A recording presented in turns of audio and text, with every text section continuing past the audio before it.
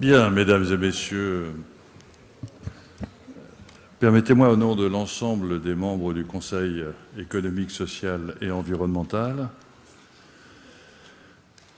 de vous souhaiter la, bienvenue, de vous remercier pour votre participation à ce troisième forum du Vivre ensemble qui, après tant longtemps cours, méfiance, confiance, aborde aujourd'hui le thème de pauvreté et richesse, ou richesse et pauvreté. Je voudrais remercier les, membres du comité de pilotage qui ont construit, bâti, euh, réfléchi à l'organisation de ce forum, Sylvie Brunet, Jacqueline Dondu, Christine Dupuis, Adrien Aubary, Pascal Vion, Michel Coquillon, Contrain Le Jaune. Remercie aussi les, les nombreux membres du Conseil euh, qui sont présents. Je salue le vice-président Alain Delmas, Madame Nathan, enfin et bien d'autres, et je m'en excuse de ne pas tous les citer. De remercier les services aussi du, Conseil, euh, Pascal Rouet, François Racheline, Christine Tandel, toute son équipe, et bien évidemment euh, Roger Paul Droit qui a accepté de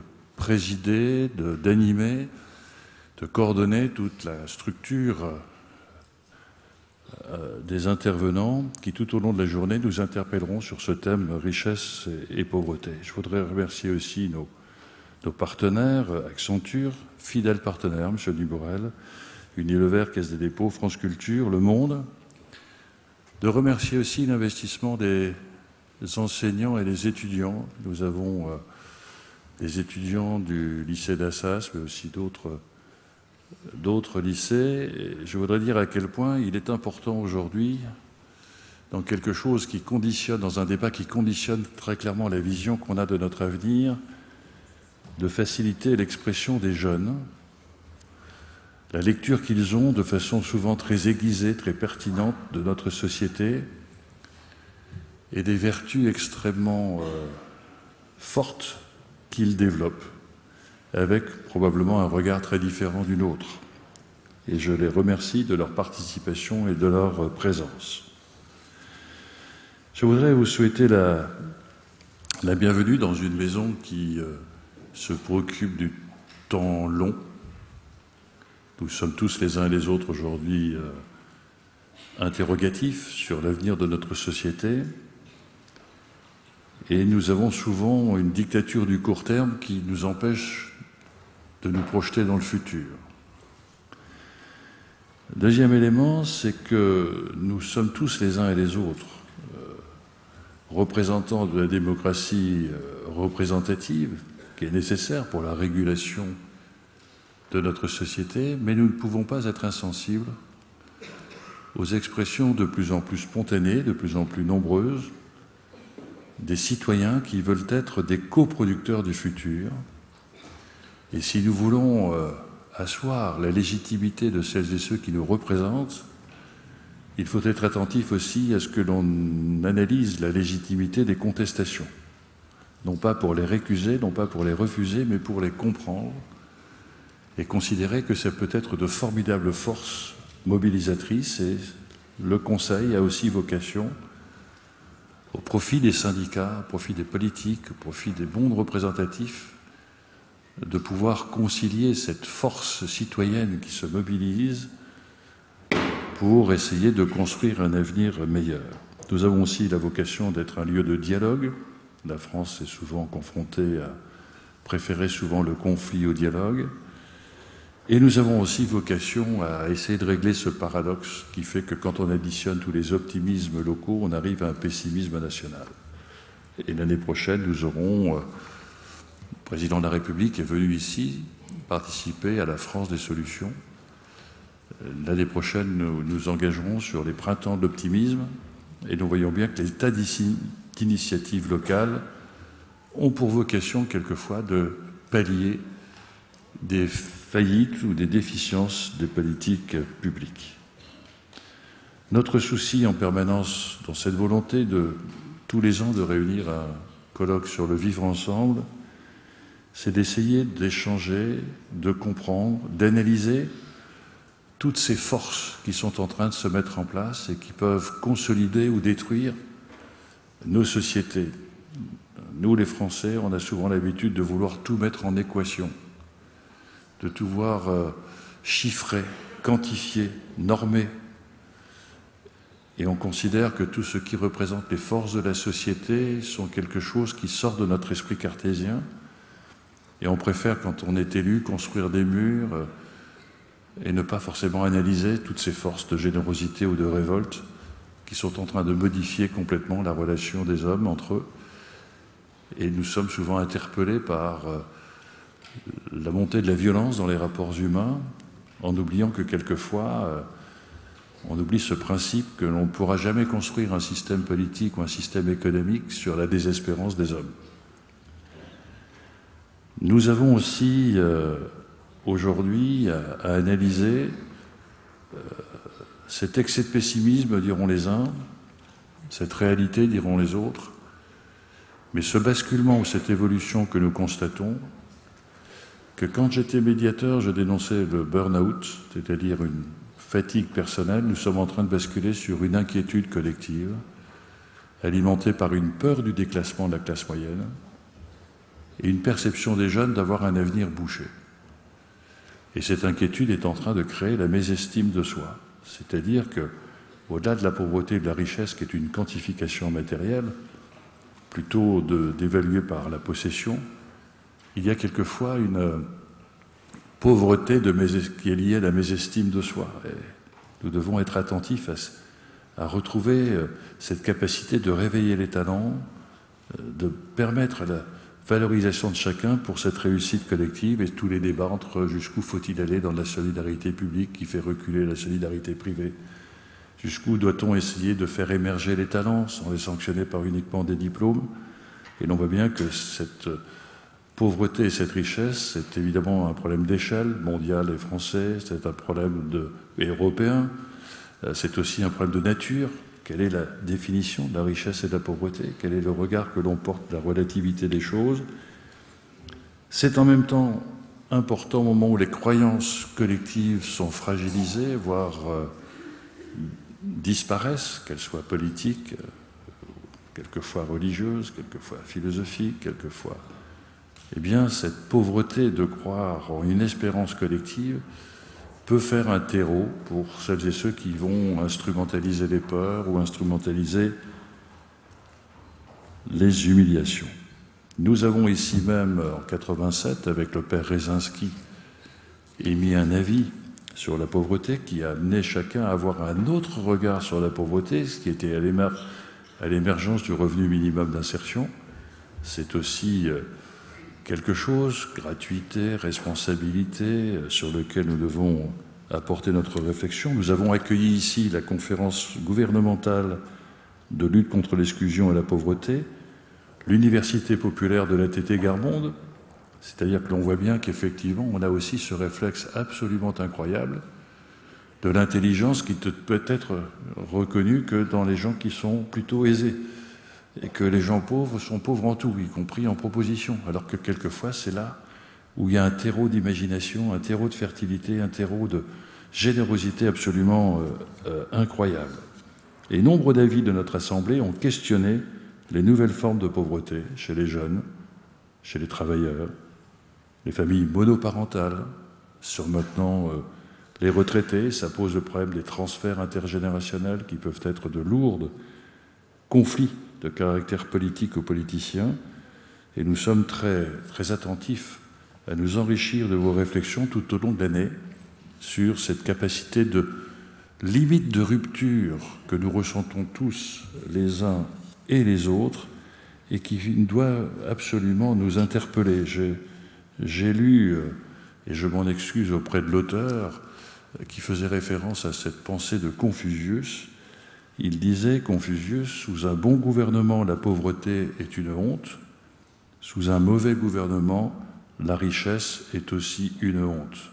Eh bien, espérons que nous puissions euh, être fiers euh, de nos débats et peut-être euh, un, des acteurs qui permettra, au travers de ces échanges, de pouvoir retrouver le chemin d'une espérance collective qui ne pourra se construire sur des désespérances individuelles je vous souhaite un excellent débat et j'appelle sans plus tarder Roger-Paul Droit à prendre ma place pour lancer ce forum citoyen du vivre ensemble organisé par le Conseil économique, social et environnemental. Et j'évoquais à l'instant, cher Roger-Paul Droit, avec Alain Delmas qui revenait d'un échange avec les conseils économiques européens, de voir à quel point dans l'année 2014 de l'Europe, la résonance de notre colloque d'aujourd'hui sera importante quand on voit ce qui se passe en Grèce, au Portugal, en Espagne, sur l'ensemble du continent européen. L'on voit bien que l'on ne pourra pas faire cohabiter cet écart entre les pays du Nord et les pays du Sud. Ça pose de vrais débats sur la solidarité et la cohésion de notre continent. Bonne journée à tous.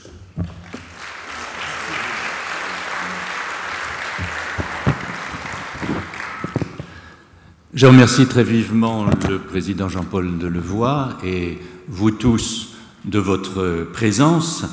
Et au cours de cette journée, ce troisième forum du vivre ensemble du CESE, j'aimerais vous convier à une sorte de voyage. Physiquement, évidemment, nous n'allons pas quitter le palais d'Iéna. Nous restons ici, rassurez-vous, mais je crois que nous allons voyager en idées, en discours, en paroles, en perspectives, en rencontres. Parce que c'est d'abord cela aussi, le vivre ensemble. Essayer de faire vivre ensemble, pas simplement riches et pauvres, on va en parler, mais aussi les regards, les expériences, les témoignages, les disciplines, les analyses. Comment faire que se croisent ou que se rencontrent effectivement toutes sortes de regards distincts. Voilà l'expérience que nous allons tenter aujourd'hui. Parce que le vivre ensemble, ça n'est pas quelque chose de statique, c'est toujours entre des pôles, entre des tensions, entre des éléments divers que cela se tisse ou se produit ou se évolue. Nous avons également toujours donné deux éléments. La première année, Jean-Paul Delevoye vient de vous le rappeler, c'était vivre ensemble entre confiance et défiance. L'an dernier, vivre ensemble entre temps court et temps long. Cette année, vivre ensemble entre richesse et pauvreté. Alors évidemment, c'est un thème extrêmement vaste parce qu'il semble évident que rien n'échappe dans l'existence à l'impact des différences de revenus ou des différences de fortune. Chacun sait que ce que l'on mange, les vêtements que l'on porte, les logements où l'on habite, les soins qu'on reçoit ou qu'on ne reçoit pas, les loisirs qu'on pratique, les connaissances qu'on a ou qu'on n'a pas, le vocabulaire même, la richesse ou la pauvreté des mots, tout cela impacte non seulement le présent, mais évidemment les perspectives d'avenir de chacun. J'écoutais l'autre jour à la radio euh, les résultats d'une enquête que je ne soupçonnais pas et qui m'ont paru tout à fait étonnants, des enfants qui ont 300 mots seulement de vocabulaire, n'apprendront pratiquement jamais à lire et à écrire, quelle que soit la méthode. Les enfants qui ont 2500 mots de vocabulaire apprendront tous à lire ou à écrire, quelle que soit la méthode. Autrement dit, ça n'est pas la manière dont on va leur enseigner qui est déterminante, c'est le stock de lexical de départ, richesse ou pauvreté, lié aussi à des richesses ou pauvretés économiques, qui est déterminant. Mais il y a évidemment le regard que les autres portent sur vous, ou que celui que l'on porte sur les autres, celui que l'on porte, Jean-Paul Delevoye vient de vous le rappeler, sur soi-même, estime ou mésestime de soi, et même, bien évidemment, la durée du temps que chacun va vivre, la santé que l'on peut espérer, tout cela dépend de ces différences. Mais il n'y a pas que l'impact économique. Et heureusement, parce que dans ces grosses machines des déterminismes sociaux, s'il y avait une pure et simple reproduction à l'identique, cette reproduction que un grand sociologue comme Pierre Bourdieu a étudié, dont il a montré la puissance, dont il a montré la force, y compris intériorisée par les individus qui la subissent, si tout était fixe, alors il y aurait toujours les mêmes riches et toujours les mêmes pauvres, alors que le, pari des démocraties. Le pari des républiques, c'est aussi que cela puisse bouger. Peut-être pas totalement, peut-être seulement en partie, seulement à la marge, mais les actions solidaires, les politiques démocratiques jouent sur les mécanismes de répartition et tentent de faire en sorte que la richesse des uns et la pauvreté des autres ne soient pas implacablement fixes.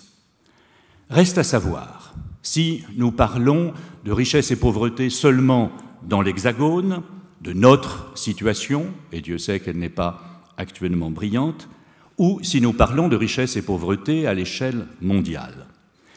Ce qui nous est apparu dans les travaux collectifs, car je veux souligner que le forum auquel vous participez, le voyage que nous allons faire aujourd'hui, c'est une œuvre collective de toute l'équipe du comité de pilotage, des conseillers du CESE, de l'ensemble des équipes techniques.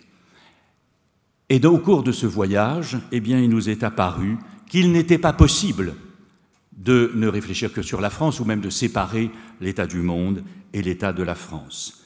Alors, nous avons donc décidé de voyager au cours de cette journée, pas simplement des notions aux réalités concrètes, mais bien du monde à la France et aussi du présent à l'avenir. Ce matin le monde, cet après-midi la France, s'il fallait le dire de façon caricaturale et évidemment fausse. Mais ce que nous allons chercher à montrer, c'est aussi comment il y a un vrai paradoxe entre la situation du monde et la situation de la France. Paradoxe que j'ai tenté de rappeler, il est connu mais pas assez examiné, dans l'article euh, du Monde que j'ai écrit dans le supplément de quatre pages que vous pourrez trouver dans le journal qui est à votre disposition à la sortie. Le paradoxe est le suivant. Dans le monde, globalement, les inégalités se réduisent. Les pays émergents font que la différence entre pays riches et pays pauvres se réduit, même si, bien évidemment, il y a des inégalités très fortes à l'intérieur de chacun euh, de ces pays. Mais en France, les inégalités croissent entre les uns et les autres.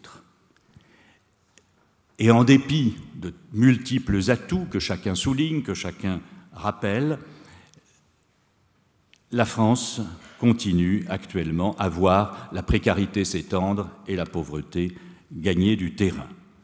Dans le sondage pour Accenture et le CESE que Le Monde a publié hier, dont il sera de nouveau question aujourd'hui, et qui est un sondage particulier fait pour ce euh, forum, eh bien, je n'en prends qu'un exemple, 55% des Français interrogés pensent pouvoir basculer un jour dans la pauvreté.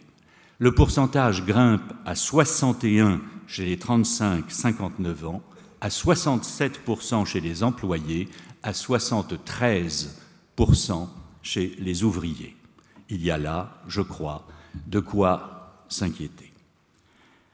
Du coup, il n'est pas tellement étonnant de voir en France les tensions s'intensifier, le vivre ensemble commencer à entrer vraiment en crise, et à partir de là, nous nous sommes dit aussi qu'il ne fallait pas craindre entre nous l'explicitation des désaccords je ne vois pas pourquoi le vivre ensemble serait nécessairement le consensus.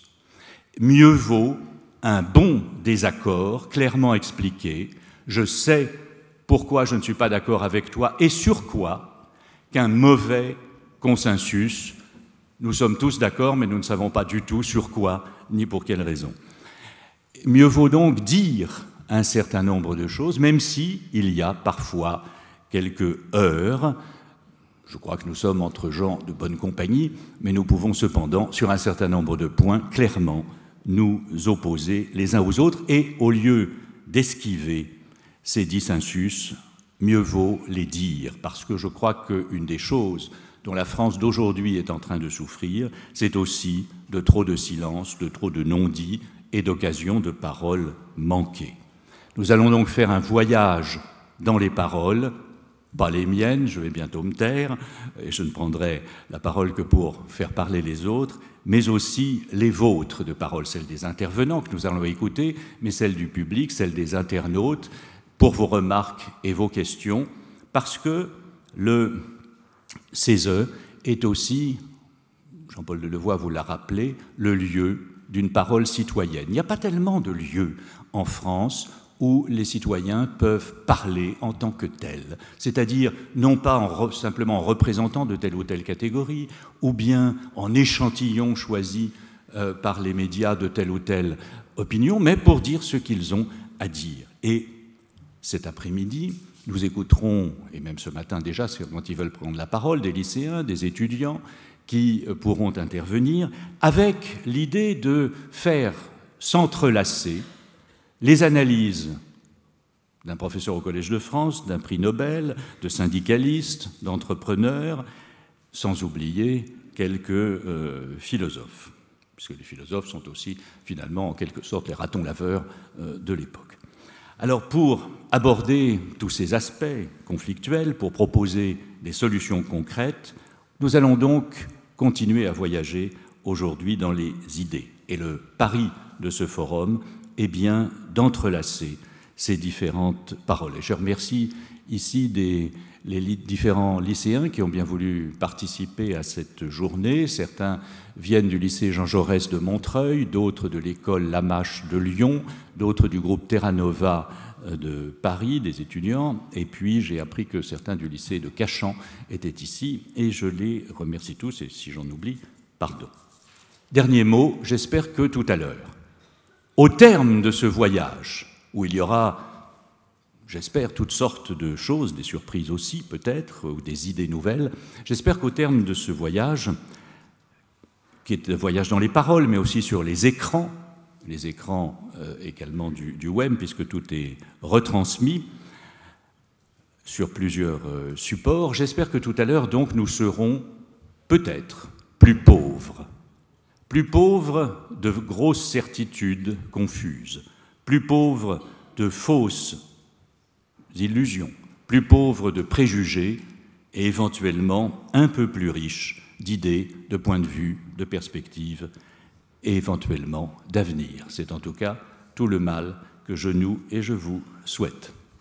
J'appelle maintenant à la tribune pour qu'ils viennent me rejoindre et que nous ouvrions ce forum Philippe Descola, Axel Brodier et Catherine Clément.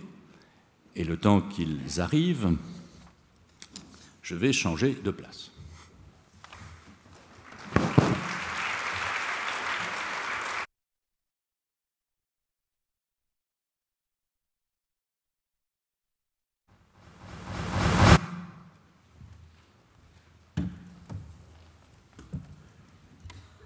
Non, il n'est pas branché C'est bien, oui. Pendant que chacun des intervenants de cette première séance s'installe, je voudrais dire quelques mots de ce que va être l'ensemble de la séance de ce matin. On va commencer par se demander ce que contiennent ces notions, richesse, pauvreté. C'est une question qu'on ne se pose pas tellement souvent. Ça paraît évident, ça paraît immédiat. Nous savons spontanément ce que ça signifie d'être riche, ce que ça signifie d'être pauvre. Et pourtant, je pense à un philosophe tout à fait oublié, aujourd'hui, ou presque oublié, qui s'appelait Émile Gobelot, euh, et qui, dans les années 1910-1920, a eu une phrase qui me paraît toujours utile. Il dit Les philosophes disent en y pensant ce que tout le monde dit sans y penser. Et nous parlons donc de riches, de pauvres, et eh bien je vous propose que nous commencions à y penser. Qu'est-ce que c'est cette notion de richesse ou de pauvreté? Voilà des notions qui ne sont peut-être pas si simples, qui ont une profondeur de champ insoupçonné et une diversité d'acception. Ce que les Français savent, ou ressentent, ou pressentent, ou disent, dès lors qu'on le leur demande. Alors pour ouvrir ces débats, quelques minutes, même deux minutes, de vidéo. Nous avons demandé avec, euh, ou plutôt l'équipe d'Alexandra Texier, qui euh, s'occupe de la vidéo dans le OCSE et de l'ensemble des images, nous avons demandé à des Français, à votre avis, qu'est-ce qu'être riche? Et vous allez voir, ça n'est pas seulement Hong Picsou auquel ils pensent en premier. Être riche, c'est avoir beaucoup d'argent, mais ça c'est la réponse que tout le monde donne. Sinon, après, être riche, ça peut être aussi euh, être riche du cœur, donc on parle de ça aussi, quelqu'un qui, euh, donne aussi, et on peut, la considérer comme étant riche. Après, on peut être riche culturellement aussi, avoir beaucoup de, enfin, de connaître beaucoup de choses. C'est de pouvoir, se permettre tout, quoi. Simplement. Euh. Après, il y a les personnes aisées qui, ont un peu d'argent, il y a les personnes vraiment riches qui, là, elles ont tout ce qu'elles veulent. Parce que la richesse matérielle est quand même ça, nous tire de bien des ennuis. Ça évite bien des ennuis. J'avouerais que j'ai une préférence pour la culture, peut-être, pour ce qui est la richesse euh, euh, oui, euh, culturelle et puis la richesse intérieure aussi, peut-être, avant toute chose. Je pense que la richesse est soit matérielle, pour, pour beaucoup, hélas, soit, soit humaine, soit spirituelle, et chacun a, chacun a sa richesse là où il la trouve. Et la preuve, c'est que beaucoup de gens pauvres matériellement sont très riches humainement. Et, et en tout cas c'est euh, une joie de vivre qui n'existe pas chez certaines personnes riches. Si on parle finance, avoir beaucoup d'argent, mais pour moi être riche, c'est pas ça du tout. C'est avoir une qualité de vie qui convient. C'est pas seulement la richesse financière, c'est aussi la richesse euh, familiale, euh, mais aussi amicale, tout ça, culturelle. Il y a plein de sortes de, richesses. Je pense que la richesse financière, c'est pas notre but dans la vie être riche, ben, déjà d'une euh, une certaine liberté, une certaine influence, mais qui n'est pas positif en fait. Parce que quelque part, euh, être riche, c'est pas. c'est ne pas être libre. Surtout dans notre société. Être pauvre, ben, c'est. tout à fait le contraire. C'est ne, ne pas être libre et en fait compte euh, vivre dans une société où moi, je passe à côté et personne ne me revoit. En fait. Il y a la richesse, euh, l'intelligence, la sagesse, euh, savoir comprendre les autres, les accepter tels qu'ils sont. Mais aujourd'hui, la richesse, c'est voilà, c'est l'argent. Je pense que la richesse intérieure, d'abord, c'est d'essayer de, vivre non pour soi, mais euh, avec un œil bienveillant sur les autres, sur sa famille d'abord, sur les, sur les gens en général avec qui on vit. Plutôt que de penser à soi, je pense que la société actuellement est vraiment trop tournée vers elle-même, trop matérialiste. Et la vraie richesse, c'est d'être capable de vivre dans le, bonheur. Et voilà. Et vous voyez finalement ce que disent les Français dès qu'on leur demande, ça affleure tout de suite, c'est que riche se dit en plusieurs sens et pauvre aussi. Mais une série de questions, richesse intérieure, richesse extérieure, euh, humaine ou matérielle, toutes ces questions-là arrivent comme ça un peu en, vrac. Je crois qu'il faut commencer à y mettre de la perspective, non pas de l'ordre rigide, mais quelque chose qui euh, donne plus, mettre les points sur les i, aller un peu plus loin, aller ailleurs, dans l'espace, dans les cultures ou dans le temps, prendre des exemples concrets, on le verra tout à l'heure avec la question de l'eau, et dans jusqu'à 10h30, et bien sûr il y aura de la discussion et des débats avec vos remarques et questions tout à l'heure, nous allons d'abord écouter trois exposés. Le premier est celui de Philippe Descola, qui est anthropologue, qui est professeur au Collège de France, qui dirige le laboratoire d'anthropologie sociale, qui a succédé à cette chaire euh, alors sa chaire s'intitule Chaire d'anthropologie de la nature, mais il a succédé au Collège de France en anthropologie à Claude Lévi-Strauss et à Françoise Héritier. Il est aujourd'hui, je le dis, dût-il rougir, l'anthropologue français vivant le plus lu et le plus commenté dans le monde, et auteur de nombreux ouvrages, notamment Par-delà la nature et la culture aux éditions Gallimard, et il a bien voulu nous faire l'honneur d'ouvrir ce forum en nous parlant des biens de subsistance et des biens de prestige, les richesses marchandes et non marchandes, alors voilà, je crois que ce que j'aurais envie de vous d'attendre, d'écouter de vous, Philippe Descola, c'est notre première idée quand on dit de quelqu'un il est riche, comme on dit à la campagne, bah, c'est qu'il a du bien. Aussi, il est pauvre, il n'a pas de biens. Mais est-ce que ces biens-là sont les seuls? Merci, euh, Roger Paul Droit. Comme le, micro-trottoir que nous venons de, voir euh, l'a montré, les définitions de la richesse et de la pauvreté euh, varient, mais elles reviennent quand même beaucoup à cette idée que nous avons pris l'habitude d'assumer, au fond, qui conçoit la richesse en termes d'abondance de biens consommables et aliénables, et la pauvreté par leur défaut à l'échelle soit d'un individu, d'un groupe de personnes ou même d'une nation.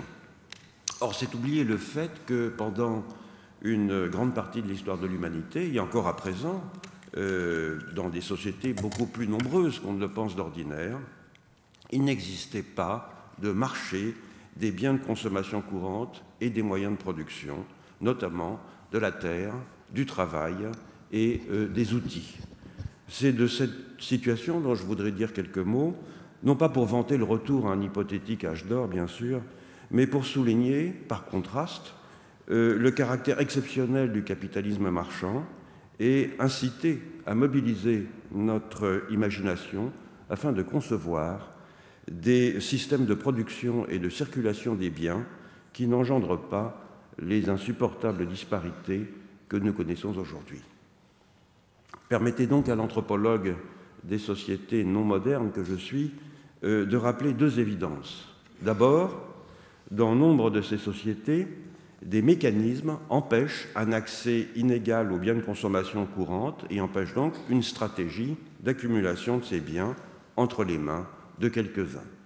Ensuite, dans les cas où des disparités de statut sont signifiées par la possession de richesses, ces richesses sont en général formées de biens de prestige, c'est-à-dire des objets réputés précieux qui ne peuvent pas s'échanger contre des biens de subsistance. Voyons de plus près ces deux situations. Et commençons par les mécanismes homéostatiques qui empêchent une accumulation excessive euh, de biens de subsistance par les plus habiles, les plus chanceux ou les plus travailleurs. Je n'en évoquerai ici que deux, très brièvement d'une part la stabilité des temps de travail et d'autre part la redistribution. Concernant le, premier mécanisme, l'anthropologue américain euh, Marshall Salins avait déjà attiré l'attention il y a plus de 40 ans sur le paradoxe apparent que les sociétés de chasseurs-cueilleurs contemporains étaient les seules vraies sociétés d'abondance, pour reprendre ces termes, car euh, ils consacraient une faible part de leur temps quotidien, entre 3 et 6 heures en moyenne, assurer leur subsistance, laquelle était très supérieure en qualité et en quantité à celle de la plupart des sociétés paysannes. Il soulignait ainsi le fait que, je le cite, les chasseurs-cueilleurs travaillent moins que nous le faisons, que leur quête de nourriture, loin de constituer un travail continu, est intermittente, pleine de loisirs, et comporte une part plus importante de sommeil durant la journée que dans n'importe quelle autre condition sociale. Voilà des gens qui font beaucoup la sieste. J'ai montré la même chose pour une société de chasseurs et d'horticulteurs euh, sur Brûlis de la Haute-Amazonie, les Hatchoirs, qui allouent un peu moins de trois heures par jour, en moyenne, à se procurer leur subsistance, pour un résultat en matière de nutrition d'un adulte qui est très supérieur aux recommandations de la FAO. Or, les adjoints n'ont pas conscience qu'il euh, s'imposerait un seuil temporel de travail à ne pas dépasser, d'autant qu'il s'agit évidemment d'une moyenne calculée sur plusieurs individus et sur euh, des longues durées.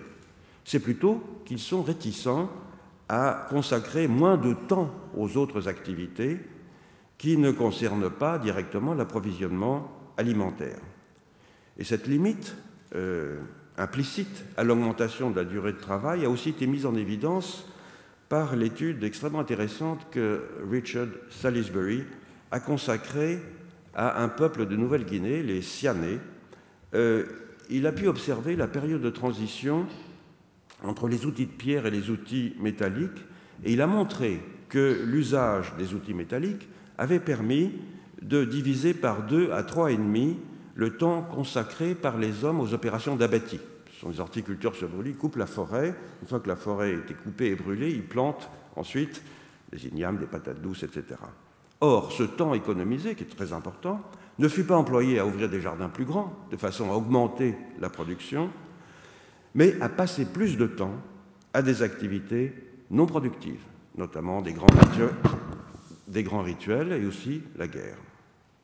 Autrement dit, les limites implicites qui sont fixées à l'intensification du travail par la durée contribuent dans ces sociétés à maintenir les productions dans un cadre qui n'est pas favorable à l'accumulation de biens de subsistance. Examinons à présent les mécanismes homéostatiques qui fonctionnent en aval de la production. On peut les regrouper sous l'étiquette générale de redistribution, même s'ils sont de nature très diverse. Dans la majorité des sociétés de chasseurs-cueilleurs, d'abord, le produit de la chasse est d'emblée réparti, soit directement par le chasseur, soit par un homme chargé de cette tâche. Il est réparti entre les membres du groupe local. Et cet impératif du partage est un leitmotiv euh, dans la littérature ethnographique sur les chasseurs-cueilleurs. Il oblige d'ailleurs parfois à des conduites d'évitement si l'on est d'humeur mesquine. Euh, ainsi, des personnes vont cacher euh, un bien qu'elles valorisent pour ne pas avoir à le donner si d'aventure on le leur demandait, ou bien elles vont se dissimuler au regard afin de manger quelque chose en paix. Donc dans la plupart des sociétés non marchandes, c'est-à-dire dans lesquelles les biens de subsistance et les facteurs de production ne sont pas aliénables, la redistribution des produits alimentaires suit les voies des rapports de parenté ou de solidarité euh, segmentaire, de sorte qu'il est à peu près impossible et de se trouver tout à fait dépourvu de ressources alimentaires et de pouvoir les accumuler de façon déraisonnable.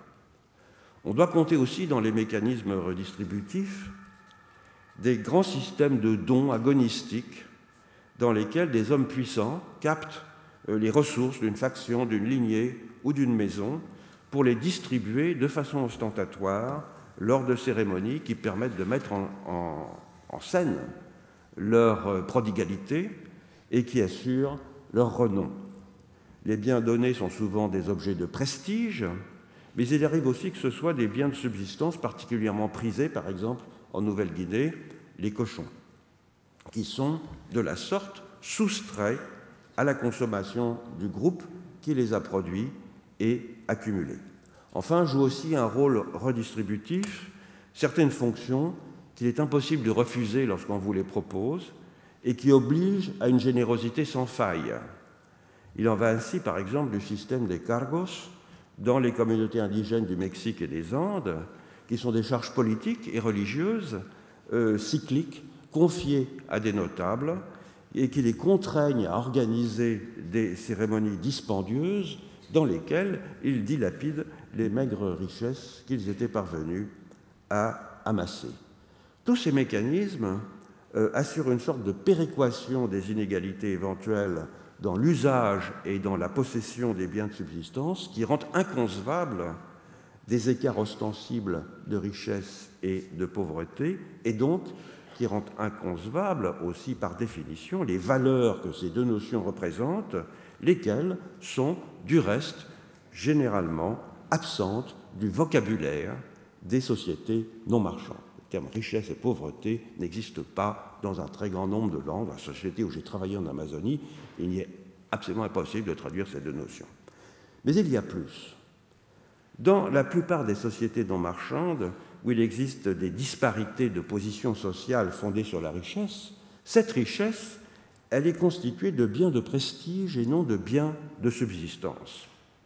Cette distinction entre euh, types de biens fut initialement proposée par une anthropologue américaine, Cora Dubois, ou Dubois, euh, dans les années 30, euh, qui euh, a étudié une société de chasseurs, pêcheurs, cueilleurs de la côte pacifique des États-Unis, les Tolowatututni.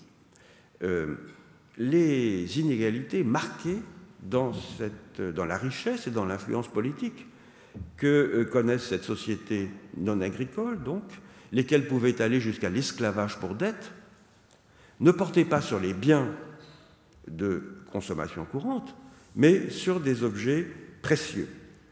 les biens de consommation courante, et notamment l'alimentation, étaient abondants et accessibles à tous, tandis que les seconds, les objets précieux, depuis les formules rituelles jusqu'aux femmes, euh, ne pouvaient être euh, obtenus que par l'intermédiaire d'une monnaie de coquillage et faisaient l'objet d'une compétition euh, acharnée. Et ils n'étaient surtout jamais échangeables contre des biens de subsistance. Donc bien de prestige et bien de subsistance circulaient dans des sphères, dans des circuits complètement différents et parfaitement étanches. Donc contrairement à la Robinsonade de Ricardo, la formule est de Marx, qui imaginait un chasseur primitif échangeant euh, avec un chasseur primitif en calculant la convertibilité de leurs produits respectifs, le pêcheur Tolowatututni ne pouvait euh, nullement céder son poisson contre des monnaies de coquillage et acheter ensuite de la viande avec cela. À la différence donc de l'économie marchande, dans laquelle la monnaie intermédiaire et résultat des transactions sur les biens de subsistance peut être thésaurisée et permet euh, d'acquérir du prestige, la monnaie et la subsistance étaient ici complètement découplées. Les recherches en anthropologie économique ont euh, établi par la suite que ces circuits euh, cloisonnés et hiérarchisés de circulation des biens étaient extrêmement communs dans les sociétés non marchandes. Euh, Paul et Laura Bohanan, par exemple, ont montré comment chez les Tives du Nigeria, les biens étaient répartis en trois sphères d'échange spécialisées qui incarnaient chacune un univers d'objets et un univers de euh, valeurs différents. Les biens de subsistance, appelés euh, YAG, à savoir les aliments, les outils, les ustensiles, les matières premières produits localement, circulaient par troc dans des marchés libres les biens de prestige. Chaque bar représentait une catégorie euh, composite comprenant euh, les esclaves, le bétail, les chevaux, euh, les charges rituelles, les barres de cuivre, des magies, des médicaments, etc. Et ils s'échangeaient les uns contre les autres à des taux fixes. Les femmes, enfin, s'échangeaient dans le cadre d'un système de mariage très complexe entre des groupes euh, Et l'irruption avec la colonisation britannique de la monnaie comme un équivalent euh, généralisé fut rapidement perçue par les Tives comme un facteur de perturbation, de sorte qu'ils essayèrent de confiner la monnaie dans une quatrième sphère d'échange autonome, au sein de laquelle elle n'était convertible que contre elle-même et contre les biens européens importés. Comme vous pouvez l'imaginer, la tentative fit long feu. Donc la diversité et le cloisonnement euh, des modes de circulation des biens dans les sociétés non modernes ont ainsi eu pour euh, conséquence fondamentale de soustraire les éléments nécessaires à la vie du jeu, de la compétition et de l'acquisition des richesses. Et de ce fait, les disparités sociales, les disparités de situation que de très nombreuses sociétés non modernes connaissent ne euh, condamnent pas pour autant ceux qui sont faiblement pourvus en biens de prestige à une existence précaire.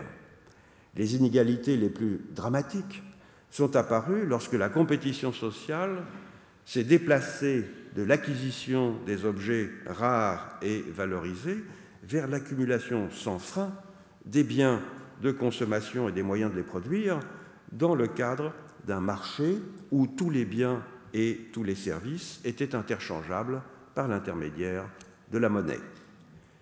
Les monnaies primitives ne permettent pas cela. Les monnaies primitives ne s'échangent jamais contre de la terre et du travail et leur euh, thésaurisation n'introduit pas entre ceux qui en possèdent et ceux qui en sont démunis la terrible disparité vitale qui sépare les riches et les pauvres dans les sociétés marchandes capitalistes. Le premier penseur de l'économie, Aristote, fut le témoin euh, éminent des débuts de l'économie de marché en Grèce. Et c'est sans doute parce qu'il avait à l'esprit les bouleversements de la production marchande, que la production marchande plutôt, euh, menée systématiquement pour le profit, commençait à provoquer dans l'équilibre de la cité grecque à Athènes, qu'il opposa deux formes d'économie, ce qu'il appelait l'art naturel d'acquérir, d'une part, et ce qu'il a appelé la crématistique mercantile. L'art naturel d'acquérir, c'est l'activité normale pour lui, de, pour Aristote, de l'unité domestique tournée vers la production agricole afin de satisfaire ses besoins, tandis que la crématistique mercantile, qui est une activité pour Aristote artificielle, est un art d'acquérir en recherchant exclusivement le profit et qui, de ce fait, je le cite, ne met point de limite à la richesse. Je pense que son diagnostic sur les dangers que la production marchande pour l'échange fait courir au lien social est toujours d'actualité.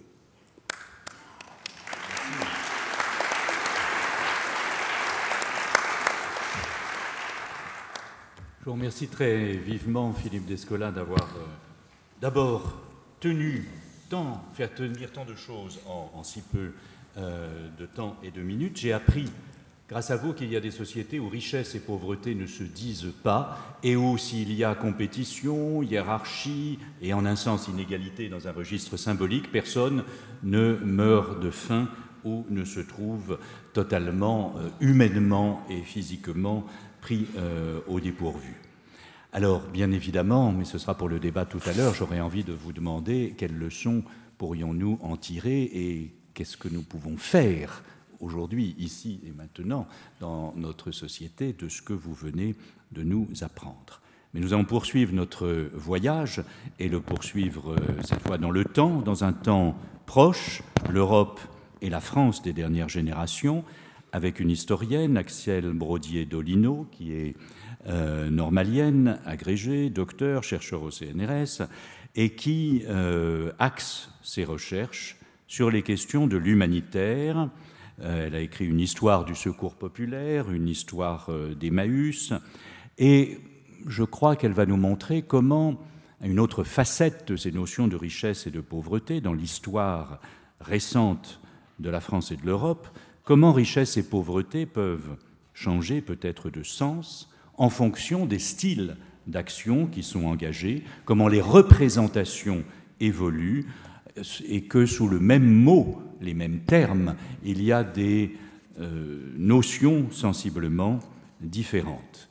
Le titre de son intervention est Aider les pauvres, lutter contre la pauvreté, l'évolution des associations face aux inégalités. Merci beaucoup. Euh, ça sera aussi un peu sur les pouvoirs publics parce que l'objectif de cette intervention, c'est euh, sinon de proposer des réponses, du moins au moins des éléments de réflexion sur trois aspects euh, du thème qui me semble proposé dans ce forum et qui seront les trois petites parties de l'intervention. Je vais voir si je maîtrise la zapette. Ouais. C'est-à-dire en quoi d'abord la notion de pauvreté est réellement historiquement complexe parce qu'elle évolue sur le long terme, à la fois dans sa matérialisation, mais aussi dans la façon dont elle est pensée.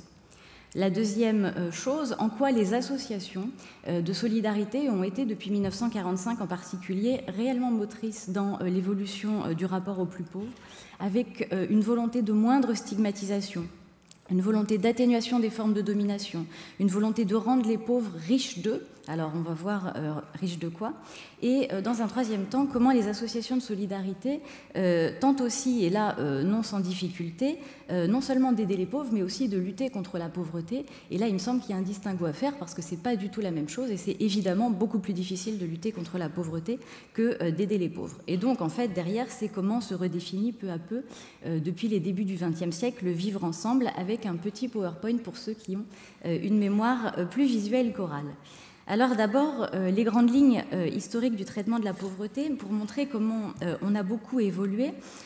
c'est vrai qu'au-delà des évidences partagées, c'est en fait très difficile de définir ce qu'est la pauvreté, et notamment parce qu'il me semble que ce qui a été longtemps pensé, c'est pas tant la pauvreté que quelle est la place du pauvre dans la société, entendu de façon assez floue, et autrement dit, que doit englober l'assistance.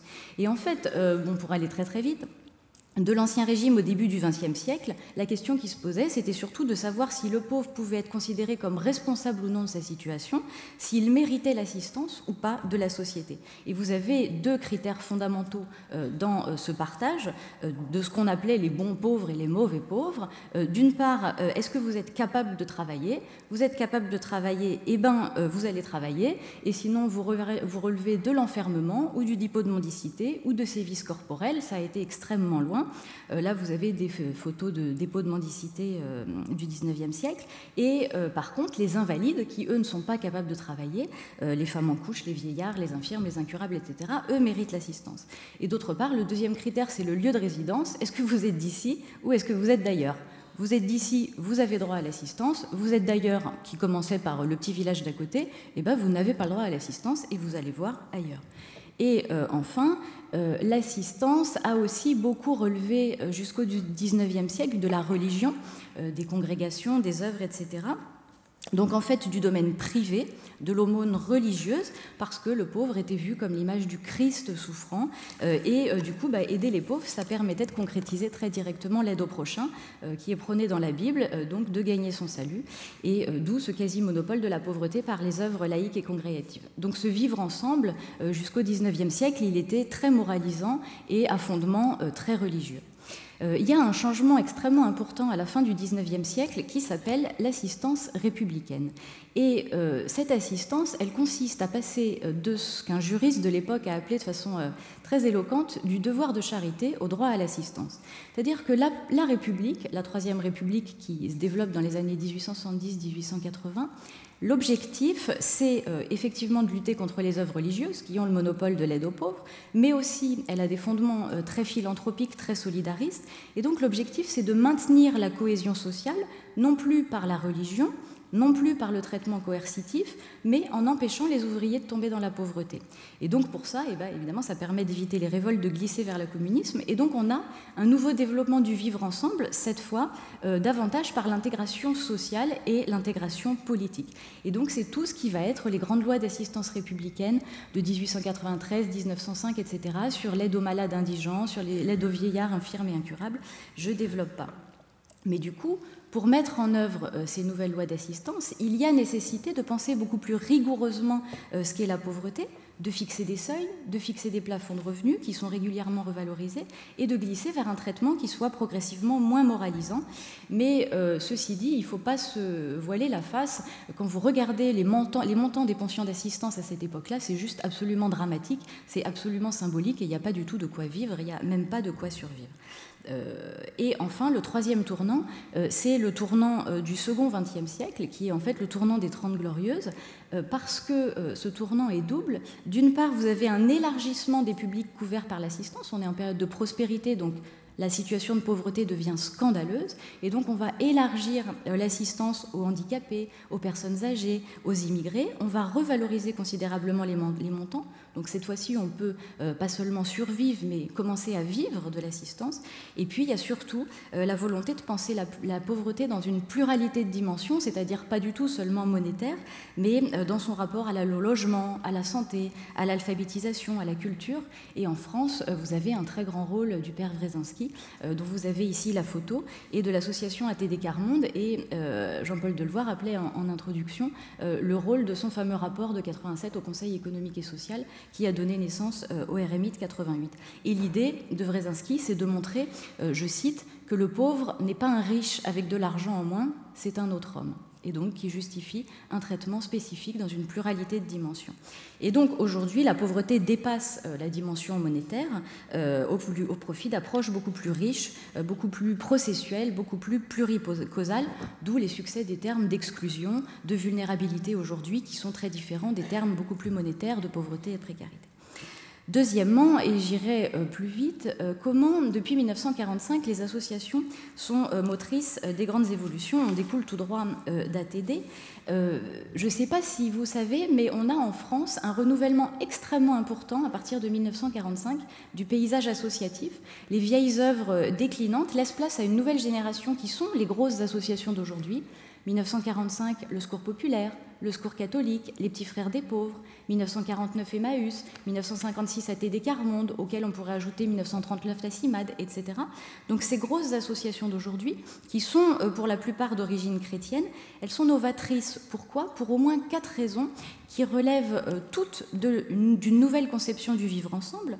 La première, c'est que c'est les seuls à avoir euh, la capacité de répondre aux nouveaux problèmes euh, de la pénurie euh, et des questions de, sortie de guerre, la pénurie, les rationnements, la crise du logement. Vous connaissez Emmaüs et l'abbé Pierre, la pauvreté des personnes âgées, des bidonvilles, etc. Mais aussi parce qu'elles ont une nouvelle approche qui est beaucoup plus de faire avec le pauvre que de faire pour lui. Et donc l'abbé Pierre va aller faire avec les chiffonniers. Wrezinski va aller faire avec les personnes des bidonvilles. Avec, il va s'installer dans les bidonvilles, c'est pas symbolique. Euh, donc il y a un nouveau euh, rapport qui s'installe entre le riche et le pauvre, qui est plus ce rapport de charité traditionnelle euh, verticale, qui est un peu caricaturale et condescendante, mais qui était quand même véritablement prégnante, un rapport plus égalitaire, plus empathique, plus compassionnel. Et puis parce que euh, ces associations vont avoir une vraie volonté de restaurer aux, plus démunis leur dignité. À Emmaüs, c'est euh, tout ce qui est euh, la dignité par le travail. Euh, à Emmaüs, l'idée c'est de redonner ne pas tant de quoi vivre qu'une raison de vivre. Donc dignité par le travail, à ATD Carmonde, dignité par l'autonomie, par la parole, par l'expression, par la culture. Euh, les petits frères des pauvres, leur slogan c'est euh, des fleurs avant le pain, etc. Donc vous voyez bien qu'il y a une nouvelle volonté de rendre les pauvres riches d'eux. Alors riches d'eux, bah, pas nécessairement de richesse monétaire, mais riches d'autres choses. Et c'est par exemple tout ce qui est le miracle des communautés Emmaüs de remettre celui qui n'a plus rien en situation de donner. Donc il y a euh, une nouvelle approche, euh, un, nouveau souci de restaurer l'humain au-delà de la pauvreté monétaire. Et puis parce que ces associations, elles ont aussi, euh, ah j'en ai loupé une, un vrai souci de dénoncer les situations dramatiques. Là vous avez une petite image en bas sur l'appel de l'abbé Pierre. cette capacité d'interpellation des associations, elle est très nouvelle et elle va pas changer jusqu'à aujourd'hui, donc de faire bouger les pouvoirs publics. Et puis petit à petit, c'est la fin de cette partie. il y a aussi une découverte quand même que on est d'autant plus dans les Trente Glorieuses que la découverte n'est pas tant finalement en France qu'au-delà euh, des frontières, en particulier au sud. Et donc il y a une mondialisation, une ouverture vers le tiers-monde. Euh, là, vous avez des images du Biafra, mais je peux vous sortir celles du Sahel, etc. C'est toutes euh, les mêmes. Et donc un développement de l'humanitaire d'urgence et de développement dans ces années 60-70 qui décentrent le regard en termes de pauvreté et qui enrichissent un peu l'approche.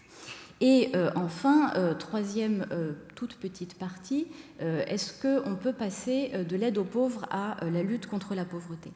Là, le tournant, il me semble qu'il est dans les années 70, avec la crise économique et sociale, avec la fin des Trente Glorieuses, avec le début des Trente Piteuses, avec la redécouverte en France des SDF, des morts de froid, des nouveaux pauvres, et depuis les années 80, d'un taux de chômage structurellement haut et de l'emploi précaire.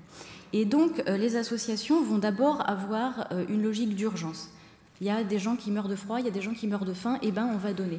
Et donc dans les années 80, les associations vont être dans une logique très très palliative, une logique quantitative, une logique distributive. Pardon, j'ai été trop vite euh, avec ma petite zapette.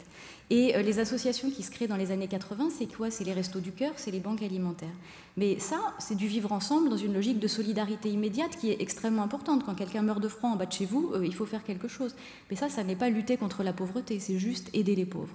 Et donc, depuis les années 90, les associations cherchent des solutions et on en vient à des traitements d'une part beaucoup plus curatifs, qui sont l'idée d'aller aux causes même de l'exclusion pour aller comprendre les problèmes et pour y remédier. Les trois grands enjeux, c'est le logement, la santé l'insertion professionnelle. Donc il y a un très gros travail de ces associations euh, dessus. Euh, et euh, il y a aussi tout ce qui relève du traitement politique. Là, vous avez les campagnes absolument magnifiques de la Fondation Abbé Pierre, des campagnes d'affiches. L'idée, c'est d'aller vraiment dénoncer auprès des pouvoirs publics les causes. C'est ce qu'on pourrait appeler la fonction tribunicienne que le Parti communiste a perdue et que les associations reprennent. Parce que là, c'est l'Abbé Pierre qui le disait, il faut se faire la voix des sans-voix parce que le pouvoir est aveugle et la misère est muette. Et donc, euh, il y a vraiment une volonté de faire changer les lois. Et puis, il y a toujours cette vision de la pauvreté élargie à l'ensemble de la planète.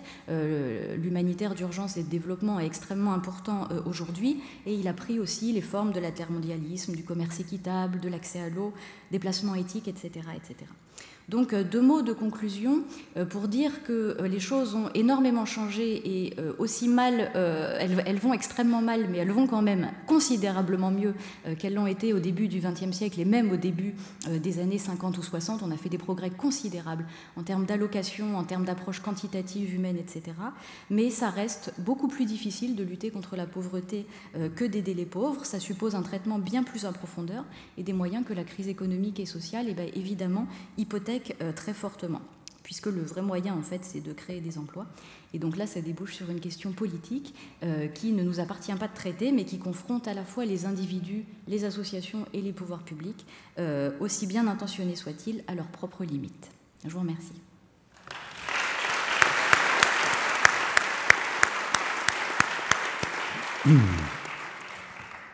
Merci vivement, Axel Brodier-Dolino, pour cet euh, éclairage à la fois historique, mais qui aboutit sur des questions tout à fait actuelles. Euh, je résumerai votre conclusion peut-être à ma façon en disant tout va mal, mais mieux. ce qui est simple mais n'est pas tout à fait faux, mais surtout vous nous avez fait comprendre comment l'impact des représentations et des actions collective euh, est tout à fait en, interdépendance. Alors la question de savoir ce que cela devient aujourd'hui en 2013 et ce que ça va euh, augurer de perspectives d'avenir, nous y reviendrons au cours du débat, mais aussi toute la journée. Avec euh, Catherine Clément, nous allons aborder une autre question tout à fait pratique, concrète et mondiale, la question de l'eau. Mais concrète alors que c'est une philosophe qui parle. Je crois qu'il est important de savoir que les philosophes ne sont pas simplement des êtres d'idées euh, ou des gens éthérés ou qui rêvent dans les nuées, mais qui s'occupent aussi euh, de choses aussi euh, pratiques et directes et vitales que l'eau. Catherine Clément est normalienne, elle est agrégée et docteur. elle aussi, elle est philosophe, romancière, professeure, journaliste, auteur d'une œuvre à la fois philosophique et romanesque très diverse et très ample. Aujourd'hui, elle travaille au Quai Branly. Ça a été une grande amie de Claude Lévi-Strauss, euh, auquel elle a consacré plusieurs livres. Elle a notamment vécu en Inde et en Afrique. C'est pourquoi aussi elle va nous parler de l'eau. Je présente très succinctement chacun des intervenants, puisque vous avez plus de détails bibliographiques et biographique dans la brochure qui est à votre disposition. Et je me souviens que Ricardo, un des fondateurs de l'économie, disait que l'eau et l'air étaient sans prix, tout simplement parce que c'était des matériaux qui existaient en quantité illimitée. La nature fournissait de l'air et fournissait de l'eau euh, à profusion et du coup, euh, il n'y avait pas de prix possible puisque la quantité était infinie. Ça n'est évidemment plus le cas et Catherine Clément va nous en parler, la question de l'eau. Oui, je rentre, si je vous ai bien compris, cher Roger Paul Droit, dans la catégorie des ratonnes laveuses. Hein, donc je vais, ça tombe bien puisque je vais parler des eaux douces. Je ne prétends pas apporter ici plus qu'un témoignage sur euh, un bon nombre d'années passées en Inde. Euh, quand on part en poste officiel en Inde, on reçoit une fiche de poste sur laquelle il est écrit en grosses lettres rouges Inde, risque sanitaire maximum et donc interdiction de boire quoi que ce soit d'autre que de l'eau minérale, ce qui signifie qu'il n'y a pas d'eau potable en Inde. Le danger, d'ailleurs nommé dans la fiche de poste, amibiase, dysenterie, hépatite A et B, choléra, typhoïde. Vous me direz, rien de tout ça n'est mortel. Enfin, quand même, ça fait un paquet de maladies.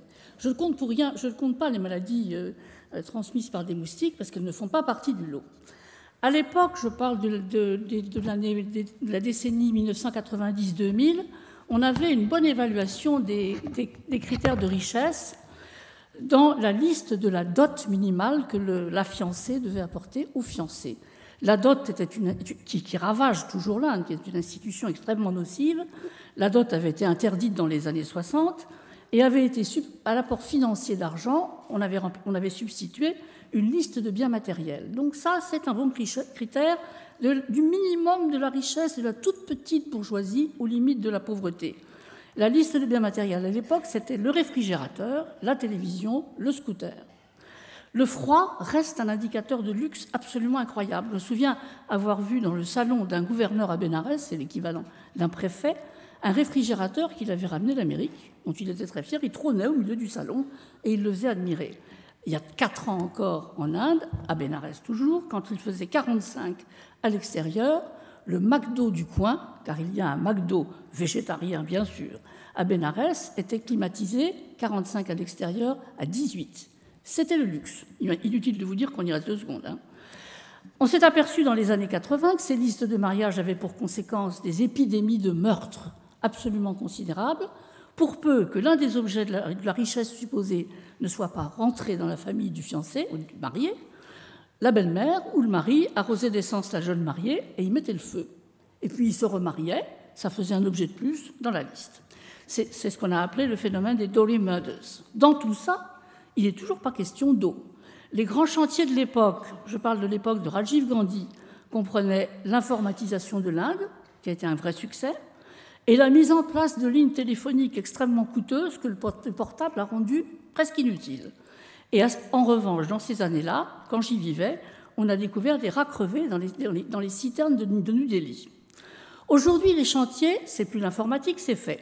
C'est concentré sur le réseau autoroutier, autoroutier qui, grandit à une vitesse absolument stupéfiante et dans des conditions absolument magnifiques. Et toujours pas question d'eau. Or, c'est à Bénarès que j'ai le mieux compris pourquoi il n'y avait pas d'effort sur l'eau. Parce que la question n'est pas technique, elle est métaphysique. L'obstacle est métaphysique, et c'est plus compliqué ça. Mon maître en la matière, que Roger Paul Droit a connu, s'appelait Virbhadra Mishra. Il était grand prêtre du temple du singe divin, le dieu Hanuman, et également professeur en dépollution des eaux douces à l'université de Bénarès. Son histoire est tout à fait significative. Je vais simplement vous la raconter. Le titre de grand prêtre héréditaire, est héréditaire depuis le XVIe siècle. Voilà un homme qui a donc pris ses fonctions quand ses parents sont morts d'un accident de la route à 11 ans. Prend son premier bain sacré dans le fleuve, le Gange. Prendre un bain sacré dans le Gange, ça veut dire qu'on avale sept gorgées d'eau tous les matins, qu'on recrache, certes, mais enfin l'eau, il en pénètre dans le corps. Premier bain, premier bain d'eau sacrée à 11 ans, poliomyélite et typhoïde. Il en est resté très handicapé. Toujours grand prêtre et toujours, toujours obligé, malgré son handicap, de descendre 120 marches jusqu'au Gange en les remontant à pied tous les matins. Là, il a compris que son fleuve, Ganga, dont il était le garant de la pureté des eaux, était également extraordinairement dangereux. Il a donc décidé de devenir, parallèlement à sa charge, enseignant en hydraulique, puis en dépollution des fleuves. Ensuite, il a enseigné, grâce à des fonds scandinaves, un petit laboratoire sur les quais de Bénarès, où il faisait afficher chaque jour le taux de coliformes fécaux. Je vous demande pardon, ça va être un peu choquant à partir de là, mais je crois qu'on entre dans la réalité des choses. L'affichage des coliformes fécaux, le taux était crevé les plafonds, ne dissuadait absolument pas les pèlerins, et d'ailleurs lui-même devait toujours prendre son bain dans le fleuve, sauf que cette fois il fermait la bouche. En l'écoutant parler, on comprenait très bien que où était la métaphysique le Gange, Ganga en sanskrit, est une déesse de la pureté. Elle ne peut couler que pure. Il y a même eu des savants américains, toqués d'hindouisme, qui ont été jusqu'à garantir la pureté de l'eau du Gange en disant qu'il y avait des irradiations mystérieuses radioactives qui la rendaient pure juste là, juste à ce moment-là. Alors, quand même, il faut savoir ce que encore aujourd'hui on jette dans les eaux des fleuves et particulièrement du Gange et surtout à Bénarès. Donc voilà la liste de ce qu'on y jette les restes des cadavres qui brûlent beaucoup moins bien qu'avant sur les bûchers de crémation à cause de la cherté des bûches de santal, obligatoire. Les femmes qui meurent de la variole, qu'on jette sans les brûler. Les grands yogis, parce qu'ils sont tellement sains qu'ils ont déjà tout consumé. Donc, comme ils ont consumé, on les jette. Les enfants de moins de 7 ans, qui sont purs par définition, et les vaches sacrées. Donc, vous imaginez, d'ailleurs, qui va à Bénarès sait qu'à certaines périodes de l'année, tout ça flotte sur le Gange, tous ces cadavres flottent sur les Ganges. J'ajoute que les eaux usées se déversent directement dans le fleuve et que les coliformes fécaux se trouvent entre autres sur les marches des quais qui sont considérés comme des sanitaires à ciel ouvert, les quais du Gange. Face à ce désastre sanitaire, notre ami grand prêtre s'est battu toute sa vie sur plusieurs fronts. D'abord pour dissuader, les pèlerins de déféquer au bord du fleuve, il a, enrôlé des armées de gamins chargés de rappeler aux pèlerins que la déesse Ganga était leur mère et qu'il ne fallait pas la souiller. Ensuite, pour débarrasser le fleuve des cadavres, il a fait construire en douce, parce qu'il n'avait pas le droit de le faire euh, publiquement, un crématoire industriel, hideux mais utile. Ensuite, il a repeuplé le Gange avec des tortues carnivores. Il avait même pensé aux crocodiles, mais ça, pour les massacrer, ça devenait dangereux. Enfin, il a fait appel pendant de longues années au gouvernement central de l'Union indienne pour initier enfin, il y a eu des plans de dépollution du Gange, il y en a eu à Tire-Larigot, et il est parvenu, juste avant sa mort, dans les années 2000, à imaginer des, des, séries de bassins de dépollution obtenus grâce à des plantes dépolluantes. Plusieurs bassins, c'est théoriquement, c'est en cours. Or, cette trouvaille de dépollution des bassins était la seule compatible avec ses responsabilités religieuses, puisque ça, au moins, il ne touchait pas à la pureté de l'eau, les plantes s'en chargeaient. Le crématoire, il l'a caché toute sa vie, qu'il avait été dans la construction du crématoire, ça aurait été sacrilège.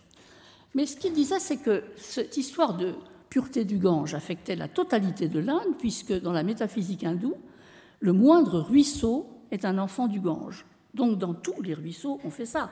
Dans tous les fleuves, on fait ça. Il n'y a donc pas d'eau douce propre en Inde. Alors, à cela s'ajoute quelque chose qui est tout à fait particulier, vous me pardonnerez d'entrer dans ces détails. À l'heure actuelle, l'ONU considère que 670 millions d'Indiens, à mon avis c'est sous-estimé, qui sont, qui notamment les paysans, n'ont accès à aucune eau potable. 670 millions, c'est un peu plus de la moitié. Ils sont un milliard, entre 2 et 300 millions. Un milliard 300 millions, disons. Les paysans. Alors là, il faut retourner, je vais passer par le Mahatma Gandhi pour être un peu plus poli le, Mahatma Gandhi accordait une très grande importance à ce qu'il appelait l'appel de la nature, c'est-à-dire à des déféqués dans les champs. Déféquer dans les champs, c'est très bien. On y va avec un pot de laiton empli d'eau pure et puis rien d'autre. Et donc, on se, torche, il n'y a pas d'autre mot, avec la main gauche et de l'eau. Et de l'eau, rien d'autre. Hein. La main gauche restera impure, donc on ne s'en sert pas pour manger. Mais ensuite, rien. On se lave un peu avec l'eau, et puis rien. Et puis on continue ses travaux des champs. Et donc les coliformes fécaux circulent tout à fait librement. Dans les villes, on peut concevoir, on a pu voir sur les écrans de télévision une éducation au lavage des deux mains. Il y avait des écrans publicitaires à l'époque de Rajiv Gandhi qui essayaient vaguement d'éduquer à la propreté et à l'hygiène. Mais le, savon dans les champs, ça ne marche pas. Ce qu'on constate à ce moment-là, c'est que la propreté de, l'eau, on n'y pense même pas, nous, à l'eau. Hein. on boit l'eau du robinet, on, quand on a soif, on n'est pas obligé d'aller acheter de l'eau minérale. C'est très rare qu'il y ait un pépin sur ce plan-là en Europe, dans toute l'Europe. Mais là-bas, la propreté de l'eau n'est même pas, elle n'est même pas totalement consciente. Les, Indiens sont, en gros, moi j'avais constaté ça avec mes amis indiens de la classe moyenne supérieure, sont malades entre une semaine et dix jours par mois. C'est la banalité. Il n'y a pas de quoi en faire une affaire. tout le monde sait que c'est l'eau. Personne ne pense à y remédier. Et ça a quand même des effets sanitaires absolument redoutables. Cette propreté de l'eau, comme longtemps le sida, apparaît comme technique occidentale. Hein. Très longtemps, le sida est apparu comme une maladie propre aux Occidentaux. J'ai eu quelques empoignades là-dessus avec mes amis brahmanes indiens. Parce que la vraie pureté, elle reste celle des castes supérieures et elle reste celle de la pureté métaphysique. Donc il faudrait sans doute, pour régler le problème, mais je pose ça en termes généraux, il y a des cas où il faut peut-être promouvoir une laïcisation, là en l'occurrence une, une laïcisation de l'eau douce, ça ne va pas de soi hein, de laïciser l'eau. Dire, ben non, elle est, peut-être pure, mais elle n'est pas propre. Ben non, elle est pure, elle est sacrée, mais elle est sale, elle est dangereuse. Elle est pure et elle est dangereuse. Arriver à tricoter ces deux brins pour qu'on arrive à quelque chose qui tienne la route en matière de santé publique. Pour conclure, je rappellerai que les Nations Unies ont adopté en juillet 2010 un nouveau droit, dont je vous lis le contenu, le droit à l'approvisionnement suffisant physiquement accessible et à un coût abordable, d'une eau salubre et de qualité acceptable pour les usages personnels et domestiques de chacun. Je vous remercie.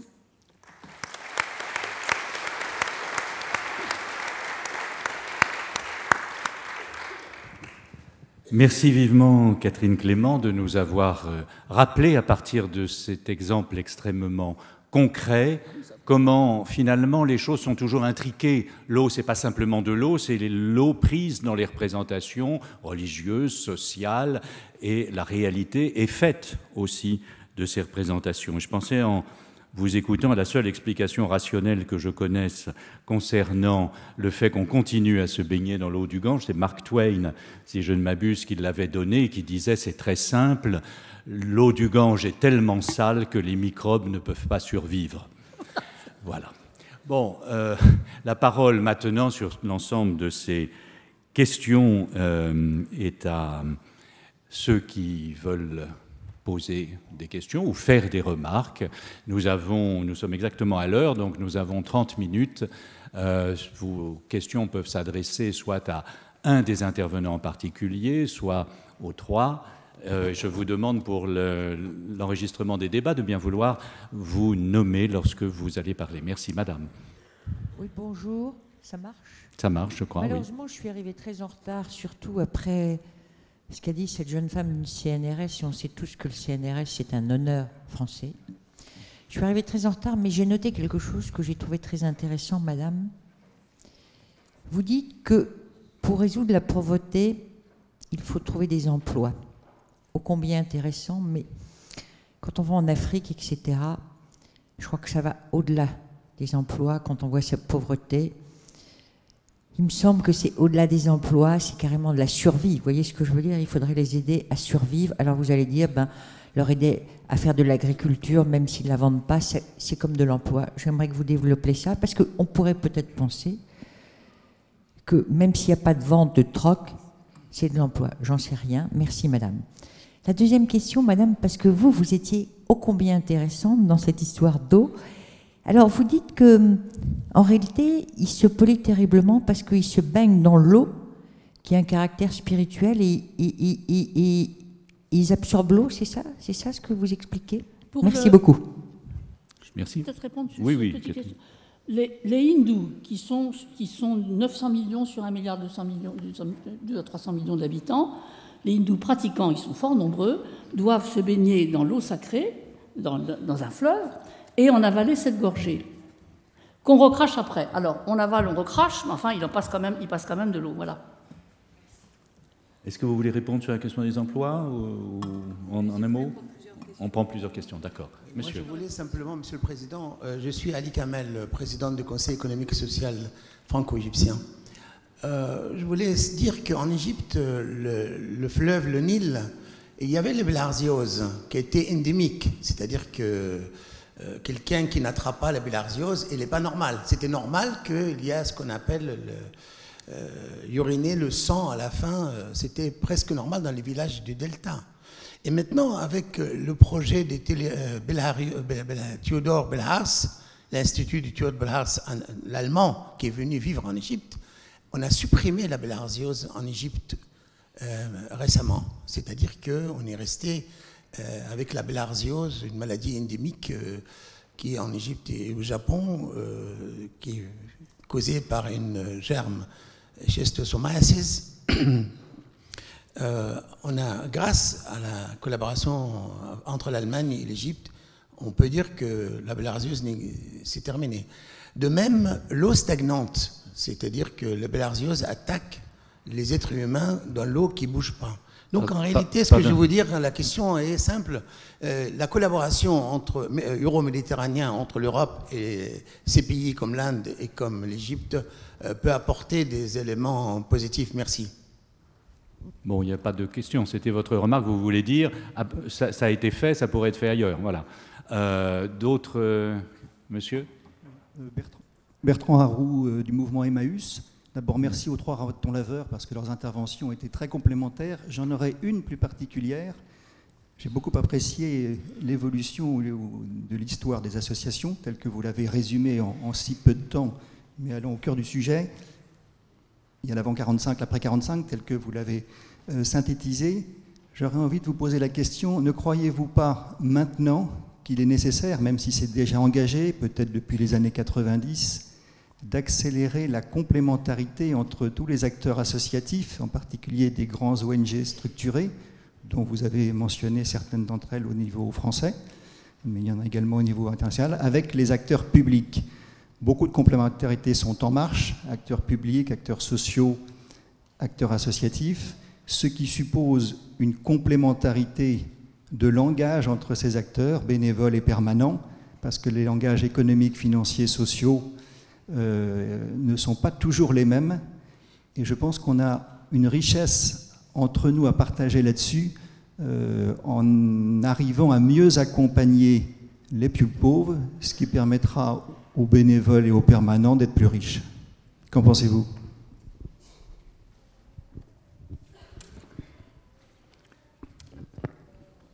Si vous, si vous voulez bien euh, répondre, Axel Brodier, j'ajoute une question qui vient de me parvenir, parce qu'on a des questions qui arrivent par Twitter, et par Twitter, je ne sais pas pourquoi elles arrivent sur des bouts de papier, ça fait. vous voyez, bon, euh, je ne fais pas de commentaire. Alors, est-ce que les politiques publiques ont suivi les grandes évolutions de l'histoire des associations, et sinon, pourquoi? Alors je ne sais si vous prenez toutes les questions à la fois, mais il y a celle qui vient de vous être posée, il y avait celle sur la question des emplois et de trouver des emplois dans le contexte en particulier de l'Afrique, et puis il y a celle-ci sur euh, l'évolution euh, de l'histoire des associations et des politiques publiques et leur corrélation. Bah, merci beaucoup pour toutes ces questions. Euh, alors, pour répondre à la première, je ne suis pas sûre d'avoir euh, bien compris euh, ce que vous vouliez dire, mais la question de l'emploi, évidemment, tout ne se résout pas à l'emploi, puisque, à mon avis, un des principaux approches, c'est d'avoir montré que la pauvreté ne se réduit pas à la question monétaire, et que donc il fallait briser les cercles vicieux à la base. Donc il y a tout ce que j'ai mentionné sur euh, l'accompagnement scolaire, sur la santé, sur le logement, etc. Euh, il n'empêche que je pense que le chômage, c'est le môle sur lequel on achoppe et euh, qui, reproduit la pauvreté et, qui va faire basculer dans la pauvreté aussi. par contre, il y a plusieurs façons de créer des emplois. S'il y en avait une miraculeuse, on le saurait, puisque ni la gauche ni la droite n'y arrivent véritablement. Mais je pense, alors on peut développer des emplois de proximité, chacun de nous peut agir, et il y a une initiative euh, qui est assez intéressante. Je ne sais pas ce qu'elle vaut économiquement parlant, mais une proposition d'ATD Carmonde qui est en train de euh, circuler en ce moment euh, sur zéro chômeur de longue durée, zéro chômage d'exclusion. Et donc de travailler et identifier le coût du chômeur et à travailler sur prendre le problème autrement. Je ne sais pas bien quoi répondre d'autre à votre question. L'emploi, c'est pas tout, mais c'est quand même, à mon avis, un mot important. Euh, sur euh, la question de la complémentarité euh, association-pouvoir public, oui, vous avez tout à fait raison. je pense qu'elle se développe depuis plus longtemps que ça. elle est en creux depuis l'intervention des pouvoirs publics, c'est-à-dire depuis le début du, 20, du, XXe siècle, mais elle se développe vraiment depuis les années 1980.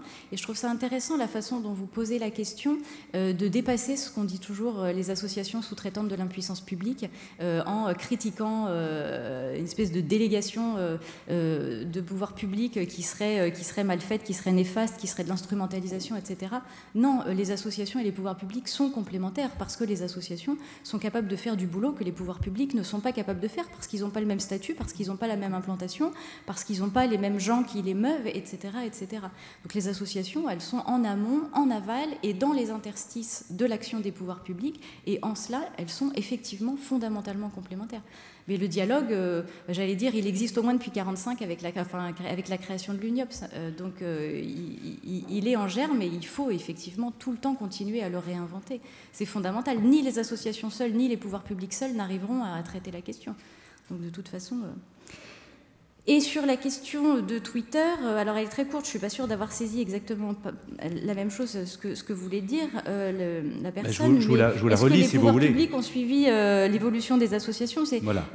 sinon, pourquoi? Sinon, pourquoi? Moi, je prendrais le problème dans l'autre sens. Il me semble que ce n'est pas les pouvoirs publics qui suivent les associations, c'est les associations qui s'adoptent qui s'adaptent à l'intervention qui se développe des pouvoirs publics, parce que les pouvoirs publics commencent par des petites lois, puis petit à petit couvrent un nombre croissant de personnes, etc. Donc les associations, à chaque fois, elles sont contraintes de se repositionner dans euh, le développement de l'action publique.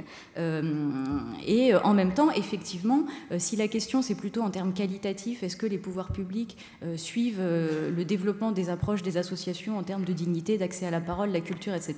Là, la réponse est oui. et c'est évidemment précisément tout le rôle, par exemple, de qu'a pu avoir le Conseil économique et social ou le dialogue, etc. C'est les associations qui ont poussé à la loi sur le RMI, c'est les associations qui ont poussé à la loi de 98 sur les exclusions, etc. Donc les pouvoirs publics ne sont pas sourds, ne sont pas autistes. Euh, oui, ils suivent, oui. Euh, Monsieur, Madame, euh, je crois que Jean-Louis Servan-Schredmer aussi voulait intervenir. Alors, monsieur, madame, et puis Jean-Louis. Rémi Guillou, CJD Orléans.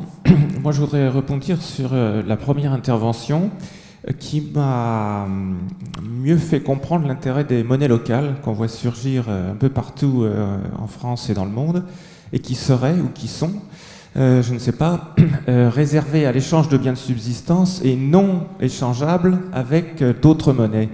Et je voudrais pousser le raisonnement un peu plus loin en disant est-ce qu'il ne faut pas imaginer à côté des monnaies locales, une monnaie mondiale qui serve aux financiers à faire joujou et dont les euh, turpitudes n'auraient justement, parce qu'elle n'est pas échangeable, pas de conséquences sur la vie économique, et éventuellement entre les monnaies locales euh, et la monnaie mondiale, d'autres monnaies plus nationales. Enfin, j'ai pas encore évidemment le.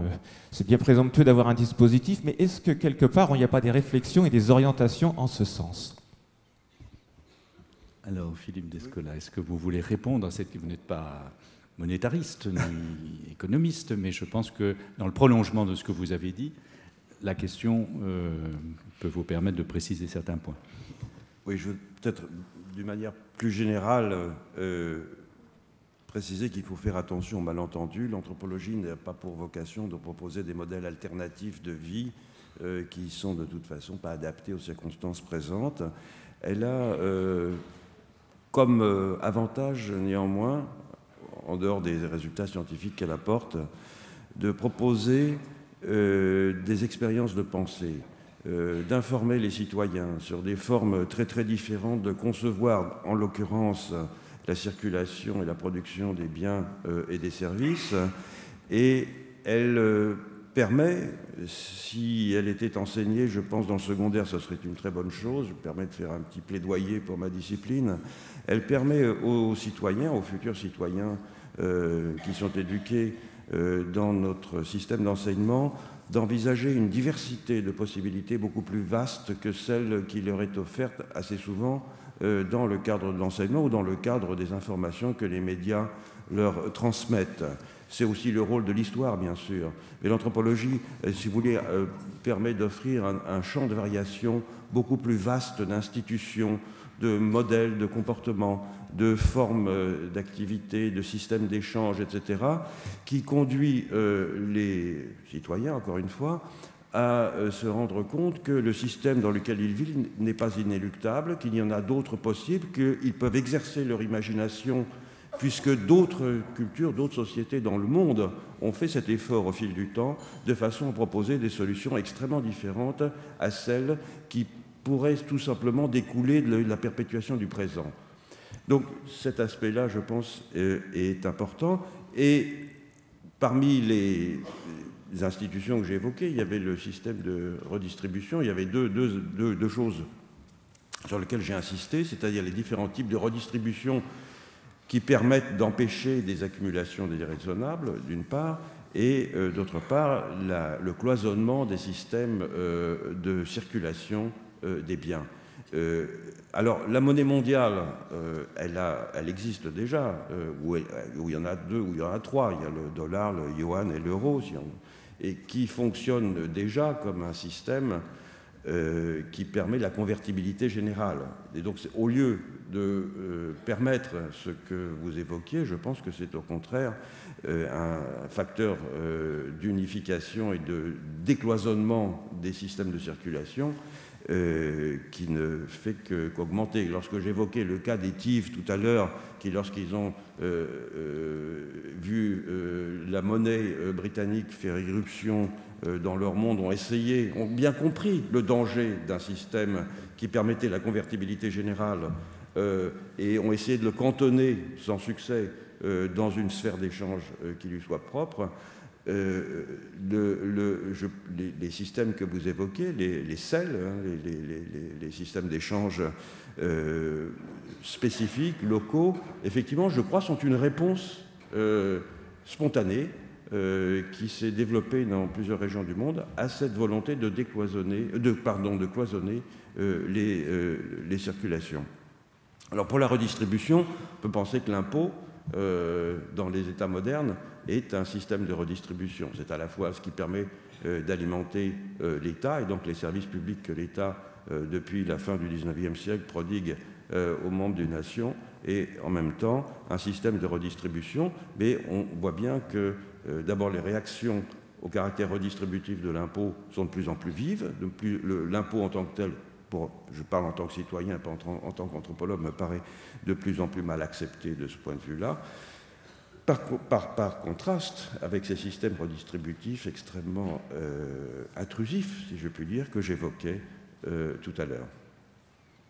Merci beaucoup. Je vais rappeler les tours de parole. Euh, madame, Jean-Louis Servan-Schreiber. Madame Sophie de Menton a demandé la parole et priorité aux, conseillers du CESE. Ensuite, là-haut, combien Il nous reste un quart d'heure, donc on peut prendre encore une question en haut. C'est ça Et on verra s'il y en a d'autres selon le, euh, le temps, mais puisque nous tenons l'horaire, continuons à le tenir. Alors la parole à Madame. Oui, en fait, ma question s'adressait aussi à Monsieur Escola, c'est-à-dire rejoint cette question de Monsieur autour de la question de la redistribution. C'est-à-dire, en fait, dans les sociétés primitives dont vous avez parlé, quelle a été finalement la, règle éthique qui a été franchie pour ne plus permettre l'accès à la, subsistance pour tous C'est-à-dire, qu'est-ce qui a été franchi, qui a permis, qui a dérégulé et qui aujourd'hui euh, atteint un, maximum, quoi? Par rapport à l'accès à, la subsistance pour tous Vous voulez que je réponde S'il vous plaît. Oui, oui. Euh, il y a deux facteurs. Le premier, euh, c'est le, le, décloisonnement des sphères de circulation que j'ai évoqué tout à l'heure. Et le deuxième, euh, si j'ai cité Aristote à la fin de mon intervention, c'est parce qu'en effet, comme l'historien d'économie Karl Polanyi l'avait montré, l'intérêt de la pensée économique d'Aristote, c'est que c'est un, c'est évidemment une pensée plus morale qu'économique au sens où traditionnel où nous l'entendons, mais euh, il était l'observateur d'un bouleversement qui était en train de se produire euh, à Athènes à ce moment-là, qui était l'irruption d'un marché euh, généralisé mené pour le profit. Et au fond, la réaction morale qu'il manifeste notamment dans la politique est, de, ce type-là. Mais c'est un mouvement tardif dans l'histoire de l'humanité. L'idée d'un marché généralisé dans lequel euh, et encore ce n'était pas le cas en Grèce, le travail et la terre puissent être euh, objet euh, d'échange, est un mouvement très tardif. Et dans la plupart des économies non modernes, des sociétés non modernes, le cloisonnement de la circulation et l'absence d'un marché pour le profit qui concerne la totalité des moyens de production assure en quelque sorte avec évidemment les solidarités de parenté, les solidarités lignagères qu'on connaît aussi dans les, communautés paysannes, euh, assurent euh, ce filet de sécurité euh, qui empêche des individus ou des familles de tomber dans la misère. Merci beaucoup. Jean-Louis Servan-Schreiber, vous avez vous êtes journaliste, vous êtes euh, directeur du magazine Clé, vous avez participé l'an dernier à notre forum entre temps court et temps long, dont je euh, dois signaler aussi que les actes sont parus aux presses universitaires de France euh, et donc sont disponibles pour tous, mais j'ai appris que vous allez publier, je ne l'ai pas encore lu, en janvier, un, un livre dont le titre est tout à fait provoquant, Pourquoi les riches ont gagné? Euh, donc je voudrais avoir d'une part vos remarques sur ce qui vient d'être dit et puis euh, un peu d'explication de, euh, ce titre étrange, qui est bien en rapport avec ce que nous disons aujourd'hui. Étrange, effectivement, c'est une provocation du simple fait d'énoncer une vérité comme celle-ci. Ce que j'entends je, par là, c'est qu'il n'y a plus de force qui s'oppose ni politiquement ni institutionnellement à un développement rapide, euh, général sur la planète du phénomène de richesse euh, et, dans certains cas de richesse extrême. Ça peut paraître choquant, mais en fait, euh, ça découle d'un véritable progrès de fond qui est la croissance mondiale. La croissance produit des riches c'est une, des retombées euh, inévitables. Mais en même temps, les politiques, justement, ont pour mission de mettre en place des politiques euh, et des actions qui permettent de rééquilibrer, qui permettent de faire une répartition plus juste de cette richesse. Pour le moment, rien ne s'oppose vraiment aux riches. Il y a des discussions sur la fiscalité. Euh, nous avons euh, entendu récemment Thomas Piketty qui a fait un excellent, travail sur le capital au XXIe siècle mais qui concluait par une proposition euh, extrêmement sympathique et en même temps encore aujourd'hui utopique, qui est de dire le seul moyen de réguler la croissance de la richesse à l'échelon mondial, c'est un impôt sur le capital qui soit accepté dans le monde entier. Alors quand on voit qu'il y a 190 nations euh, et que chacune d'entre elles, à certains moments, a une vocation à vouloir devenir un paradis fiscal parce que c'est rentable sur le plan local, cette probabilité n'est pas forte. Je, voudrais simplement demander à Axel Baudier si, euh, en tant qu'historienne, elle n'observe pas justement que sur le plan politique, la préoccupation de la pauvreté diminue fortement. Dans la mesure où les programmes électoraux ceux de la dernière élection, ceux probablement des élections prochaines, sont, on peut le comprendre, tous obsédés par la question du chômage et tournent, les objectifs à atteindre tournent autour de la diminution du chômage dans le pays. Mais il n'y a pas que des pauvres chez les chômeurs, heureusement, et euh, il y a aussi des travailleurs qui, eux, sont pauvres, même s'ils sont employés.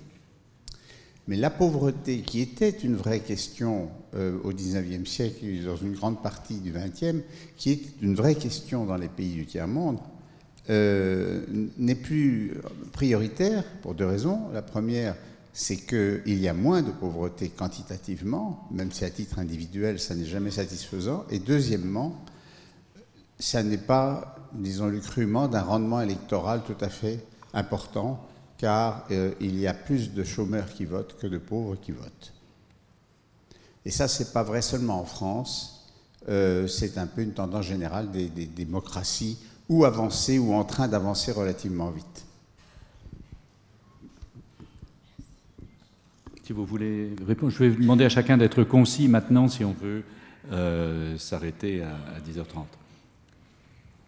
C'est une question compliquée. Euh, je ne suis pas sûre que. Enfin, la préoccupation pour la pauvreté, effectivement, on, pourrait dire qu'elle recule, euh, mais en fait, vous comparez le 19e siècle à aujourd'hui.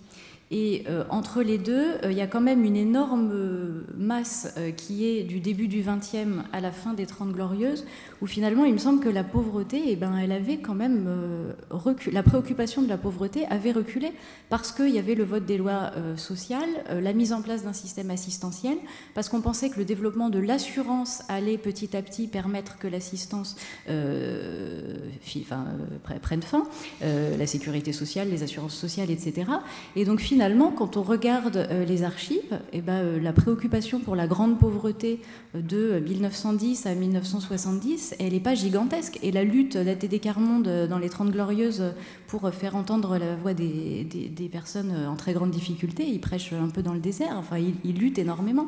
Donc euh, il faut comparer, euh, où on compare sur la très longue durée, et à ce moment-là, je pense qu'il y a plutôt eu un creux, et que quand même la préoccupation, elle a euh, considérablement réaugmenté depuis les années 80, ou alors on a un regard plus myope, qui est effectivement sur quelques années, quelques élections, et là, on peut faire des courbes beaucoup plus microcycliques euh, je suis moins habilitée à le faire euh, en tant qu'historienne.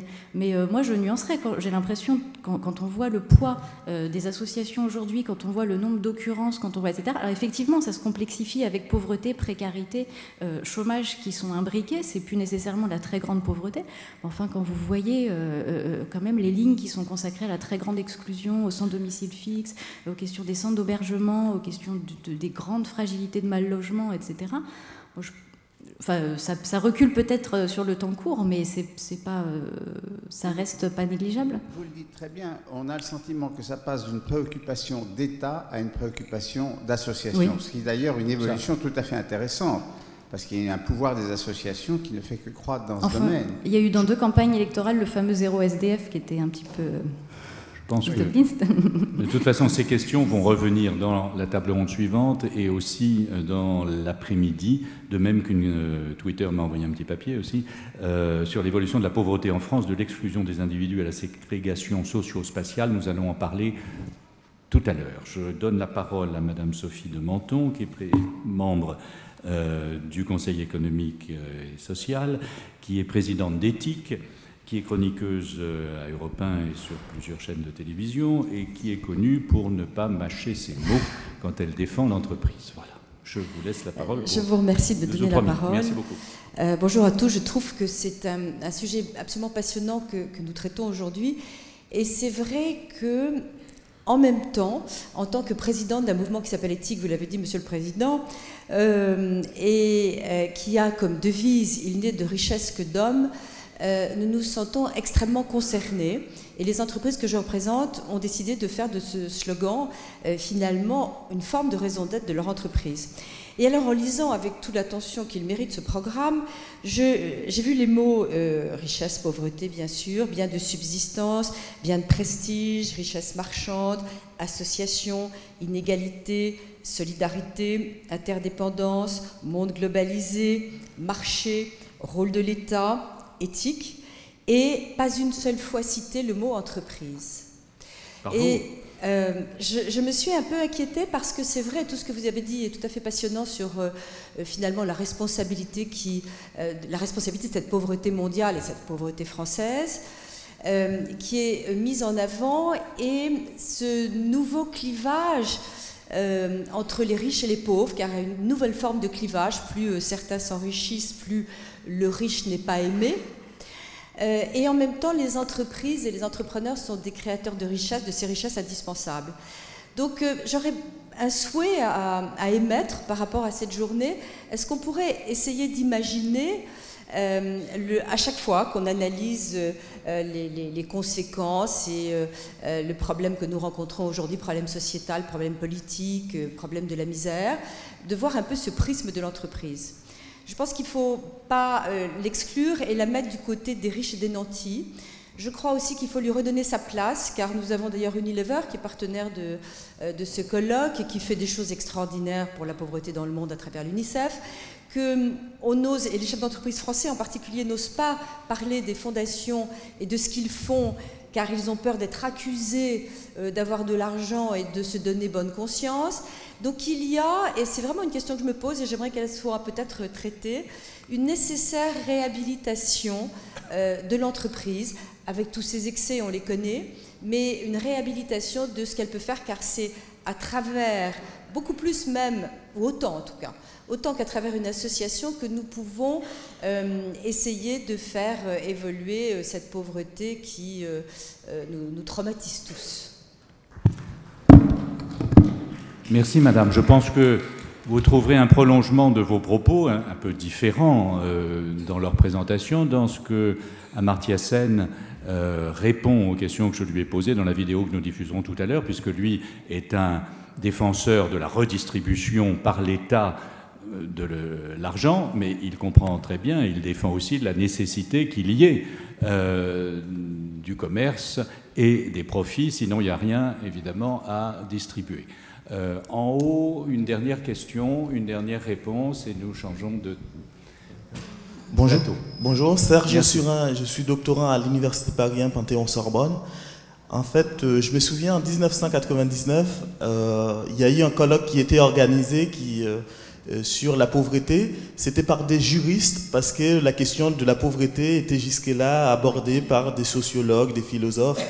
Et le constat, en fait, lors de ces colloques en 1999, avait fait un constat. Donc, euh, le constat est confirmé aujourd'hui à travers les propos que j'ai entendus ce matin. Et euh, en fait, lors de ce colloque en 1999, il y avait une question qui était posée, c'était la question du droit au travail. Euh, dans notre constitution française, il y a un alinéa, l'alinéa 5 du préambule de la constitution de 1946, qui dit qu'on a un droit au travail et on a un devoir de travailler. Et c'est surtout le droit au travail.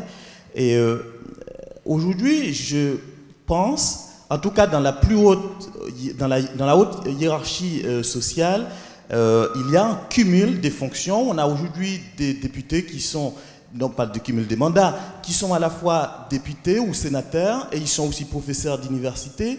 Et parfois, on voit souvent, il y a des personnes qui prennent la place des gens qui partent à la retraite, ils gardent un poste qu'ils avaient avant, tout en occupant le, poste euh, qui vient d'être euh, laissé libre.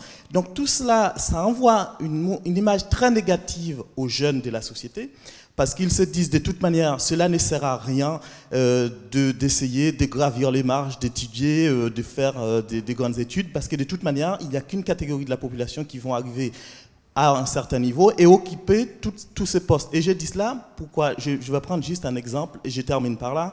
Ma petite sœur, en fait, qui, vient d'avoir son bac euh, avec mention et qui vient de dire euh, c'est pas la peine d'essayer d'aller avoir un master 2 parce que de toute manière, ces emplois-là euh, ne vont pas. Euh, moi, jusqu'à au chômage, de toute manière, il n'y a qu'une catégorie de la population qui vont les occuper.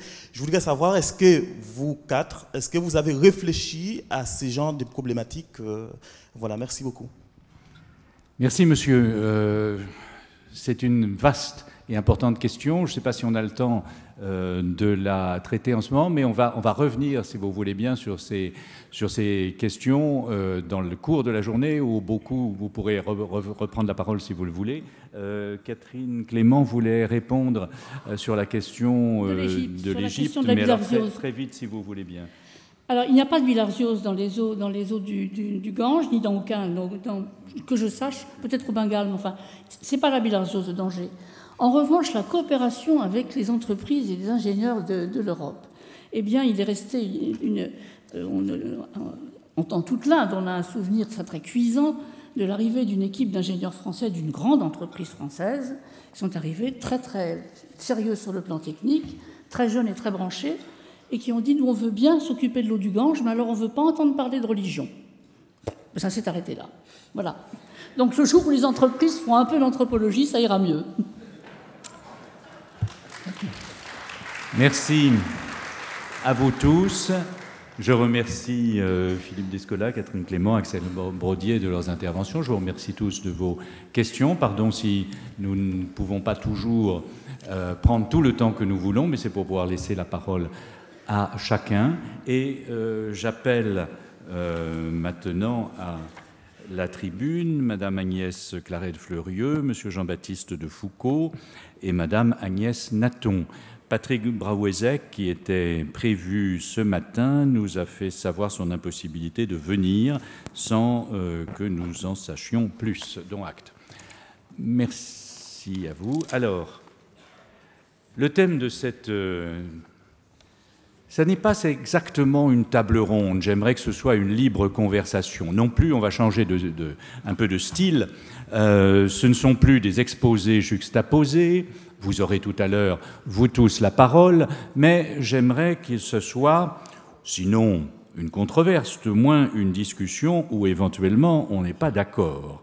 Est-ce que les riches et les pauvres doivent s'affronter de façon inéluctable ou est-ce qu'ils peuvent être dans une solidarité qui serait indispensable. Autrement dit, pour le dire de façon encore un peu plus simple et brutale, est-ce que entre riches et pauvres, dans l'histoire et dans l'avenir, c'est la guerre ou c'est la paix? Vous vous souvenez tous que Clausewitz disait que la politique est la continuation de la guerre par d'autres moyens. Ça veut dire qu'il y a dans la politique des affrontements qui parfois prennent une tournure armée. Mais ça peut se lire dans l'autre sens. Ça veut dire que les guerres sont aussi euh, la révélation d'affrontements politiques. Alors, la question qui a été posée, puisque nous avons là aussi un petit micro-trottoir, regardez ce que disent, non pas les Français, parce qu'on y serait encore dans quelques, années, mais quelques personnes rencontrées euh, par les équipes du CESE, quand on leur pose la question, à votre avis, riches et pauvres peuvent-ils s'entraider ou sont-ils condamnés à s'affronter?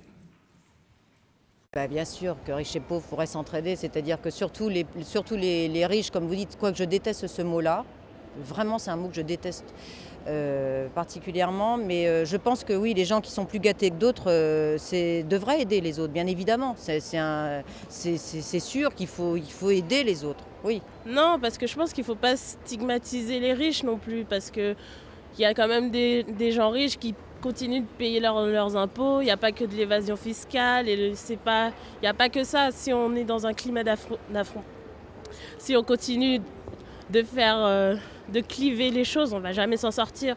On ne peut pas affronter, mettre euh, les pauvres en face des riches. C'est pas comme ça qu'il faut qu'on va évoluer. Il faut plus se regrouper et partir dans une euh, démarche d'aide des pauvres, mais avec les riches aussi. Dans la rue, on va uniquement se baser sur, sur la personne, comment elle est habillée, qu'est-ce qu'elle a, si elle a, quelles chaussures elle a, euh, comment, comment, elle, se comporte, comment elle parle. Et on va pas chercher plus loin. On se base toujours sur des préjugés, une stigmatisation ambiante. Et euh, malheureusement, c'est ce qui fait un petit peu la pauvreté aujourd'hui. Bah, ils devraient s'entendre, mais généralement ils s'entendent pas. C'est ça le problème, c'est qu'ils veulent pas se mélanger. Ou c'est pas non plus les pauvres qui veulent pas se mélanger, c'est pas les riches qui veulent pas se mélanger. C'est que en fait, j'ai l'impression que c'est deux classes qui n'ont pas le droit de se mélanger. En fait, c'est bizarre, mais euh, on a l'impression que c'est impossible pour eux de, cohabiter ensemble et de partager, alors qu'ils peuvent. Enfin, on est pareil, on est tous des êtres humains, mais, mais euh, généralement non, on voit bien la différence entre ceux qui sont riches et ceux qui sont pauvres. En tout cas, euh, moi, je suis euh, issue de l'université de Versailles-Saint-Quentin. Euh, donc, il y a beaucoup de Versaillais dans ma fac, et on a tendance à quand même voir la, différence hein, entre ceux qui ne sont pas de là-bas et ceux qui sont de là-bas. Alors qu'on est tous là, on, fait tous les mêmes études, mais pourtant, on voit tout de suite la différence que ça peut être au niveau de l'habillement, ou même au niveau de, la, conception de la vie qui n'est pas du tout la même on a, enfin, ceux qui, ont, qui sont beaucoup euh, plus pauvres, qui sont moins riches, ils ont tendance à, ils ont tendance à, à envier en fait euh, ceux qui ont, qui ont, qui ont beaucoup d'argent, alors que, euh, alors que non. Enfin, on est pareil, c'est pas grave si on a moins d'argent, on peut toujours réussir et ensuite on a beaucoup, enfin, ils ont beaucoup plus de mérite. je crois qu'il faut quand même prendre la vie à bras le corps aussi. Dans ce que l'on vient d'entendre, il y a finalement assez peu d'affrontements et de violence. Euh, cette jeune fille euh, qui dit dans ma classe il y a beaucoup de Versaillais, euh, si ça avait été en 1871, elle aurait pensé que c'était des gens qui tiraient sur le peuple et les Versaillais c'était ceux qui éliminaient les communards à coups de baïonnettes ou de, ou de fusil. je crois qu'entre riches et pauvres, il y a dans la tradition et dans l'ensemble du mouvement historique tout à fait autre chose qu'une conversation de salon. Il y a aussi, bien évidemment, une longue histoire et une longue série d'affrontements violents depuis Spartacus euh, et la révolte des esclaves jusqu'aux révoltes de la faim, Thomas Munzer, d'innombrables jacqueries, euh, les partageux, euh, la commune. bref, une tradition où les choses seraient enfin résolues quand on aura pendu, selon la phrase célèbre, le dernier curé avec les tripes du dernier patron. Euh, il y a cette tradition-là, elle a ses pages d'histoire, elle a ses héros, euh, OS et AUTS, et puis il y a, je schématise beaucoup, mais je crois que ça n'est pas complètement faux, une tradition d'alliance, de solidarité, essentiellement défendue par les différentes religions euh, du monde, heureux les pauvres, euh, il est plus difficile à un riche d'entrer dans le royaume des cieux qu'à un chameau de passer par le trou d'une aiguille, parce que quand on dit le chat d'une aiguille, plus personne ne comprend.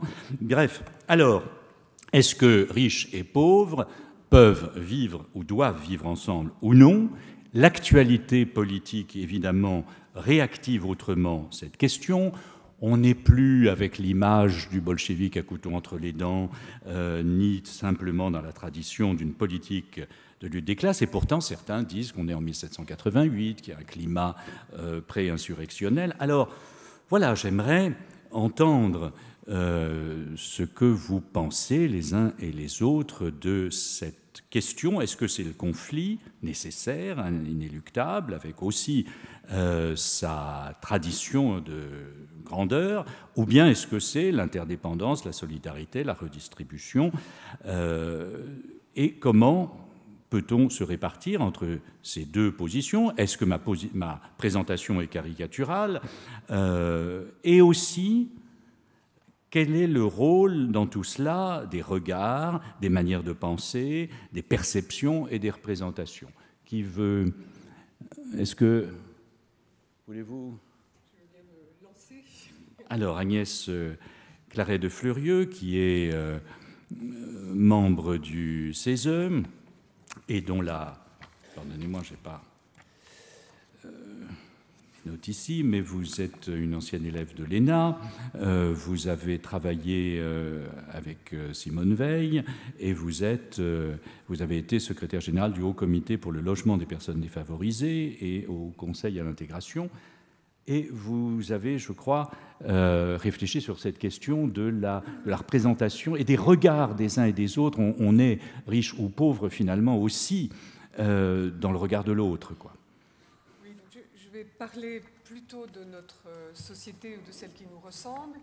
Et à partir de, oui, pardon, à partir de mon expérience de présidente de l'Observatoire de la pauvreté pendant cinq ans, et puis euh, aujourd'hui de membre du Conseil national des politiques de lutte contre l'exclusion. Je dirais qu'entre euh, affrontement et, solidarité, euh, avant de poser cette question, on peut dire qu'il y a beaucoup de malentendus entre les, représentations réciproques et, les regards. Il y a des malentendus sur ce qu'est la pauvreté, il y a des malentendus sur ce que doit être ou ne pas être l'aide et l'assistance. Il y a des malentendus sur les capacités d'autonomie des personnes qui vivent ces situations. Et, malentendus sur ce qu'est la pauvreté. Alors il y a des définitions statistiques. L'abbé Pierre disait euh, le drame des hommes politiques, c'est qu'ils connaissent la pauvreté à travers les statistiques, enfin la misère. Ils connaissent la misère à travers les statistiques et on ne pleure pas devant les statistiques. Donc, euh, euh, mais il faut bien, pour pouvoir établir des comparaisons, qu'il y ait des définitions conventionnelles. Alors c'est ce qu'on fait au niveau national, au niveau international, avec des seuils, des échelles, et, en prenant des critères le plus souvent euh, monétaires, parce que c'est ce qui est plus facile aujourd'hui dans les pays qui nous ressemblent et qui ont donc une monnaie et des échanges monétaires, plus facile à comparer. Et puis c'est un phénomène relatif par rapport à ce qui sont des modes de vie considérés comme acceptables. Et là, il y a une norme sociale très forte. Elle est forte depuis, euh, les origines, euh, mais même depuis les origines de l'histoire de la République. Il y a une norme sociale par, par rapport à laquelle on se représente ce qu'est un mode de vie acceptable. Et le mode de vie acceptable, il est bien sûr variable dans l'espace et dans le temps. Mais c'est un phénomène multidimensionnel et l'Observatoire de la pauvreté a toujours euh, insisté sur ce fait. On ne peut pas définir la pauvreté à partir d'un seul critère et à, propos du seul critère de, pauvreté monétaire. Et puis c'est aussi un phénomène dynamique qu'il faut qu'on appréhende à partir des, trajectoires euh, des personnes qui, à un moment basculent dans la pauvreté, qui s'en sortent. Et à propos de la question qui est importante en termes de dimension sociale du développement durable, de la transmission intergénérationnelle de la pauvreté. On parle souvent des enfants pauvres, mais s'il y a des enfants pauvres, c'est qu'il y a des parents pauvres. mais ce qui est important dans la notion d'enfant pauvre, c'est que ça se transmet, se transmet de génération en génération. Alors, euh, en fait, euh, pour bien, pour avoir un, regard juste, il faut parler de la vraie vie de vraies personnes qui vivent dans des, situations euh, différentes. Alors chacun a ses représentations, euh, sans travail, sans logement, sans papier. Euh, dans un quartier dit difficile, stigmatisé par l'adresse, au contraire isolé dans une campagne éloignée. Enfin, tout le monde à ses propres euh, représentations. Et ce qui est difficile, c'est qu'on on ne passe pas facilement de la connaissance d'une vie, la vie d'une personne, à, euh, un regard porté sur des groupes, sur des groupes, le groupe des, des sans-papiers, le groupe des gens qui sont demandeurs euh, du droit au logement, fait des confusions. Le cinquième bilan parlementaire a montré que, en fait, tous les gens qui n'ont pas de logement ne sont pas toujours euh, en dessous du SMIC comme revenu, mais euh, ils sont quand même dans une situation très difficile puisqu'ils n'ont pas de logement. Bien. Donc on fait des amalgames.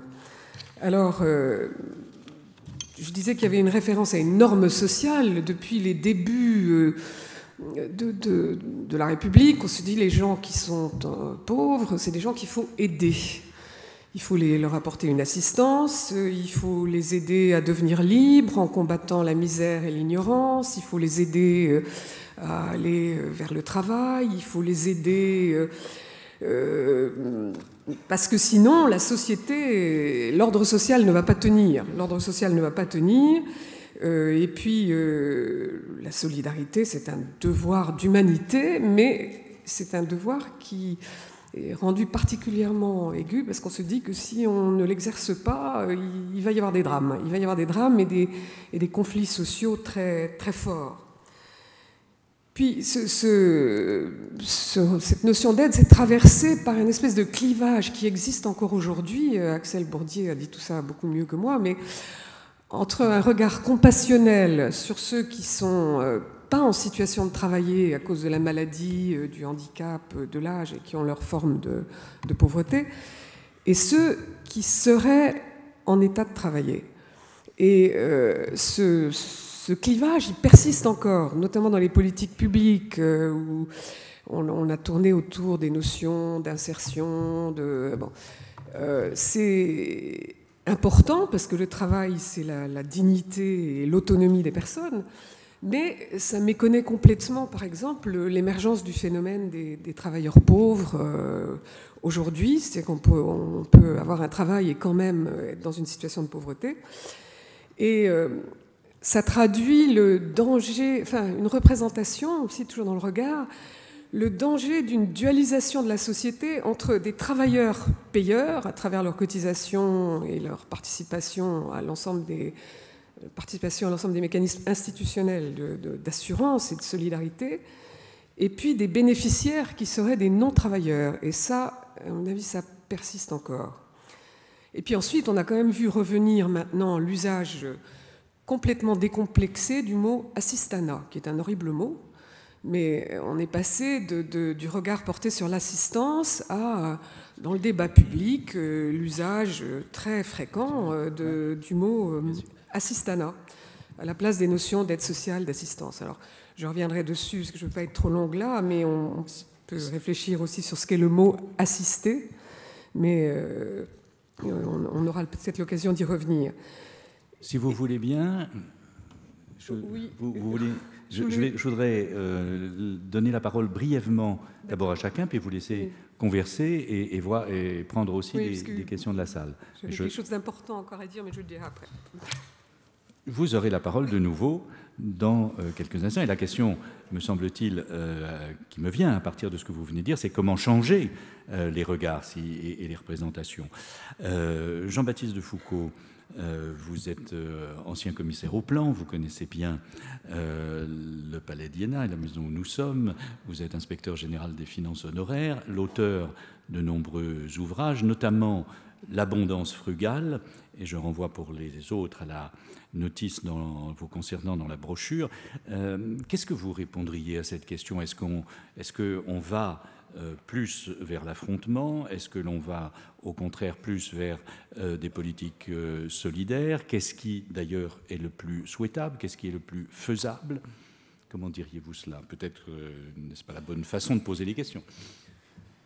En tout cas, dans la, dans la problématique telle que vous la posez, je pense que notre problème, c'est de ne pas arriver à trouver le conflit créateur et que nous sommes dans une espèce de, zone un peu bizarre où euh, on a euh, quand même un, fossé, un divorce qui s'est créé très fort entre les riches et les pauvres. C'est peut-être pas le bon mot, mais enfin, admettons-le pour simplifier. Et puis, euh, voilà, donc il y a cette question-là, pour moi, est la question centrale, et je voudrais peut-être faire quelques réflexions théoriques avant de voir comment elles peuvent s'appliquer dans, la société française actuelle et euh, elles-mêmes euh, immergées dans la société mondiale. On ne peut pas séparer les deux. Je pense que on ne peut être ni dans une logique de conflit euh, total, ni être dans une logique d'interdépendance obligée. Et que la question, c'est de trouver une articulation entre les deux. Si on est dans une logique de conflit, que ce soit du côté des riches ou du côté des pauvres, ça ne marche pas. Si les riches ne travaillent que pour eux, on voit bien que très vite, euh, leur euh, capacité de développer leur propre richesse va être remise en cause. Et c'est un peu la situation dans laquelle nous sommes aujourd'hui. C'est que la classe dirigeante, au sens large du terme, s'est tout de même un peu désintéressée de la question du, peuple en général, est, euh, et le, rôle de l'argent euh, s'accroissant dans la société, euh, dans un moment où la, croissance économique dans les pays riches est plus difficile, on a cherché à gagner plus sans produire plus, et donc on a prélevé sur autrui. Donc il y a un phénomène d'accaparement qui aujourd'hui pose beaucoup de problèmes et qui nuit à l'efficacité collective. D'un autre côté, quand on est dans une pure logique de maintien des acquis, de conflictualité violente, qui ne voit pas les réalités, qui répudie la mondialisation, qui congédie le fait qu'il ben, y a d'autres parties prenantes qui rentrent dans le système, là non plus, on crée de la sous-compétitivité et on ne travaille pas pour le vivre ensemble. Donc l'extrême euh, conflictualité n'est pas bonne. Mais, mais d'un autre côté, quand on est dans une logique de consensus mou, dans lequel il n'y a pas assez d'innovation d'un côté et l'innovation bouscule, et il n'y a pas non plus assez de conflictualité pour que les phénomènes d'accaparement naturels qui, dans le système complètement décloisonné qui a été évoqué par M. Descola, fonctionnent à plein bord, euh, les inégalités se euh, développent et l'équilibre de l'intérêt général n'est plus atteint. Donc la question, c'est de trouver les bonnes formes de conflit. Et pour ça, c'est d'avoir les bonnes représentations. Or, une des choses qui m'a beaucoup frappé, dont nous sommes un peu le témoin ici malgré tout, c'est que le, chômage est quand même la cause fondamentale de, la remontée de la pauvreté dans nos sociétés. Il faut quand même, si nous n'avions pas le chômage, si nous avions le plein emploi, le contexte serait complètement différent je pense qu'on ne met pas assez l'accent sur cette situation. Et je rappelle tout de même une statistique très simple, c'est que plus d'un tiers des chômeurs sont en situation de pauvreté, ça pourrait être plus d'ailleurs. Il faut remarquer que grâce euh, à l'indemnisation du chômage, notamment gérée par les partenaires sociaux, on a malgré tout limité le phénomène de pauvreté euh, des chômeurs. Mais quand même, ils sont, c'est eux, c'est la catégorie sociale qui est le plus frappée par la pauvreté, alors que les salariés, y avait 6 seulement des salariés qui sont en situation de pauvreté. Il y a un phénomène de travailleurs pauvres, mais il faut quand même garder le sens des échelles. Voilà. Donc, le problème, c'est que ces personnes, euh, qui les représentent Qui parlent à leur place Alors, bien sûr, les organisations syndicales essaient de le faire, mais elles représentent quand même plus ceux qui sont au travail et essaient de défendre leur travail que ceux qui n'ont pas de travail et cherchent à travailler. Et donc, c'est une question pour moi tout à fait euh, fondamentale que cette question de la représentation et du bon conflit. Alors, s'ajoute à ceci euh, un, problème compliqué, qui est que en France, nous avons aujourd'hui à faire face à deux problèmes différents. D'une part, un certain retard français, et d'autre part, une mutation économique, une mutation de civilisation, au sens où Edgar Morin le dit. Et nous ne sommes pas très armés pour travailler sur cette double mutation. Le problème français, c'est que nous avons un retard dans le rapport entre l'économique et le social. L'économique et le social en France ne fonctionnent pas bien. L'économique, ceux qui défendent l'économique ont leur vision du monde, considèrent, ont tendance à considérer le social comme un handicap. Et le monde du social n'aime pas l'économie, n'aime pas l'entreprise, c'était dit tout à l'heure. Or, euh, on ne peut pas faire du bon social quand les entreprises ne vont pas bien. Et, et le dialogue social en France, un dialogue cloisonné, qui, pas, qui ne traite pas globalement les problèmes, et nous n'arrivons pas à traiter ensemble les problèmes de coût du travail, les problèmes euh, d'articulation entre la compétitivité coût et la compétitivité qualité. Et je dirais les pouvoirs publics n'ont pas tellement facilité les choses en faisant des, des allègements de charges qui n'ont pas été discutés, négociés pour qu'on travaille ensemble à cette espèce de compétitivité globale qui fait que certains pays réussissent mieux que d'autres parce qu'il n'y a pas de fatalité dans tout ça. Dans la même zone euro, nous avons des pays qui ont 4% de taux de chômage et d'autres qui sont à 25%. Donc il y a bien des pays qui ont de l'intelligence collective et d'autres qui n'en ont pas. Et la France est une grande spécialiste des intelligences individuelles, mais en termes d'intelligence collective, ça marche beaucoup moins bien. Voilà. Donc il y a un problème tout de même euh, franco-français grave, une société civile active, mais divisée. Euh, individualiste à sa manière. voilà. Donc il y a ce gros problème-là qui fait que l'articulation riche-pauvre se passe mal.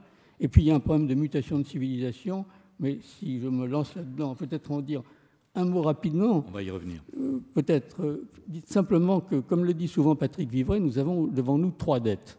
La dette financière, la dette sociale, le chômage et les déficits des régimes sociaux, et la dette écologique qui pèse sur les générations futures. Comment va-t-on résorber en même temps ces trois dettes dans une période de croissance relativement faible? Donc il ne s'agit pas seulement de répartir du surplus, mais de travailler sur le stock. Et ça, c'est le grand sujet sur lequel j'aimerais revenir tout à l'heure. Merci, ben, nous allons y, revenir. Moi, j'aime euh, bien cette idée de bon conflit qui actuellement euh, n'existe pas. Est-ce que Agnès Nathan, vous qui êtes secrétaire général de la CGT, vous partagez cette idée? Euh, Pardon, secrétaire confédéral et non pas général, voilà, je vous ai upgradé. mais vous êtes aussi présidente de l'association de solidarité L'Avenir Social. Vous avez participé au Grenelle de l'insertion en 2009. Et il y a dans l'histoire de la CGT, dans l'histoire du mouvement syndical français, euh, à la fois des moments euh, d'affrontement, de lutte de classe dure, des moments plus réformistes. Euh, j'aimerais que peut-être vous, reveniez sur, sur cette question telle que j'ai essayé de la, de la formuler. Merci. bonjour à, à, toutes et à tous. Euh, c'est vrai que je me suis longuement interrogée sur euh, l'intitulé de, la table ronde euh, entre riches et pauvres, affrontement inéluctable ou solidarité indispensable.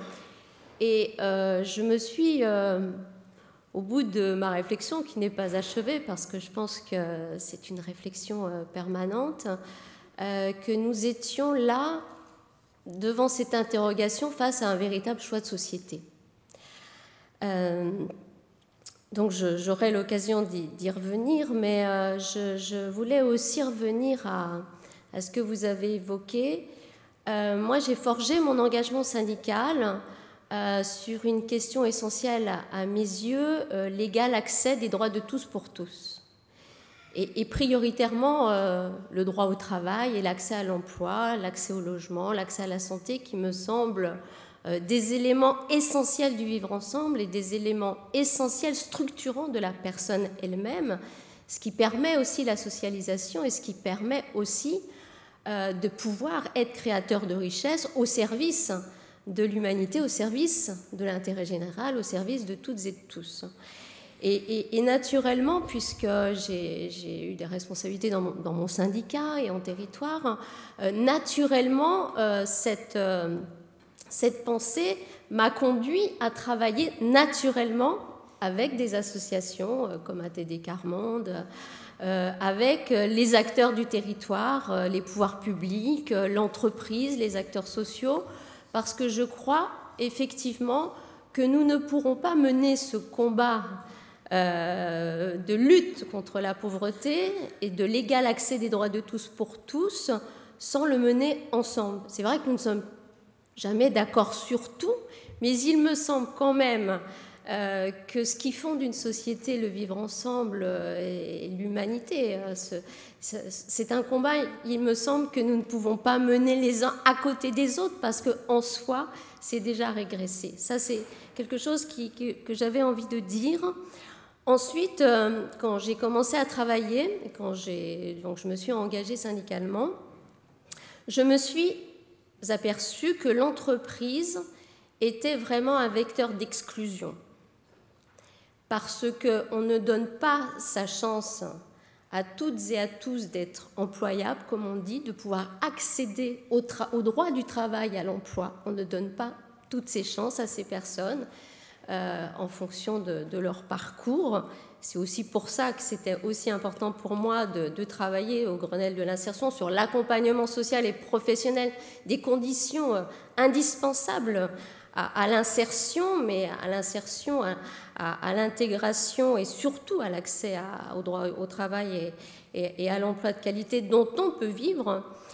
Mais aussi, je pense à aujourd'hui en France, euh, plus de 80% des contrats qui sont créés sont des contrats à durée déterminée de moins d'un mois et 50% de ces contrats sont des contrats de moins de 24 heures hebdomadaires. Donc vous mensuels. Donc vous imaginez Comme le disait une intervention dans la salle, avoir un travail, oui, c'est déjà très compliqué d'accéder aujourd'hui au droit du travail, je pense notamment aux jeunes, mais quand on est en emploi, on n'a pas forcément les moyens de vivre. Et nous sommes aussi souvent des travailleurs pauvres. Et ça, c'est un mal. C'est pour ça que je dis qu'on a vraiment besoin de réfléchir et de penser ensemble et d'agir ensemble parce que c'est quelque chose qui structure aujourd'hui notre société et c'est une, je, trouve, un grave danger pour le vivre ensemble qui remet en cause le modèle social et qui remet en cause la cohésion sociale et le vivre ensemble. Euh, donc facteur d'exclusion. Et puis je me suis aussi rendu compte que euh, bah, seuls ceux qui travaillent créent des richesses, qu'ils aient un contrat de travail ou comme euh, dans la plupart du monde malheureusement qu'il n'ait pas de contrat de travail, et malheureusement, ces, richesses ne servent pas à la réponse aux besoins sociaux, très très souvent, ne servent pas au développement, ne servent pas à l'investissement, ne servent pas aux travailleurs eux-mêmes pour, euh, pour le bien vivre, le bien travailler, le bien vieillir et en bonne santé. Et donc aujourd'hui, euh, bon, je ne suis pas la seule à le dire, hein, la CGT le dit, mais je crois que beaucoup, beaucoup aujourd'hui d'experts... De, euh, d'économie, de philosophes le disent, aujourd'hui nous sommes dans une société en crise au pluriel, crise économique, sociale, financière, éthique, morale, politique, environnementale, d'un système fondé sur euh, le tout financier, sur la démesure. Aujourd'hui, quelques-uns s'accaparent ces richesses créées par le travail au service d'une minorité. Et là, effectivement, nous sommes dans un, dans un dilemme qui nous interroge encore une fois toutes et tous pour permettre une répartition des richesses créées par le travail qui servent euh, l'intérêt général, qui servent à la satisfaction des besoins sociaux et qui servent justement à l'égal accès des droits de tous pour tous. Ça, ça me semble véritablement important parce que moi, je, pense fondamentalement que la richesse et le bonheur des uns ne peuvent pas se construire sur le malheur des autres. La vie humaine ne peut pas se réduire à une grande loterie où il y aurait des gagnants, toujours les mêmes, et euh, des perdants, toujours euh, plus nombreux. Donc euh, clairement, il me semble qu'ensemble, nous avons besoin de réfléchir à l'enjeu de la transformation, du renversement. l'enjeu n'est pas de rester à des constats peinés, aux dénonciations résignées devant les conséquences d'un tel système fondé sur des choix politiques, il me semble que la crise n'autorise plus de position euh, dénégatrice et interdit tout maintien à l'identique. Je crois qu'on a vraiment besoin de changer de paradigme.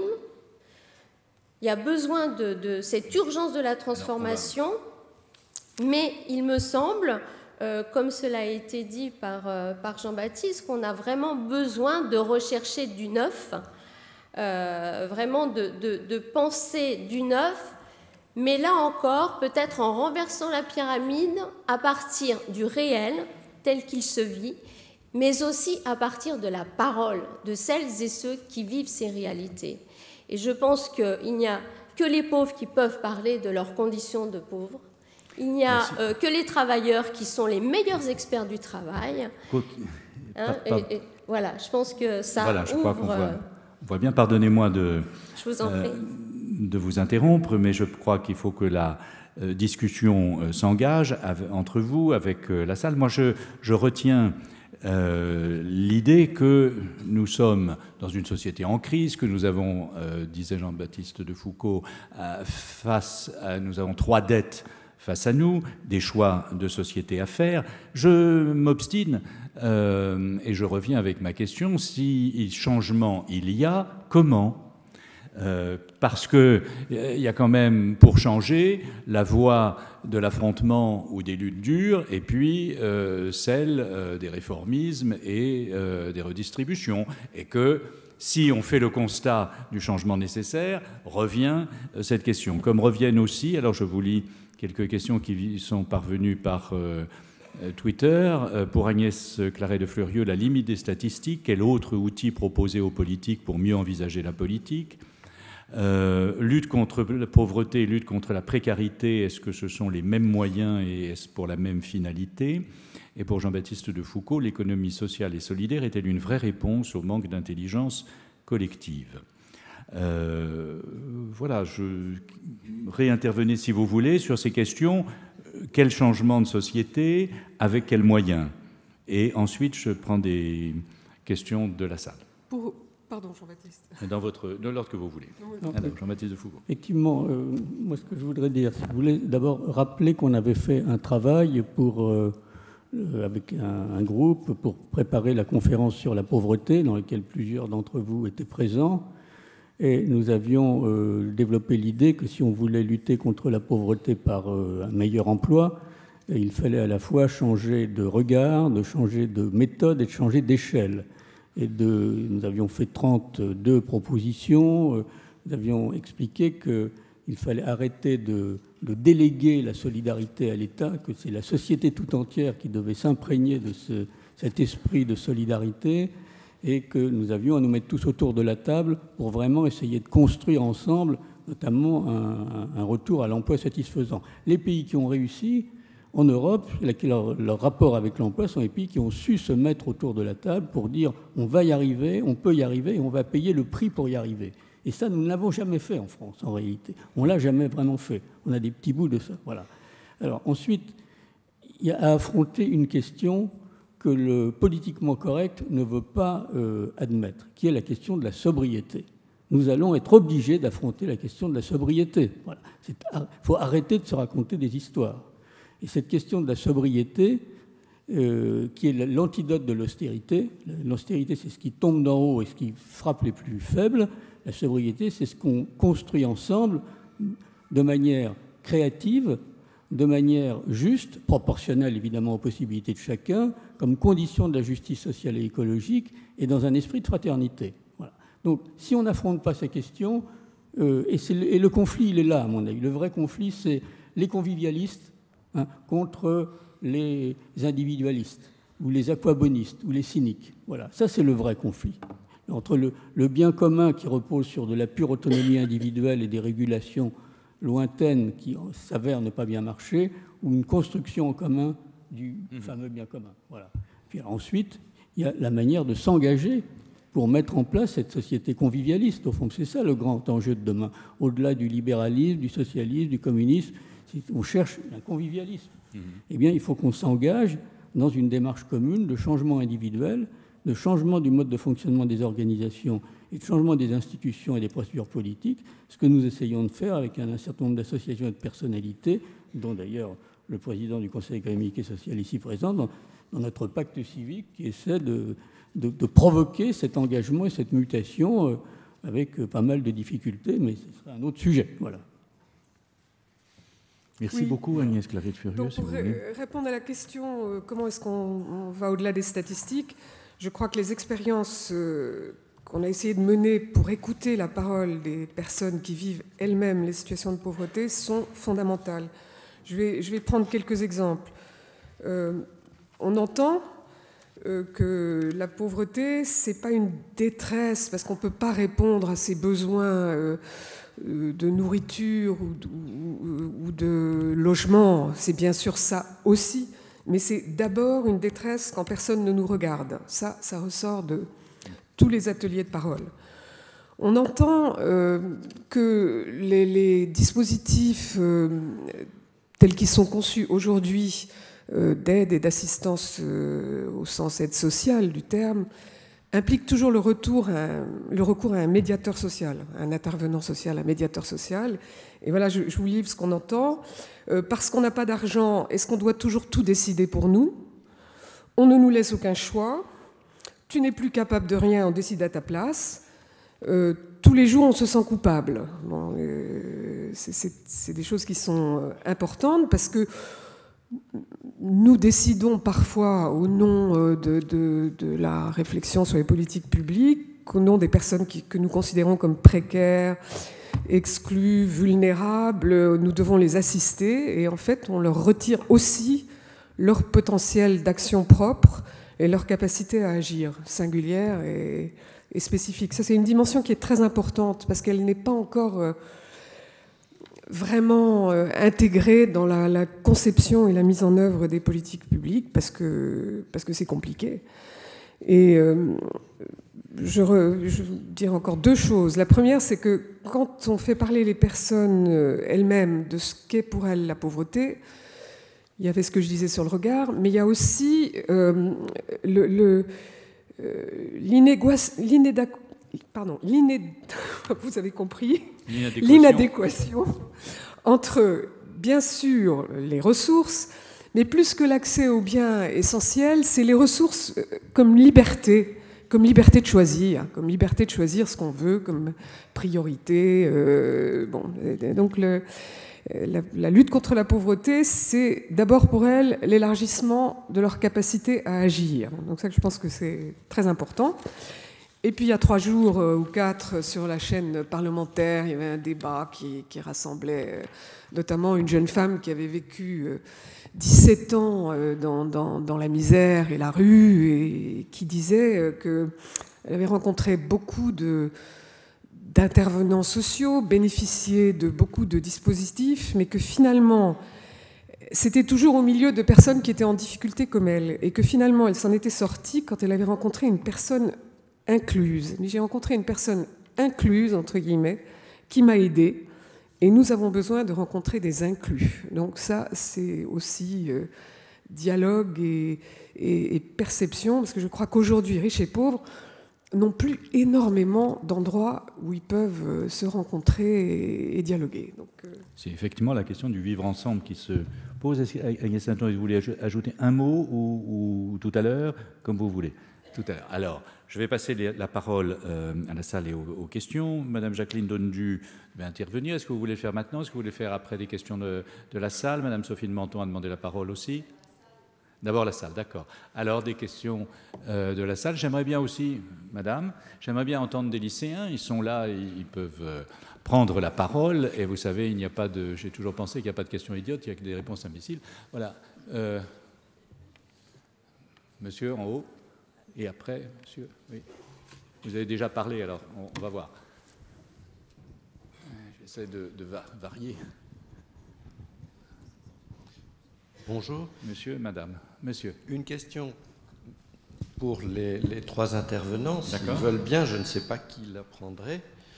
La notion d'aménité ou de production d'aménité, Jouvenel, ne serait-elle pas à même de ramener le vivre ensemble au cœur de la question pauvreté-richesse Ne serait-elle pas à même de dissiper la focalisation sur l'emploi et les contrats euh, à temps plein et toutes ces sortes de choses, les personnes âgées qui sont de plus en plus nombreuses, je n'ai pas de raison de donner mon nom, je suis retraité. Euh, les personnes âgées ne peuvent-elles pas être quelque part productrices d'aménité?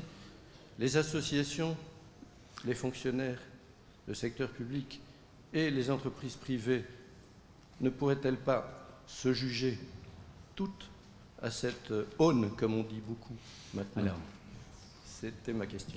alors voilà, vous parlez, il faut peut-être... Euh, qui voudrait définir la notion d'aménité? Parce que c'est un vieux mot, je ne suis pas sûr que si on faisait une interro écrite, euh, tout le monde le définirait correctement. Euh, voulez-vous? C'est Bertrand Jouvenel, je crois, qui utilise cette catégorie. Alors, qu'est-ce que ça veut dire et, comment ça pourrait s'appliquer?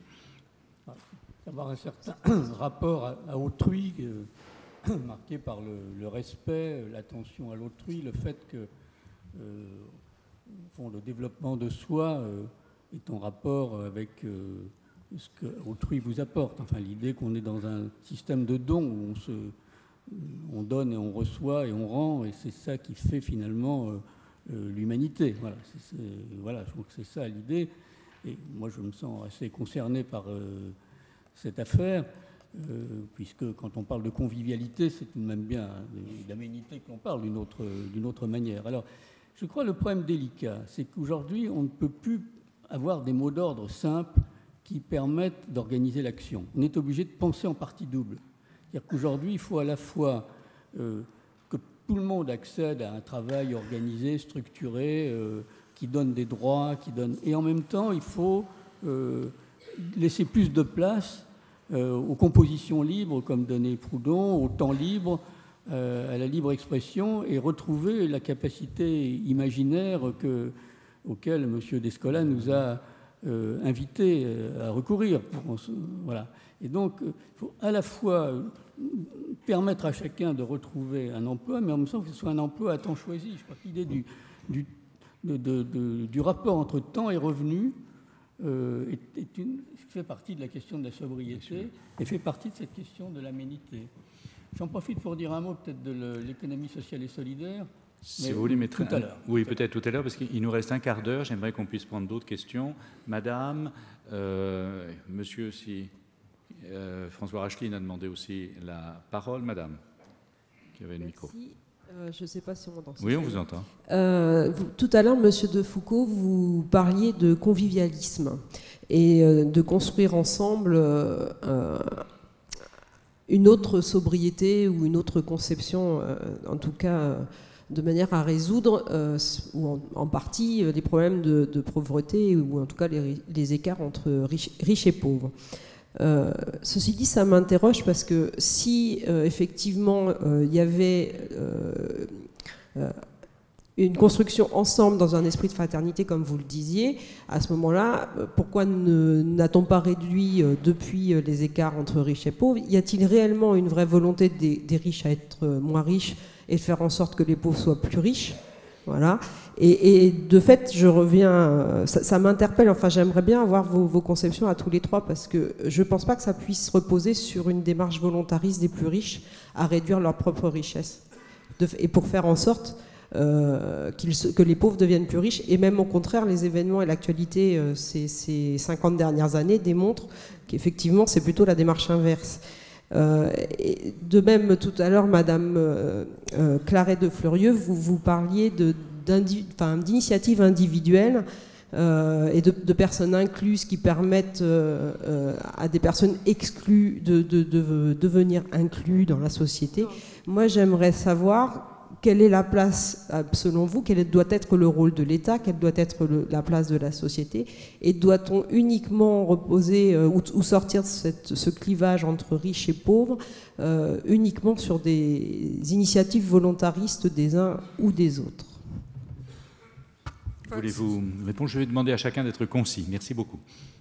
Sur la dernière question, j'évoquais quelque chose qui n'est pas uniquement des, initiatives individuelles, mais qui est un début de méthode de construction des politiques publiques, si je puis dire. Donc c'est voilà, lent, mais c'est l'idée que euh, pour construire des politiques publiques qui soient vraiment adaptées aux situations que vivent les gens et qui ne euh, ne, les maintiennent pas dans une situation d'assister sans capacité à agir, il faut d'abord écouter ce qu'ils disent. Alors, on l'a toujours fait d'une certaine manière, mais là, ce sont des expériences euh, nouvelles. Je pense qu'Amartya Sen en parlera peut-être aussi. Capacité. Merci beaucoup. Euh, dans les tours de parole, alors Madame Jacqueline Dondu, Sophie de Menton, euh, monsieur, quelqu'un d'autre, je crois. Ah oui, monsieur, on va, voir ce qu'on. Euh, alors, Jacqueline Dondu, vous êtes euh, conseillère du CESE, vous vous étiez inscrite pour intervenir à ce débat, au suivant aussi. Vous êtes membre du comité de pilotage et fidèle de ce forum sur le vivre ensemble où vous êtes souvent intervenu. vous êtes membre de la CGT et je vais donc vous demander vos commentaires. Bon, commentaire très, très succinct, tellement il y aurait de choses à, dire, hein, puisqu'on touche les questions à la fois de l'humain, hein, mais également, et Agnès l'a abordé, enfin les deux Agnès hein, l'ont abordé, la reconnaissance des personnes dites qualifiées de pauvres, et j'y reviendrai, dans euh, l'organisation de la vie de la cité, donc dans la politique. Moi, c'est la question du regard. Et en ce qui concerne le regard, euh, le sondage qui a été fait la préparation de ce colloque, à mon avis, nous enseigne beaucoup de choses. Il nous enseigne notamment qu'une majorité craint de basculer dans la pauvreté. Il nous enseigne que 62% considèrent aujourd'hui qu'il y a moins de solidarité en France et une grande majorité également entre pays riches et pays dits pauvres. Moi, la première question que je me pose, c'est euh, est-ce qu'il n'y a pas besoin aujourd'hui quand même de qualifier ce que l'on entend par richesse? Donc je vous pose la question, parce que quand on parle de riches et de pauvres, on l'a vu dans le micro-trottoir, euh, chacun met son propre curseur. Mhm. Qu'est-ce qu'un riche, qu'est-ce qu'un pauvre? Moi, je ne sais pas. En revanche, qui crée, qui produit la richesse? Et où est la richesse? Et comment on redistribue la richesse? Me semble une question qu'il faut euh, pousser. Deuxième, euh, deuxième interrogation, ça a été dit lors du débat précédent et M. De Foucault l'a dit un peu dans son intervention, pauvreté, précarité, chômage sont fortement imbriqués. À partir de là, euh, comment on travaille à partir de ces trois questions, pauvreté, précarité, chômage, pour ouvrir des perspectives parce que oui, il y a affrontement. Ce n'est pas la CGT qui va vous dire non, il n'y a pas affrontement. Oui, il y a affrontement. Mais il y a aussi possibilité d'ouvrir de véritables euh, perspectives. Monsieur de Foucault dit construire du neuf. Bien sûr. Mais avec quelle vision? Avec quelle vision allons-nous construire du neuf?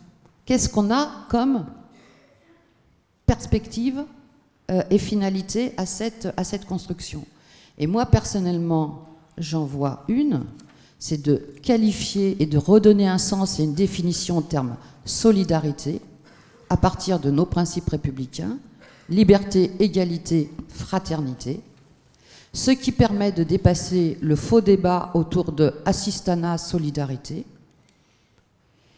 Et j'avais émis un vœu lors du précédent colloque, c'est que nous ayons la parité, nous l'avons. Je vais émettre un vœu, c'est que si ce colloque peut avoir aussi une efficacité demain, c'est que les débats d'aujourd'hui et le groupe de travail préparatoire à la conférence de lutte contre la pauvreté et l'inclusion sociale, qui a réuni l'ensemble des acteurs économiques, sociaux, associatifs, eh bien que les conclusions de ce groupe de travail, où il y a eu affrontement, mais également perspective, puisse servir de base à un vrai débat public qui nourrisse des, euh, politiques, euh, des politiques publiques. Merci beaucoup. Mais ce débat public, nous l'entamons et nous allons le continuer. Euh, Madame Sophie de Menton.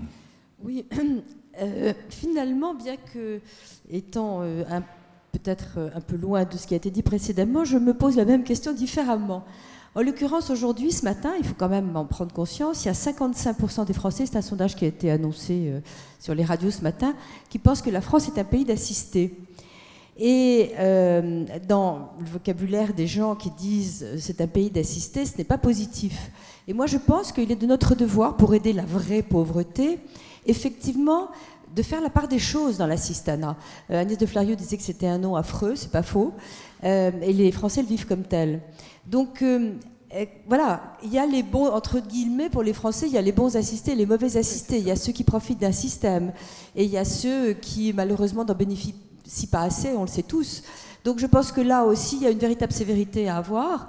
Euh, c'est euh, ne pas raisonner en termes d'assistanat généralisé sans être capable de distinguer, vous l'avez dit différemment peut-être, mais la vraie pauvreté de, la fausse pauvreté. Euh, et puis juste un tout petit mot, tout petit mot, c'est que euh, vous avez dit, euh, Madame, qu'il y avait 80% des gens qui étaient recrutés en, CDD. Je le regrette infiniment et c'est exact. Je pense que ce sera pire.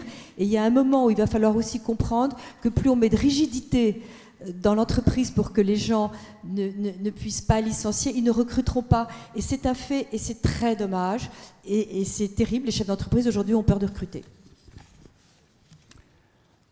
Merci Madame. François Racheline avait demandé la parole. Voulez-vous... Ah, monsieur a une question Oui, non alors on va, on va faire court. Hein. Oui, merci beaucoup. Merci à euh, vous. Oui, alors ce que je comprends de l'intérêt de notre discussion, là, c'est qu'il euh, y a la crise au-dessus de nous quoi, qui, plane. Mais en fait, ce n'est pas une crise, donc c'est plutôt une, enfin, une crise au sens cyclique, comme on l'entend d'habitude. C'est plutôt une transformation de la société, comme l'a dit M. De Foucault, avec euh, des dettes Et les dettes, ça renvoie dans mon esprit au passage d'une société limitée à une, société illimitée, pardon, à une société limitée dans ses ressources, dans ses perspectives, etc. Mais dans cette transformation, ce que je comprends aussi, c'est que finalement les mécanismes qui sont à l'origine de la pauvreté sont quand même les mêmes. Euh, en tout cas, ils n'ont pas été transformés, eux. Même si on s'interroge sur qu'est-ce que c'est que la pauvreté, en gros, quand même, les trois gros piliers de la pauvreté, c'est l'accès ou non-accès au logement, c'est l'accès ou non-accès à la santé, c'est l'accès ou non-accès à l'emploi. Or, ces trois dimensions renvoient quand même beaucoup à notre système productif. Produire des logements peu chers, produire de la santé accessible, produire de l'emploi. Et le système productif, lui, justement, euh, est peu performant en termes de compétitivité, vous l'avez dit, mais aussi en termes de quantité d'emploi, tout simplement. Et puis, il n'est pas égalitaire du point de vue du critère de la distribution euh, de la valeur ajoutée et des, et des, salaires. Ma question est la suivante, Monsieur de Foucault.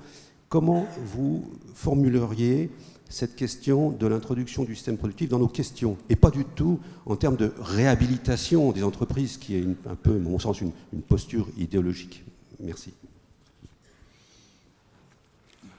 De façon conclusive, si je Conclusive, exactement. Bah, et ensuite, euh, quelques, quelques phrases, et si euh, ensuite vous voulez conclure d'un mot, l'une ou l'autre, ou l'une et l'autre. Je suis pour une vraie économie, c'est-à-dire une économie qui soit la science des besoins, de tous les besoins humains, c'est-à-dire à la fois les besoins matériels, les besoins de subsistance, les besoins relationnels et les besoins symboliques et spirituels, et qu'elle mette ces trois besoins euh, au même niveau. Et, la démocratie doit, faire, euh, doit essayer de faire fonctionner l'économie pour que chacun puisse accéder à ces trois besoins selon une combinaison qu'il aura lui-même à gérer euh, de la manière la plus euh, qui lui convient le mieux tout au long de sa vie et compte tenu de sa propre situation de départ ou de ses facultés ou de ses capacités. Voilà.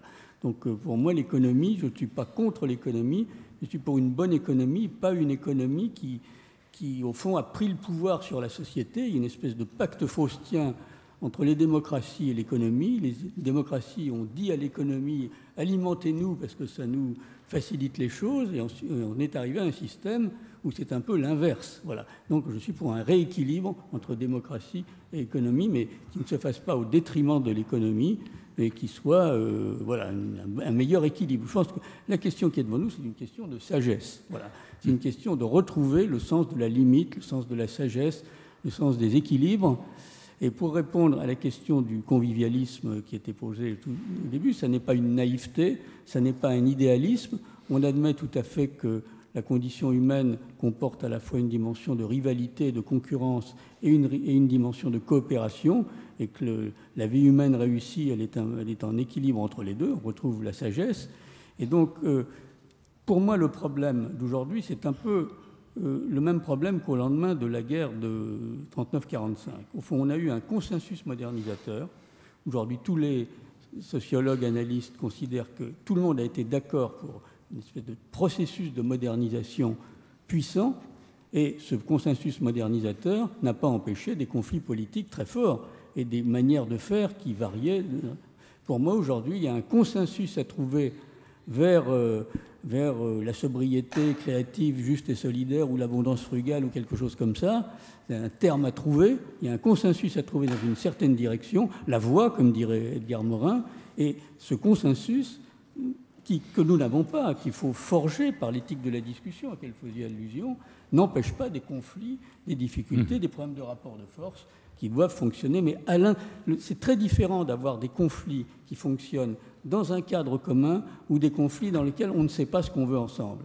Et le problème à faire, c'est que je me réjouis de la renaissance du commissariat au plan, c'est qu'on ait une direction commune et qu'on discute sur la manière d'appliquer cette direction. Mais on ne peut pas faire l'économie de la sobriété. Aujourd'hui, il ne faut pas non plus tout jouer sur la croissance, parce que sinon, on ne va pas réussir. Merci beaucoup. Je demande peut-être, si vous le souhaitez, une phrase de conclusion, mais rien qu'une Rien qu'une, parce que nous sommes juste à l'heure et je ne voudrais pas qu'on prenne de retard. Voilà, merci. Très difficile. Ça marche? Là? Oui, je pense que le micro marche. Euh, oui, c'est très très difficile. Il y aurait tant de choses à dire. Euh, peut-être euh, Moi, j'avais noté une phrase d'un ouvrage qui vient de sortir, Pourquoi l'égalité est meilleure pour tous, de Richard Wilkinson et Kate Pickett, euh, qui démontre très clairement, très concrètement, hein, que ce n'est pas la richesse accumulée par quelques-uns qui assure le progrès, mais la façon dont elle est répartie.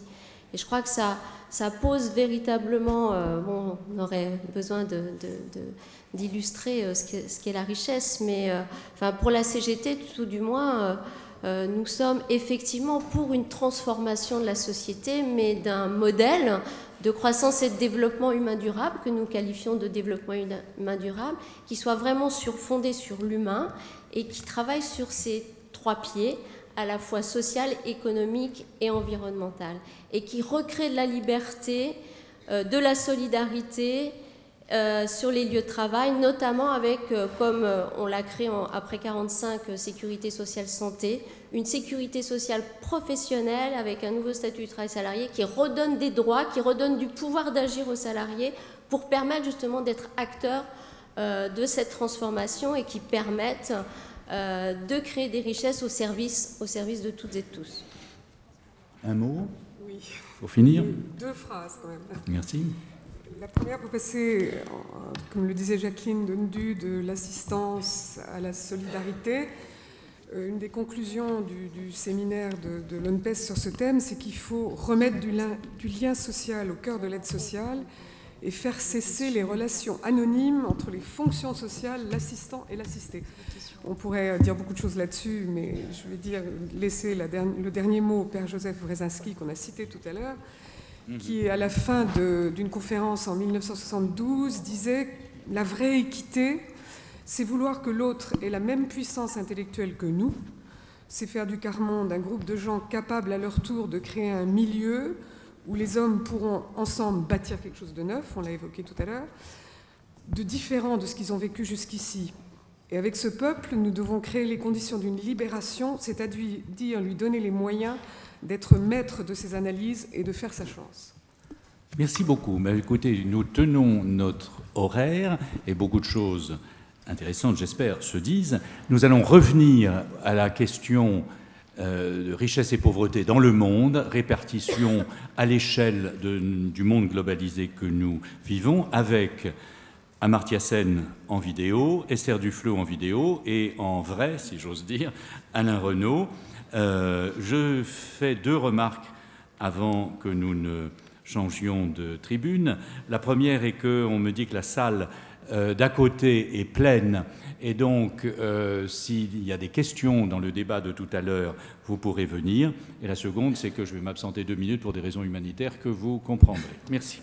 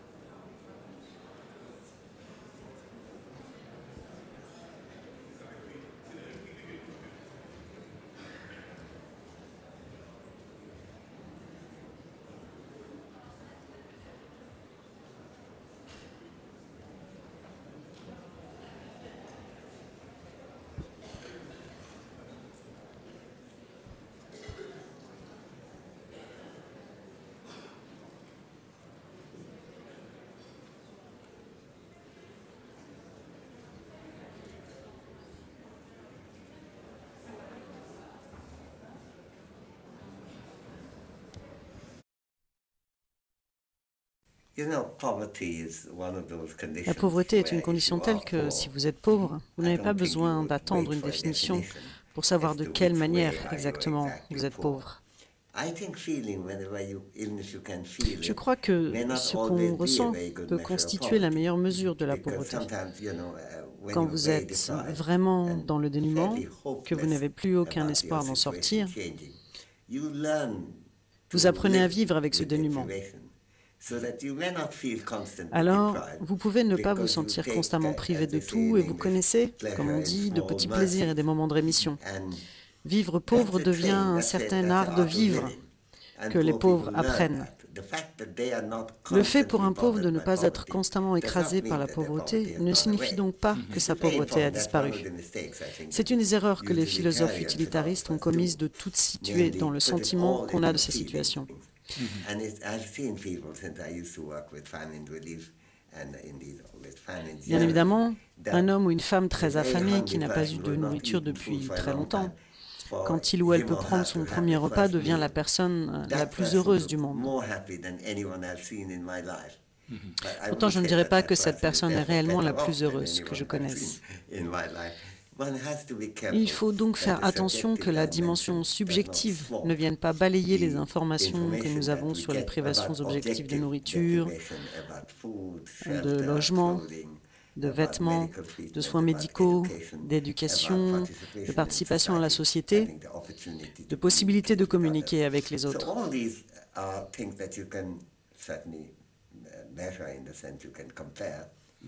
Voilà des éléments qu'on peut effectivement mesurer et comparer. Qu'on parvienne à tout comparer ou pas à l'échelle globale n'est pas l'essentiel.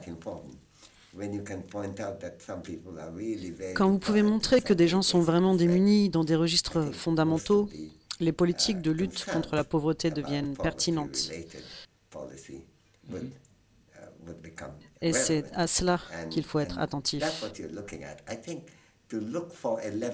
Chercher à un seul niveau de mesure n'est pas approprié à, la question.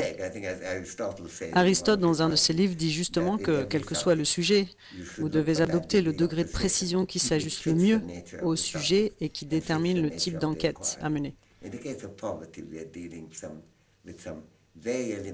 Quand on traite de la pauvreté, il s'agit euh, de manques fondamentaux et importants de liberté. C'est donc une erreur de ne s'occuper que de chiffres.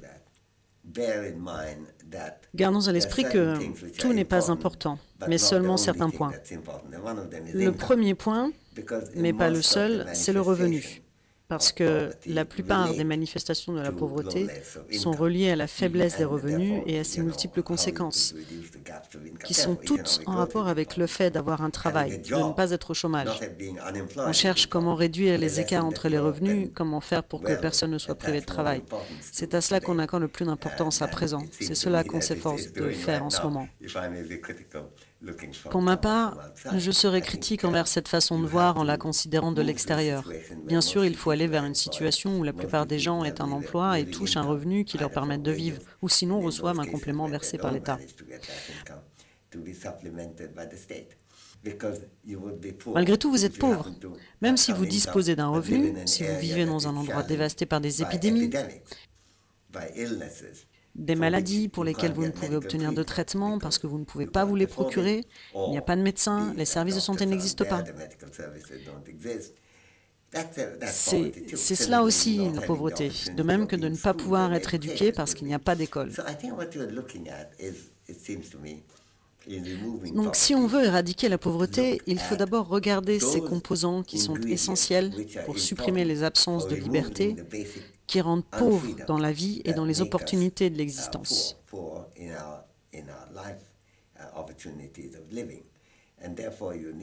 Donc, on a bien sûr besoin de revenus et de croissance, mais il n'y a pas que les buts économiques à considérer. Il faut aussi que les ressources générées par l'économie soient utilisées par l'État pour assurer l'éducation, la protection médicale et tout ça. C'est ce qu'on a appris à faire durant des décennies de combat depuis la Seconde Guerre mondiale, quand est né l'État-providence. Aujourd'hui, les circonstances ont changé. L'État-providence connaît des difficultés, mais les impératifs de base n'ont guère changé. De fait, nous avons toujours besoin de l'État pour supprimer de nombreuses manifestations de la pauvreté.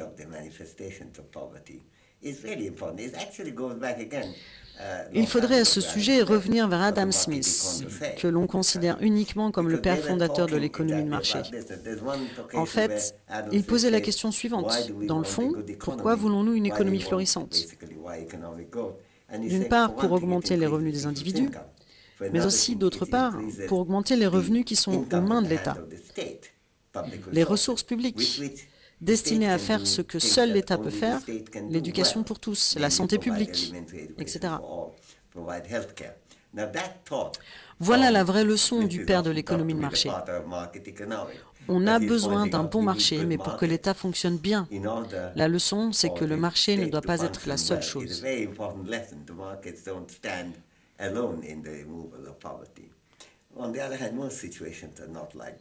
Mais cette leçon ne suffit pas parce que la situation réelle est encore différente.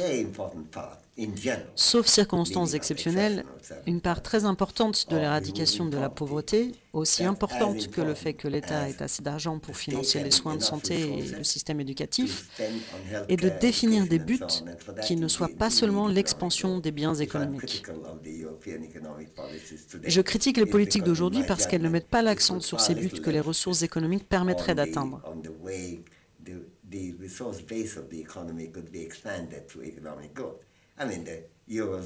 Par exemple, euh, la zone euro a des buts.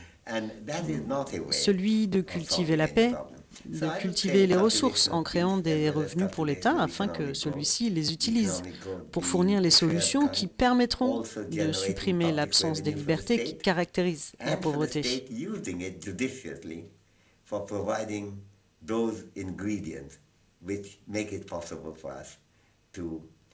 To remove the unfreedoms which characterize uh, poverty.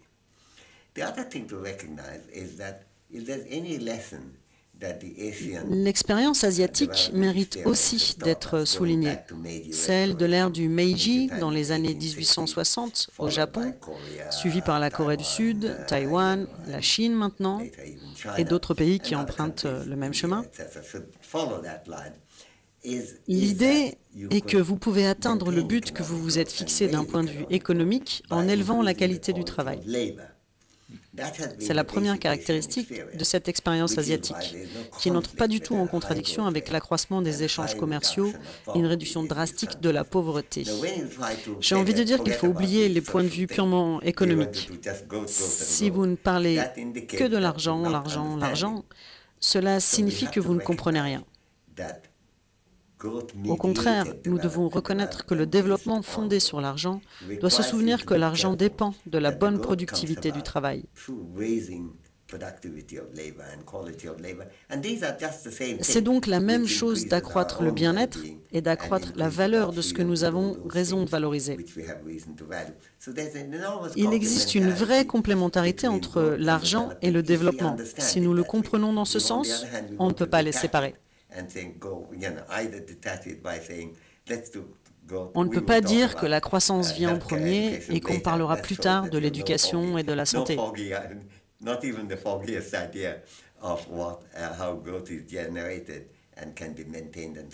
Mais on ne peut pas non plus oublier comment l'argent est produit et conservé. On ne peut pas oublier l'économie et vouloir tout réparer sans elle. Cela ne marche pas.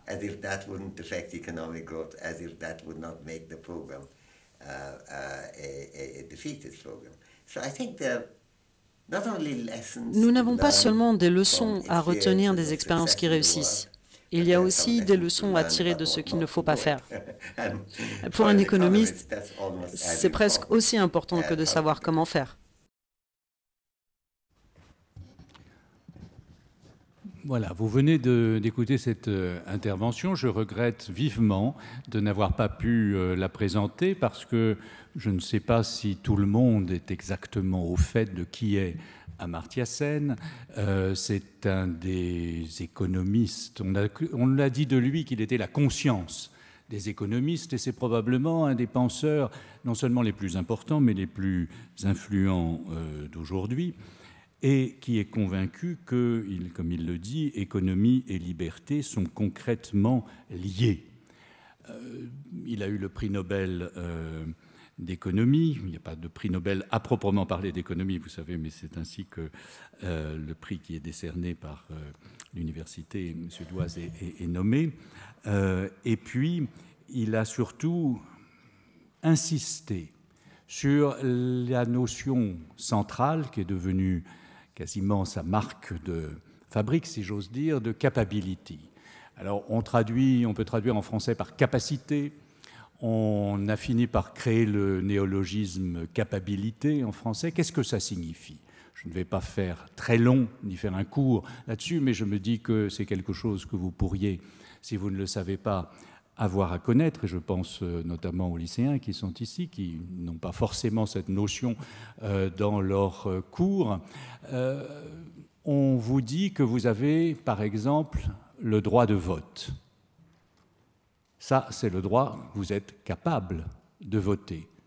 Mais si vous ne pouvez pas vous rendre au bureau de vote, alors vous n'avez pas la capacité de voter. Et c'est beaucoup plus important, ou aussi important, que d'avoir le droit reconnu constitutionnellement. C'est l'exercice. Si vous devez, il faut un, un, bus qui vous emmène au bureau de vote. Ou bien, si vous n'avez pas de bus, alors il vous faut une voiture, mais pour avoir faire actionner la voiture, il vous faut un permis, vous aurez le droit de conduire, mais si vous n'avez pas d'essence dans le réservoir, comme dit Amartya Sen, vous ne pourrez pas euh, exercer ce droit que vous avez c'est très simple, ça n'est pas simplement la différence entre droit formel et droit réel, euh, ça s'étend à euh, bien plus. C'est tout ce que un individu peut faire et dans euh, la vidéo que vous venez de voir, si vous l'avez remarqué, il définit aussi la pauvreté comme la non-capacité à exercer ses libertés ou ses droits fondamentaux. J'aimerais maintenant que l'on écoute euh, une autre intervention, avant de laisser la parole à Alain Renaud, qui euh, nous a fait l'honneur et l'amitié d'être présent, euh, une communication d'Esther Duflo, qui, elle, est encore une, normalienne, qui est économiste, elle est professeure au MIT, et elle a eu des cours au Collège de France, et elle est spécialiste de la lutte contre la pauvreté. Alors si Amartya Sen est intervenu en vidéo, c'est pas seulement en raison de son agenda, c'est qu'il a des cours à Harvard euh, en ce moment, et c'est aussi euh, pour cette raison que Esther Duflo euh, intervient de cette manière, parce qu'elle est conseillère du président Obama pour les questions de développement, et donc elle a bien voulu nous parler. Elle est aussi responsable d'une organisation qui a à la fois des objectifs de recherche et euh, des programmes concrets, une organisation de lutte contre la pauvreté, la Abdul Latif Jamil, qui était un de ses maîtres, Poverty Action Lab, que vous pouvez retrouver sur www.povertyactionlab.org. Et euh, je lui laisse euh, la parole. Bonjour, je suis désolée de ne pas pouvoir être avec vous en personne aujourd'hui. Euh, ceci est dû en particulier au dixième anniversaire du Poverty Action Lab que j'ai la chance de diriger. Le colloque euh, auquel vous participez a pour thème richesse et pauvreté. Un thème formidable, très riche, euh, plein de possibilités. Et cette session en particulier se concentre sur la question de la distribution des revenus à l'échelle mondiale on est tenté, en réfléchissant à cette question de la distribution des revenus à l'échelle mondiale, de euh, ne considérer que la distribution des revenus entre les pays. Or, en fait, la distribution des revenus à l'échelle mondiale est faite de deux facteurs. D'une part, la manière dont les richesses sont distribuées à l'intérieur de chaque pays. il est donc question des inégalités entre les riches et les pauvres à l'intérieur de chaque pays, qu'ils soient riches ou qu'ils soient pauvres. Donc des inégalités entre les riches et les pauvres en France, euh, aux États-Unis ou au Ghana. Et le deuxième facteur est la, redistribution la distribution des revenus entre les pays, le fait qu'il y ait des pays riches et des pays pauvres.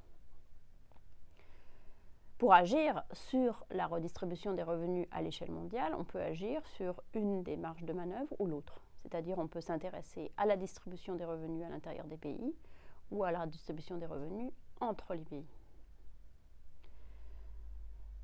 Historiquement, une partie de, l'effort euh, de l'aide internationale, euh, disons depuis euh, la fin de la Deuxième Guerre mondiale, s'est concentrée sur la question de la distribution des revenus entre les pays et en particulier sur la possibilité ou non de redistribuer de manière équitable et efficace en même temps des revenus des pays riches vers les pays pauvres ou sur la question de l'implication des décisions de politique économique prises par les pays riches, par exemple euh, euh, sur le commerce extérieur, etc., euh, sur la distribution entre les revenus des pays riches et pays pauvres. Dans une certaine mesure, ce paradigme touche un petit peu à sa fin en termes de, ce qui est faisable, tout simplement parce que les citoyens des pays riches ont fait année après année, décennie après décennie, le choix de ne pas distribuer de manière très importante vers les pays pauvres. Les budgets de l'aide extérieure sont faibles, euh, ont tendance à diminuer en termes de, proportion du PIB. Euh, la crise de 2008 n'a pas aidé dans, cette mesure-là. En même temps que les pays riches euh, ne deviennent pas de plus en plus généreux, les pays pauvres, eux, deviennent de moins en moins pauvres. Et donc la fraction euh, de l'aide dans le budget des pays pauvres est de plus en plus faible. Donc la distribution directe de ressources des pays riches vers les pays pauvres joue un rôle de plus en plus faible dans la distribution mondiale des revenus est appelée au cours du temps à jouer un rôle qui sera de plus en plus faible et qui en fait court le risque de devenir euh, euh, tout simplement rien du tout, de devenir juste une petite miette. Et il est déjà vrai aujourd'hui que le Brésil, par exemple, dépense beaucoup plus pour l'aide extérieure au Brésil euh, que la plupart des pays riches. Donc il reste quoi?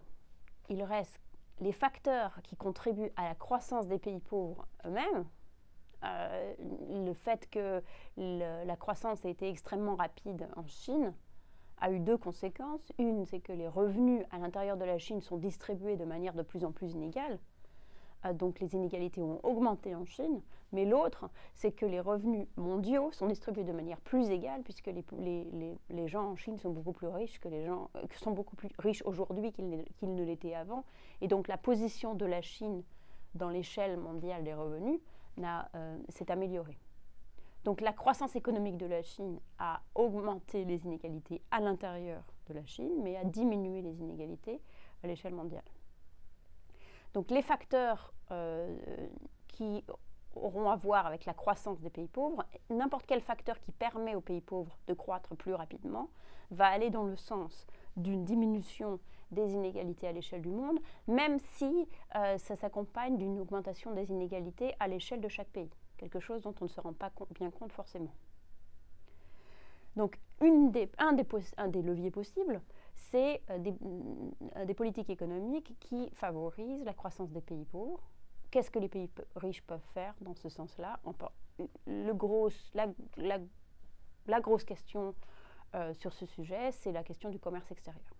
De restreindre soit directement par des politiques de, euh, barrières euh, de commerce, soit indirectement par des politiques de barrières de commerce plus ou moins cachées sous la forme de standards, de qualité, etc., sont autant de facteurs qui font beaucoup plus pour augmenter les inégalités à l'échelle du monde que tous les efforts d'aide font dans l'autre sens. Donc il ne faut pas se cacher, il ne faut pas se, fermer les yeux, faut pas se voiler la face. Euh, ce qu'on peut faire du point de vue des pays riches pour diminuer les inégalités à l'échelle du monde, c'est euh, d'être plus généreux sur euh, le commerce extérieur. Deuxième possibilité, l'immigration. Une des grosses sources d'inégalité dans le monde, c'est où vous, où vous êtes né, où vous travaillez. Les restrictions à l'immigration ont une conséquence immédiate et directe sur les inégalités à l'échelle du monde, entre les citoyens du monde.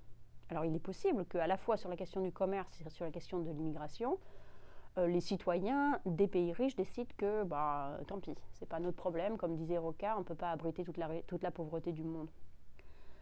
mais il est bon à savoir qu'il s'agit là d'un choix explicite de favoriser notre bien-être des pays riches aux dépens des pays pauvres.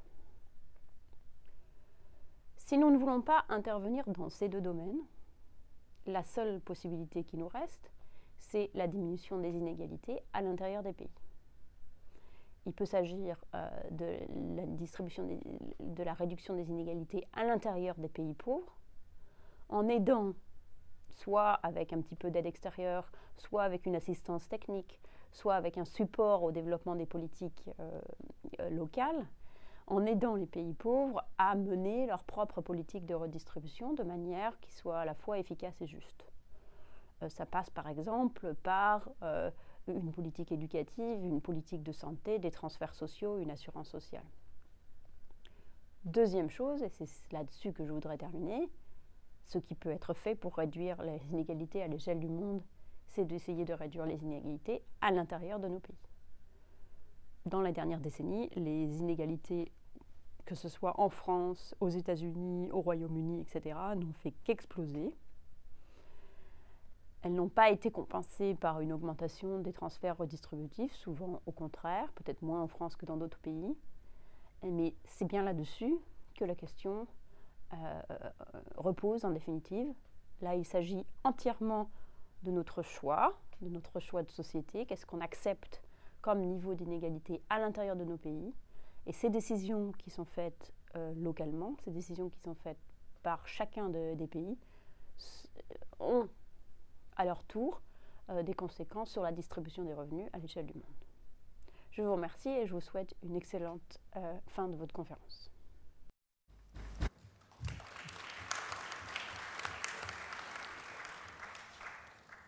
On revient, vous l'avez constaté, à la question du choix de société. Autrement dit, on passe, et parce que les deux sont reliés, des questions mondiales et des équilibres, anciennement appelés Nord-Sud, euh, ou en tout cas entre pays développés et pays non développés, ou pays riches et pays pauvres, industrialisés ou en voie d'industrialisation, euh, et puis les questions des inégalités à l'intérieur de chacun euh, des pays. Alors le, je suis heureux qu'on ait eu ces deux interventions en vidéo qui, je crois, offrent bon nombre de thèmes euh, de réflexion et de discussion. Le problème, évidemment, est que vos questions ne vont pas pouvoir leur être directement euh, répercutées, puisqu'on n'a pas, pour l'instant, de, on n'a pas de liaison euh, directe, mais je pense que Alain Renaud, sans parler à la place d'Esther Duflo, ni à la place d'Amartya Sen, mais en son nom propre, pourra répondre à vos questions, parce que ces thématiques euh, actuelles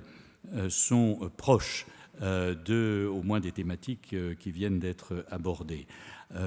Alain Renaud est professeur de philosophie politique et d'éthique à la Sorbonne.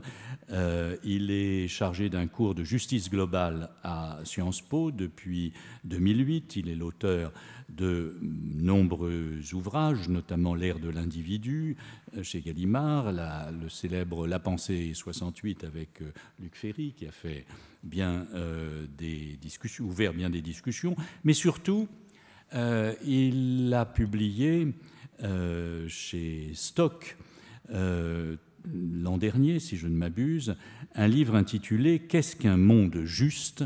Contribution à une théorie de la justice globale, où il reprend et transforme un certain nombre des analyses d'Amartya Sen, notamment de son maître-livre L'idée de justice.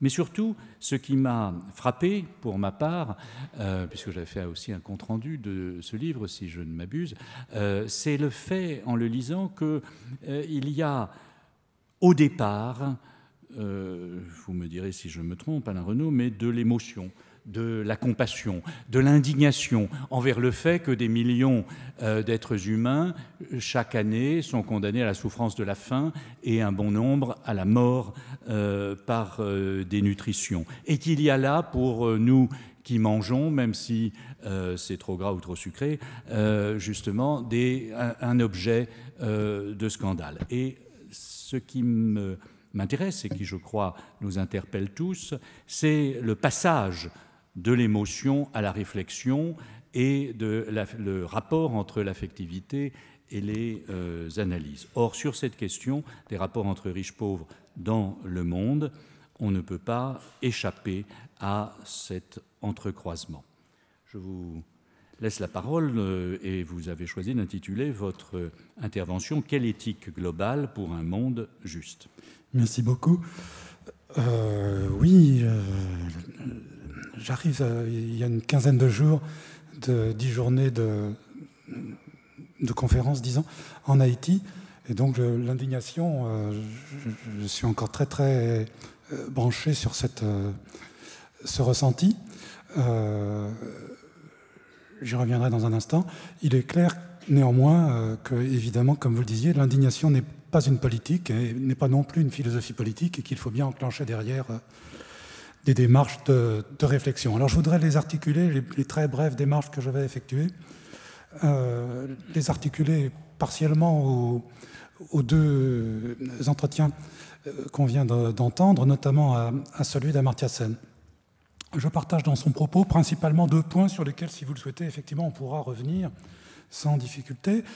Euh, tout à l'heure, d'abord, je partage entièrement sa description de la pauvreté extrême comme euh, une, expérience de privation, comme on dit aujourd'hui, de déprivation, à la fois au sens de l'insatisfaction d'un certain nombre de besoins qui peuvent aller jusqu'à mettre en cause la question de la, de, la, survie, de la vie comme survie, et puis la privation ou la déprivation au sens de l'empêchement infligé aux personnes vis-à-vis de euh, certaines euh, capacités on a dit le concept de scène, capacité, je vais revenir très très succinctement, l'empêchement qui est fait aux personnes de disposer d'un certain nombre de, de, pouvoirs faire, de pouvoirs d'action, comme euh, le pouvoir d'apprendre, le pouvoir de communiquer avec les autres, etc., qui correspondent à quelque chose comme des libertés. Ce qui met en cause cette fois non plus la vie comme survie, mais euh, la vie comme humaine, proprement humaine, l'humanité de la vie. Donc là-dessus, plein accord, je pense que ce sont des acquis, euh, pour l'essentiel d'Amartya Sen, qui sont euh, gigantesques dans le déplacement de la perception de la pauvreté, mais que nous les avons tous intégrés. Je partage aussi son analyse du caractère à la fois essentiel et indispensable euh, d'une approche de la pauvreté, et notamment de la très grande pauvreté des pauvres du monde, en justice globale, en termes d'amélioration des revenus, de faiblesse des revenus, de très grande faiblesse des revenus. Je disais que j'arrivais d'Haïti. Haïti, 68%, 68 des Haïtiens vivent avec moins de 2 dollars par jour. 48% parmi eux avec moins de 1 dollar par jour. Donc voilà, là, c'est une donnée de base avec laquelle nous ne pouvons pas ne pas réfléchir et consentir, adhérer à la perspective selon laquelle, évidemment, un effort indispensable pour accroître de tels revenus constitue une priorité. Mais Sen a entièrement raison, et je partage son ajout sur ce point, de euh, soutenir aussi qu'une lutte contre les empêchements dont je parlais, les privations de capacité ou de capacité, donc contre les empêchements, ou si vous voulez dire à l'envers et euh, avec un un mot franglais, euh, euh, un travail pour euh, faire progresser l'empowerment des personnes jusque-là privées de toute une série de pouvoirs d'agir sur leur vie est évidemment indispensable aussi. Donc là-dessus, ces deux points sont la base minimale, si vous voulez, à mon sens, le kit minimal d'une réflexion aujourd'hui grâce à la façon très approfondie, beaucoup plus approfondie que ce que j'en retiens là, qui a été mise dans la circulation des idées et des engagements, notamment par scène depuis 30 euh, ans, 30 ou 40 ans. Donc c'est le, point de départ, le soubassement, le, pratiquement le non négociable. Alors, à partir de là commenceraient des difficultés dans lesquelles je ne vais pas du tout euh, m'engager. Je dis juste que les deux points d'accord ouvrent sur euh, la nécessité de dépasser le conflit qui a dominé jusqu'ici, depuis qu'il y a des approches de la justice globale, de ce que Esther Duflo a, évoqué, la justice au plan non plus social mais global, les inégalités entre les pays, c'est-à-dire depuis, euh, dans ma discipline, depuis une, dizaine d'années, douzaine d'années, donc très peu de temps, eh bien, les conflits se sont développés surtout entre ces deux approche en termes de ressources ou en termes d'apport, de, capacité ou de capacité. Et ça a donné lieu, vous, le savez, vous ne le mesurez peut-être pas, mais à une efflorescence de production théorique qui ont un côté absurde, qui, qui donne lieu à des scolastiques euh, tout à fait dommageables pour l'importance, et là il faut repartir de l'indignation, euh, de la question elle-même, qui, qui, mérite mieux que ces scolastiques. Donc j'ai essayé d'y mettre un terme par un livre qui l'est lui-même un peu, parce qu'il fallait s'adresser à ces gens, mais euh, voilà. Mon intention était plutôt de dire stop. Et de considérer qu'entre l'approche par les ressources et l'approche par la dotation en pouvoir d'agir, en capacité, eh bien, euh, il est clair qu'il faut procéder cas par cas, situation par situation, contexte par contexte, parce que cela ouvre sur des politiques de justice au plan global qui euh, euh, peuvent être dissemblables et dont il faut considérer, au fond, à la fois comment les combiner, c'est ce que nous dit Amartya Sen, quelle priorité dans quel cas?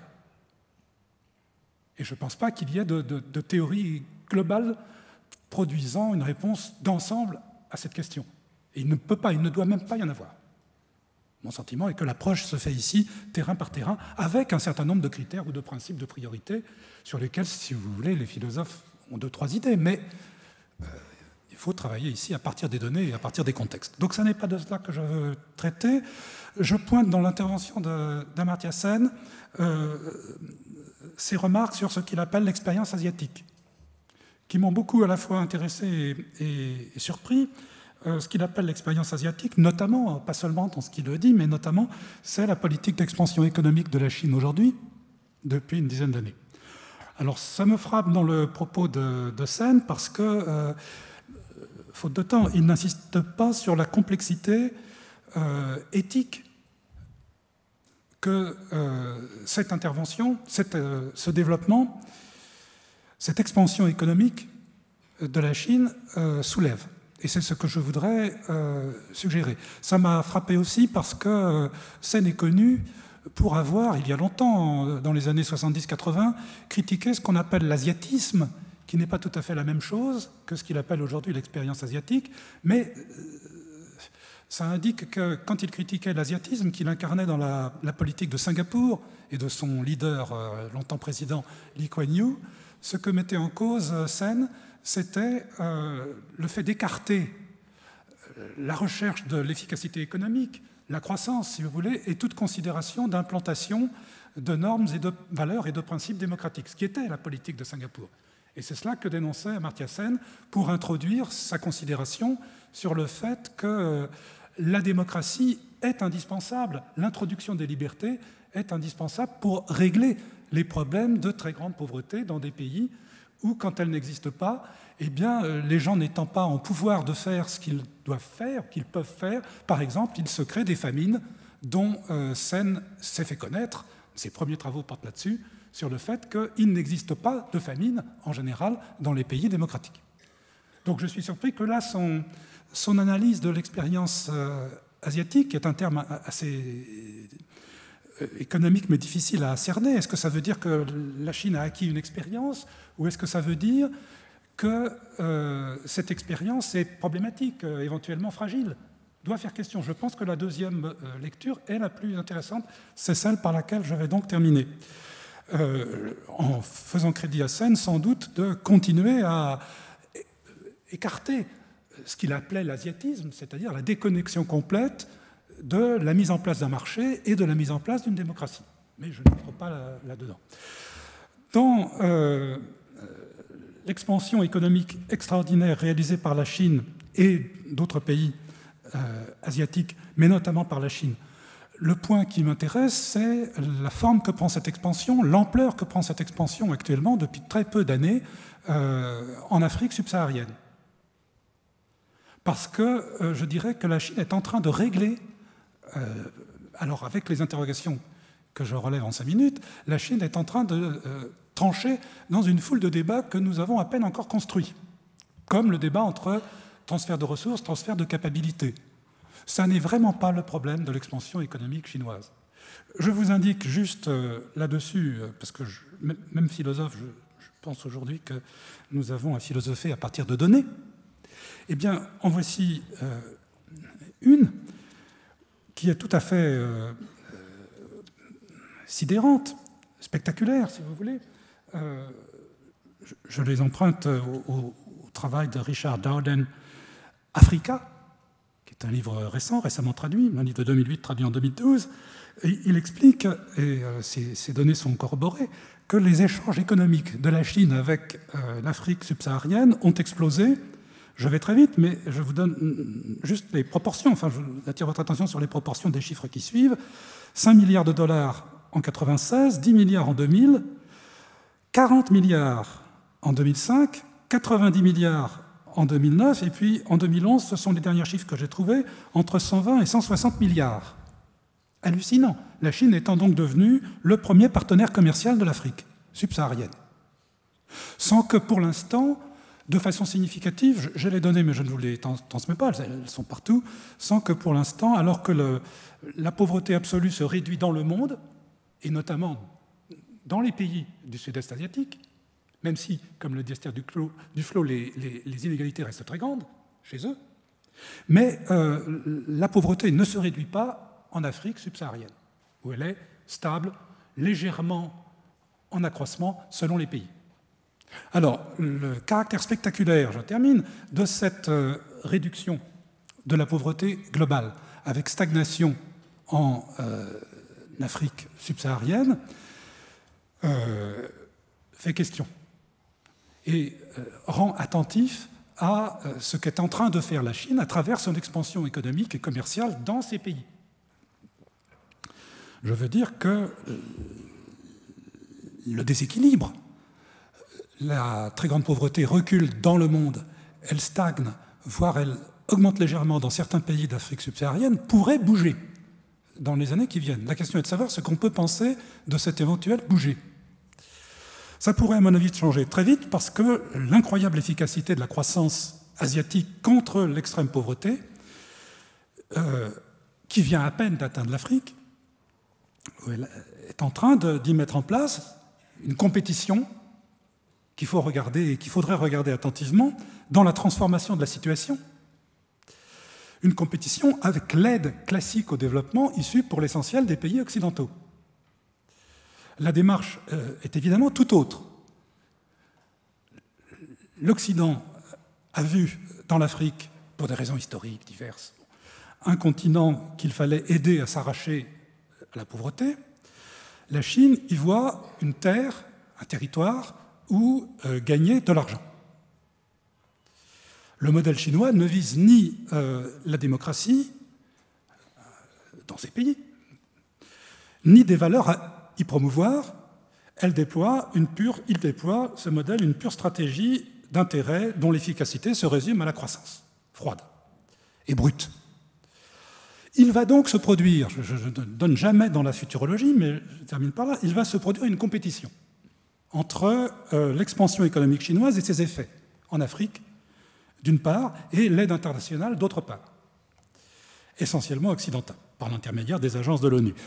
La partie est vraisemblablement perdue d'avance pour l'Occident, pour une raison euh, de principe, c'est que l'Occident, à juste titre, nous partageons tous cette euh, attitude, conditionne ses aides, spécialement quand il s'agit de l'Afrique, à des progrès en matière de droit qu'il ne demande pas à la Chine d'effectuer quand il commerce avec elle, parce qu'il est demandeur.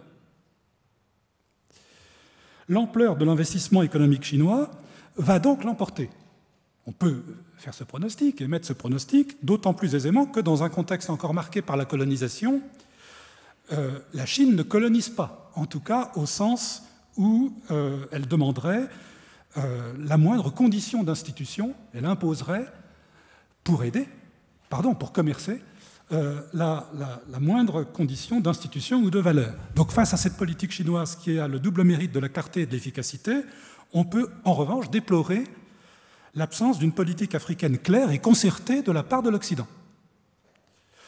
Donc l'échec de l'Occident là-dessus est à mon avis prévisible. Maintenant, cette euh, euh, situation, cette compétition et ce qui va en résulter aura des conséquences pour lui, l'Occident et puis pour euh, l'Afrique euh, subsaharienne. Et je conclus en disant que je suis préoccupé simplement par deux choses dans cette situation. Ma première préoccupation euh, est, que, est, en train ainsi, est en train ainsi de s'instaurer une dépendance de l'Afrique à l'égard d'un seul pays, la Chine, qui peut par elle-même devenir préoccupante. Je, ne développe pas le, contenu de ma préoccupation, qui est, facile à imaginer. D'autant que l'expansionnisme chinois n'articule pas euh, sa politique à des considérations, à des conditions ou à des considérations d'éthique globale, du type de celle que formulait euh, Esther Duflo, savoir si le monde est juste, s'il y a des relations d'équité entre telle et telle partie du monde. Premier élément de préoccupation. Et puis le deuxième élément, c'est ma dernière phrase, que j'allonge un peu parce que c'est la dernière, c'est le suivant. Tant qu'on est euh, dans un contexte où en Afrique subsaharienne se joue la vie, je veux dire se joue la vie au sens où elle se joue, tel que je l'ai vu, en Haïti, euh, se joue la vie à 2 dollars par jour. La vie comme survie, à moins de 2 dollars par jour. On ne peut pas faire la fine bouche, personne ne peut, ne peut faire la fine bouche, ni du dedans ni du dehors. Et on ne peut pas non plus critiquer l'expansionnisme économique de la Chine. Mais comment se posera la question, et c'est là qu'intervient ma deuxième préoccupation, qui est de savoir comment se posera la question après, c'est-à-dire demain, au rythme où euh, la Chine euh, fonctionne, que fabriqueront-ils demain? Que fabriqueront-ils? Quel monde humain fabriqueront-ils dans cette partie du monde? Qui en a déjà subi beaucoup. Mais quel monde humain fabriqueront-ils dans cette partie du monde? J'avoue ne pas être entièrement au clair sur ce point et en être préoccupé euh, parce que euh, c'est terrible de dire ça vite. Euh, je, je me borne à exprimer cette préoccupation. Si elle est légitime, si elle correspond à suffisamment de données que je ne peux pas vous fournir davantage, qui la valide, alors il faut penser que cette alternative à l'aide internationale au développement dont on parle depuis 40 ans. Il faut convenir que euh, cette alternative, il faut penser que cette alternative à l'aide internationale est problématique. Qu'elle est problématique Je ne dirais certainement pas que mieux vaudrait la mort que la vie dans un monde devenant euh, ainsi moins exposé aux 18 millions de morts par an que fait l'extrême pauvreté. Je ne dirais assurément pas euh, cela, mais je dirais simplement que ce monde va devenir aussi très incertain, va devenir très incertain du point de vue de la qualité de vie qui y serait assurée. Alors, je, répète, il n'est pas question de dire mieux vaudrait la mort ou plutôt mourir. Il n'est surtout pas question de le dire quand il s'agit de la mort des autres. Personne ne pourrait le dire. Mais on peut s'interroger sur l'absence d'esprit de conséquence des politiques économiques occidentales qui ne se sont pas organisées, ne sont pas en train de s'organiser pour euh, mitiger, comme on dit dans d'autres domaines, le succès probable de euh, l'expansion économique chinoise, dans la compétition qu'elle a entamée avec l'aide internationale au développement. Je vous remercie.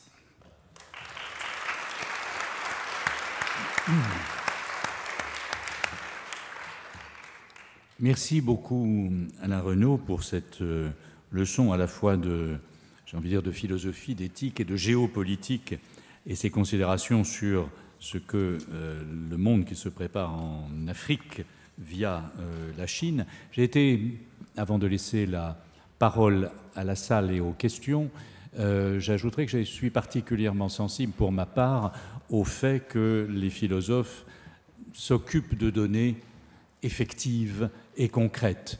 Je pense à cette phrase très étrange et célèbre de Rousseau dans le discours sur l'origine et les fondements de l'inégalité, il veut, en historien, essayer de reconstruire euh, le mécanisme qui a abouti aux inégalités et il dit, je cite de mémoire, mais je ne crois pas tout à fait me tromper, commençons par écarter tous les faits car ils ne touchent, car ne touchent pas à la question. Alors on voit bien ce que ça veut dire. Nous allons euh, mettre l'accent sur les notions, analyser les idées, faire un développement intellectuel et théorique, et nous n'avons pas nécessairement besoin de l'histoire. Cependant, il me semble que dans le monde où nous sommes, si nous voulons penser quelque chose et avoir prise par la pensée, il faut commencer par les faits et les données. Si je peux juste dire une phrase là-dessus, mais c'est vraiment une phrase. Je vous en prie. je vous remercie beaucoup de dire ça parce que ça correspond effectivement à une tentative que je fais avec une équipe de recherche de philosopher non plus seulement, non pas contre, mais non plus seulement à partir des principes, mais à partir de données. Les philosophes sont connus pour être des hommes de principe, des hommes et des femmes de principe. Ils sont même connus pour n'être que ça. Et donc là, j'essaye de faire à l'envers c'est-à-dire de partir des données vers éventuellement des principes. Alors, plusieurs questions. Euh, y a-t-il des micros? Euh, Mademoiselle a levé la main. Monsieur, commençons là-haut. Euh, Jean-Paul Delevoye a le micro. Alors, allez-y, ensuite mademoiselle, ensuite monsieur. Voilà. Et puis d'autres peut-être par là. Monsieur. Ah, oui, monsieur Giscard d'Estaing Oui. Oui, ça, simplement une question tout à fait intéressante, parce que derrière, il va falloir que nous tirions des conclusions, y compris pour notre propre mode de réflexion. Moi, je me suis réjoui de votre intervention car au Conseil, nous avons intégré la notion du temps long. Et je partage, alors j'ai deux, trois questions et je vais les faire très brèves pour que, un, euh, vous parlez de, en réalité de géopolitique. Et est-ce que nous assistons aujourd'hui, un, à la remise en cause d'un modèle de développement plutôt nord-américain, européen, qui est à la fin d'un système de consommation de masse, donc il y a un décrochage entre la performance économique et la performance sociale, et l'on voit apparaître un modèle de développement économique asiatique et chinois qui est un, système d'exploitation et pas forcément projet de société? Ça, ça, pose la question de fond sur la régulation mondiale. On a souvent évoqué ça avec François Racheline sur la régulation monétaire. Les exportations de marchandises ne pèsent que 2% des flux financiers. La deuxième chose, c'est plutôt provocateur, hein, c'est des questions d'arbitrage. 1% du PIB mondial servirait à régler le problème du changement climatique. Donc on voit que la problématique de la régulation du développement n'est pas hors de portée des contraintes financières. C'est simplement un choix politique.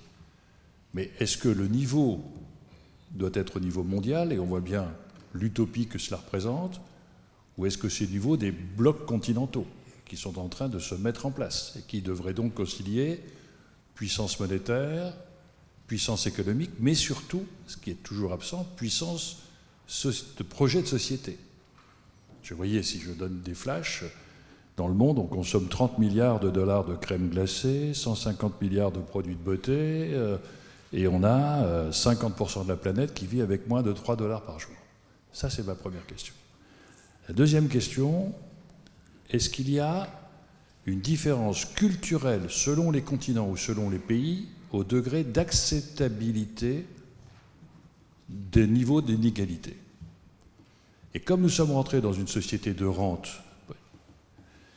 qui fait que la rentabilité est plus grande que celle de la production, nous allons mécaniquement dans cette économie financière mondiale sur une, augmentation des inégalités entre ceux qui détiennent du capital et ceux qui produisent avec même des pertes de pouvoir d'achat pour les agents de la production et des gains de pouvoir, même à leur corps défendant, puisque, et on a les fonds comme Bill Gates, etc. Donc est-ce que l'on va vers une société de l'individualisme avec une volonté de redistribution solidaire, ou est-ce que l'on doit essayer de réfléchir à une société de solidarité collective, ce que disait Jean-Baptiste de Foucault, avec la notion du partage et le troisième élément, c'est que l'on voit bien que dans ce que vous évoquez, donc la régulation du commerce, il y a la problématique de l'immigration et de l'intégration. Et est-ce qu'il n'y a pas une mécanique infernale dans laquelle nous sommes rentrés, nous, les sociétés avancées? Je rappelle que nous, on a 30 000 euros par habitant, les Chinois, ils ont 4 000 euros par habitant. Donc difficile de ne pas demander aux Chinois de ne pas aller à 10 ou 15 000. Est-ce que chez nous, nous allons... Mais est-ce que paradoxalement, plus nous nous sommes développés, plus nous avons augmenté par la qualité des normes que nous voulions faire, mettre en place, la difficulté d'accès à des gens qui n'ont pas les moyens d'avoir un accès au logement, d'en avoir un accès à la santé, d'avoir un accès au travail? Parce que nous avons mis un système qui, en réalité, sous des discours d'inclusion, met en place des mécaniques d'exclusion. Et donc, dans ce cas-là, est-ce que l'on doit continuer par rapport à ce défi de la précarité, continuer à imposer des normes qui excluent, ou au contraire accepter de remettre en cause nos règles habituelles pour donner comme priorité le fait que chacun a droit à la dignité, a droit à un logement, a droit à une santé et surtout a droit peut-être à travail. Et je pose la question car ma conviction c'est que nous rentrons dans une croissance faible. Je ne crois plus au travail pour tous dans l'économie. Donc si le travail est un outil de socialisation, qu'est-ce que l'on met en place? Je ne crois pas aujourd'hui à des offres de maisons de retraite à 2000 euros avec des moyens de retraite à 800, il y a une impasse. Et aujourd'hui, le logement n'est plus accessible, etc. Donc la vraie question, c'est, un, l'équilibre du monde qui est en train de se mettre en place et qui va accélérer les flux migratoires au moment où nous refusons l'intégration de l'autre, et avec quelquefois le pillage des intelligences. Deux, la problématique de capacité qui repose le problème non plus de l'assistanat, mais de l'accompagnement. Mais si l'accompagnement, c'est vers des marches que nous-mêmes, de façon assez hypocrite, nous mettons trop élevées pour que les gens puissent avoir accès, Comment pouvons-nous gérer nos hypocrisies? Alors, sur ces trois points, merci, Jean-Paul Delevoye. Sur ces trois points, Anna Renaud, quelques remarques concises. Je propose que nous prenions un quart d'heure de plus, on s'arrêtera à 45, un petit quart d'heure, euh, et on prendra d'autres questions ensuite. Merci beaucoup pour vos, questions et votre, analyse. Évidemment, il me faudrait une heure, une heure et demie pour euh, non pas vous répondre forcément à, l'ensemble, mais il faudrait. quoi. Euh, je, dis juste deux ou trois choses. Euh, mon point de vue n'est pas exactement celui de la géopolitique, c'est celui de la géopolitique, en l'occurrence, plus un point de vue normatif, c'est-à-dire un point de vue éthique, si vous voulez, qui n'est pas comprise dans la, géopolitique, qui n'est pas compris en général dans la géopolitique. Mais c'est une question professionnelle, ça. Euh, sur la première partie de vos, remarques, oui, enfin, il y a effectivement remise en cause du modèle euh, occidental d'aide au développement. Simplement, l'Occident n'a pas remis en cause ce modèle. Ce modèle est en train d'être défait, ce qui n'est pas tout à fait la même euh, situation. Et ce que je, pense, que en choisissant parmi une infinité de choses que j'aurais pu faire dans ce quart d'heure, ce que j'ai voulu faire, c'est d'attirer l'attention sur cette défaite toute proche, euh, et sur ses conséquences, c'est-à-dire que ça entraînera, et je vais par là rattacher à votre dernière, euh, à, votre dernière série de remarques, ma réponse, euh, ça risque d'entraîner aussi, du coup, une désimplication forte de l'Occident dans ce type de politique. Parce que, pas la peine de se battre, la Chine arrive et conquiert les marchés qu'elle crée en même temps qu'elle les conquiert. Donc ça risque d'avoir un effet d'autant plus désastreux que les pays occidentaux ne sont pas engagés de façon considérable dans cette ces politiques d'aide, qui leur sont difficiles notamment dans les périodes de crise, et que par conséquent, ils peuvent y voir la tentation de se désimpliquer, ce que je trouverais désastreux, parce que c'est quand même par la présence de l'aide internationale occidentale, indépendamment de ses limitations, que sont charriées avec cette aide, par exemple, les capacités, les capacités dont se réclament les pays en question. Donc les idéaux démocratiques. Et puis le deuxième élément que je vous dire dans cette réponse malheureusement très partielle, c'est que oui, 1% euh, du PIB, ou, etc., euh, suffirait à modifier considérablement euh, certaines données de la pauvreté globale, mondiale, mais le problème auquel je me heurte quand je réfléchis sur ces questions-là depuis maintenant longtemps, enfin 5 ou 6 ans, c'est long, c'est que les États n'ont pas d'éthique. Donc, qu'est-ce qui peut pousser les États à choisir de consacrer 1% de leur produit intérieur brut, plutôt que 0,5, 0,25, 0,05, à euh, ce qui est un investissement, et peut-être un investissement rentable, qui plus est, mais en tout cas éthiquement motivé.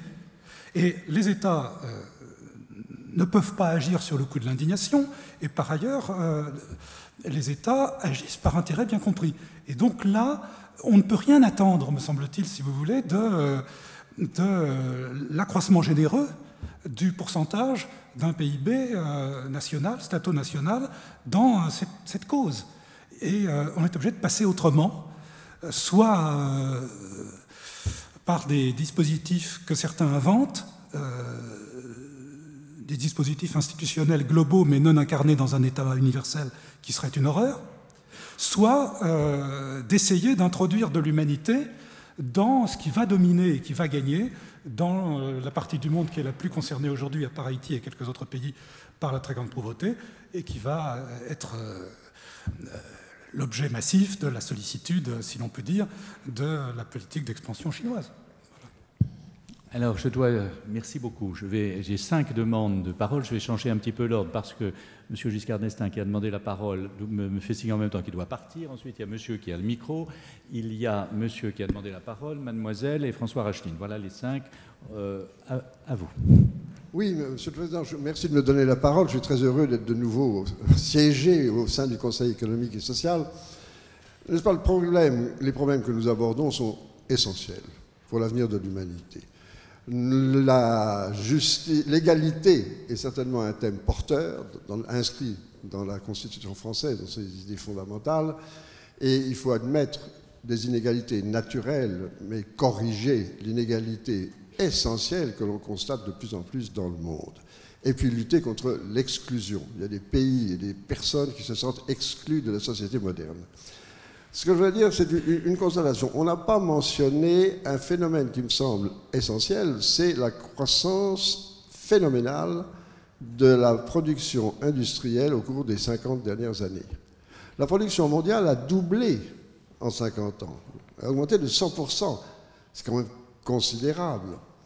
Et euh, pourquoi est-ce qu'on n'a pas l'air d'en ressentir les bénéfices? À mon avis, c'est parce qu'on est mal gouverné. On est mal gouverné. C'est un manque de gouvernance. Alors je ne veux pas entrer dans le problème de la gouvernance nationale de notre pays, bien que je sois là, je me suis assis à l'extrême gauche dans cet hémicycle, ce qui me donnerait une chance d'être écouté. Mais je voudrais surtout dire, c'est l'absence totale de gouvernance mondiale. Nous n'avons ni les institutions, ni les leaders qui permettent ce sursaut mondial indispensable. N'est-ce pas, dans le passé, nous avons eu des grands hommes qui ont fait l'Europe, qui ont fait la paix, qui ont fait la décolonisation, des gens comme Gandhi, des gens comme Mandela. Nous n'avons pas aujourd'hui quelqu'un qui puisse s'adresser au monde pour lui dire voilà ce qu'il faut faire. Et ce qu'il faut faire, à mes yeux, est simple à énoncer et difficile à pratiquer, c'est dans deux domaines. Le premier, c'est de rapprocher les législations sociales et fiscales. C'est quand même ces législations-là qui permettent d'éviter les conflits sociaux et de résoudre les problèmes sociaux, fiscalité et politique sociale. C'est indispensable. Il y a des écarts monstrueux dans ces politiques et on aurait besoin d'une politique mondiale. Et la deuxième, c'est dans le mouvement euh, des capitaux euh, euh, sur le plan mondial. Il faudrait une révolution pour orienter les capitaux là où sont les vrais besoins, ceux des investissements et ceux de l'éducation. Merci. Merci. Je propose que nous prenions toutes les questions à la suite et que Alain Renaud fasse les réponses pour gagner du temps. Monsieur. Euh, monsieur Aimé, ancien dirigeant et membre de Recherche et Avenir. Monsieur Renaud, vous avez entièrement raison et je vais être très provoquant. Les États n'ont aucune éthique. Et la Chine est un impérialisme total aujourd'hui en Afrique comme ailleurs. Moi, je voudrais ramener le débat à quelque chose de beaucoup plus personnel sur l'individu l'individu peut avoir une micro-contribution globale à l'amélioration de l'état de la planète. Et j'aurais voulu citer ici, parce que j'ai connu son expérience, ce qu'a euh, créé M. de Foucault avec par exemple l'association Solidarité Nouvelle contre le chômage, qui permet à chaque adhérent, en contribuant sur son propre salaire, à créer des emplois associatifs. Donc, nous avons aujourd'hui, grâce aux nouvelles technologies aussi, des moyens d'aider individuellement des micro-entrepreneurs à l'autre bout du monde. Je le fais avec celui qui veut réparer des chambres à air à l'autre bout du monde ou créer une petite épicerie par euh, euh, Kiss Bank ou bien Babylone. On a des milliers de possibilités aujourd'hui d'aider un certain nombre de nos congénères à vivre ensemble avec nous en investissant un peu de notre temps et un tout petit peu de notre argent derrière euh, des grandes théories macroéconomiques qui, pour beaucoup, avec des gouvernements qui ne sont pas à la hauteur, ont prouvé leurs échecs. Alors essayons de nous investir personnellement, individuellement, avec un peu d'argent et beaucoup de volonté. Merci. Monsieur, après il y a mademoiselle, après François Chine. Voilà. Oui, bonjour. Euh, Patrick Altman, euh, citoyen, militant. Il y a une chose qui m'étonne un tout petit peu ce matin et aujourd'hui, c'est qu'il y a une inégalité euh, qui traverse euh, toute la planète, dans toutes les sociétés, c'est celle qui repose sur l'inégalité entre les hommes et les femmes. Quand euh, Agnès Nathan nous a parlé tout à l'heure du temps partiel qui est facteur de pauvreté. Bah, quand on regarde l'excellent document produit par la maison qui nous accueille aujourd'hui sur la précarité et les femmes, on lit que les femmes représentent 80% du travail à temps partiel. Bon. Et si euh, on veut avoir une petite idée peut-être sur qu'est-ce que pourrait être qu'est-ce que pourrait être une éthique globale, est-ce que la première des choses à faire ne serait pas de travailler essentiellement sur le rééquilibrage de la situation, de la condition, des revenus euh, entre les hommes et les femmes, chez nous et partout ailleurs? Est-ce que ce n'est pas ça qui serait peut-être le plus fondamental à faire pour que enfin les femmes ne soient plus une sous-catégorie de l'espèce humaine? Merci. On note toutes ces questions. Mademoiselle, vous aviez demandé le. Voilà. Euh, bonjour, je m'appelle Mathilde, je suis étudiante. Je vais peut-être représenter la caution jeune, là, puisque euh, aucun jeune n'a pris la parole. Alors caution jeune, absolument. Vous êtes... Alors personne n'a pris la parole. Euh, on a parlé de gouvernance mondiale, on a parlé des risques liés aux asymétries entre les normes, entre les États. Et moi, j'aimerais du coup vous poser la question euh, de savoir quelle serait l'instance internationale qui, selon vous, permettrait d'éviter euh, les formes graves de dumping, euh, notamment économique, social, environnemental. et on a vu, je crois, il y a à peu près un an et demi maintenant, l'échec de, de, l'Organisation mondiale pour l'environnement qui devait être créée, enfin qui, qui, était un projet. Et ça, c'est la première partie de ma question. Et la deuxième partie de la question, c'est est-ce qu'une première partie de euh, d'ébauche, euh, de, réponse à cette question ne consisterait pas à, face aux difficultés de l'OMC que l'on juge euh, en panne, est-ce qu'il ne faudrait pas finalement revenir dans un premier temps sur la clause du traitement spécial différé, qui permet notamment des graves injustices en termes sociaux Voilà. Merci beaucoup. Et pendant que vous descendez le micro pour une dernière euh, question que pose François Rachid, j'en ajoute une quand même qui est arrivée par euh, Twitter. Euh, peut-être vous pourrez éventuellement terminer par celle-ci. Alain Renaud, intégrer dans les formations des élites, grandes écoles, ENA, etc., un cursus de lutte contre la pauvreté. Point d'interrogation. Évidemment. François Rachid. Avant de poser ma question, je voudrais préciser que Beaucoup de jeunes sont invités, beaucoup de jeunes sont dans les travées, ils peuvent poser des questions comme les autres. Et entre non, 16... c'est pas qu'ils peuvent, c'est qu'ils doivent. Voilà. Et en plus, entre 16h et 18h, on va avoir un dialogue expressément avec ces jeunes-là. Ce qui me frappe depuis ce matin, et ce qui m'a frappé aussi dans les propos ou dans certaines questions, euh, c'est qu'on a un petit peu l'impression qu'on raisonne avec des vases communicants. C'est-à-dire, pour améliorer le sort des uns, il faut prendre aux autres. Ou pour faire en sorte que euh, la planète aille mieux, il faut prélever sur les capitaux pour le consacrer à autre chose. Je pense que c'est un mode de raisonnement. Il faut avoir conscience que ce n'est qu'un mode de raisonnement. Il y en a un autre qui consiste à se doter des instruments, vous avez raison monsieur de le souligner, à se doter des instruments qui permettent au niveau mondial de créer du futur. Alors il y a des, je, vais parler en un, instant en économiste, il y a des économistes de grand renom comme Joseph Schumpeter qui a parlé du crédit à la production et, pas non et non pas le crédit à la consommation, un grand économiste comme Keynes qui a proposé la création d'un instrument monétaire mondial qui n'existe toujours pas, qui est une banque centrale mondiale pour faire court, et qui serait l'instrument de régulation de l'ensemble des flux, mais qui surtout, surtout, pourrait euh, permettre de lutter contre la pauvreté, de lutter contre, au niveau mondial bien entendu, de lutter non pas en, ayant le souci de prendre aux uns pour donner aux autres, mais en créant de nouvelles activités.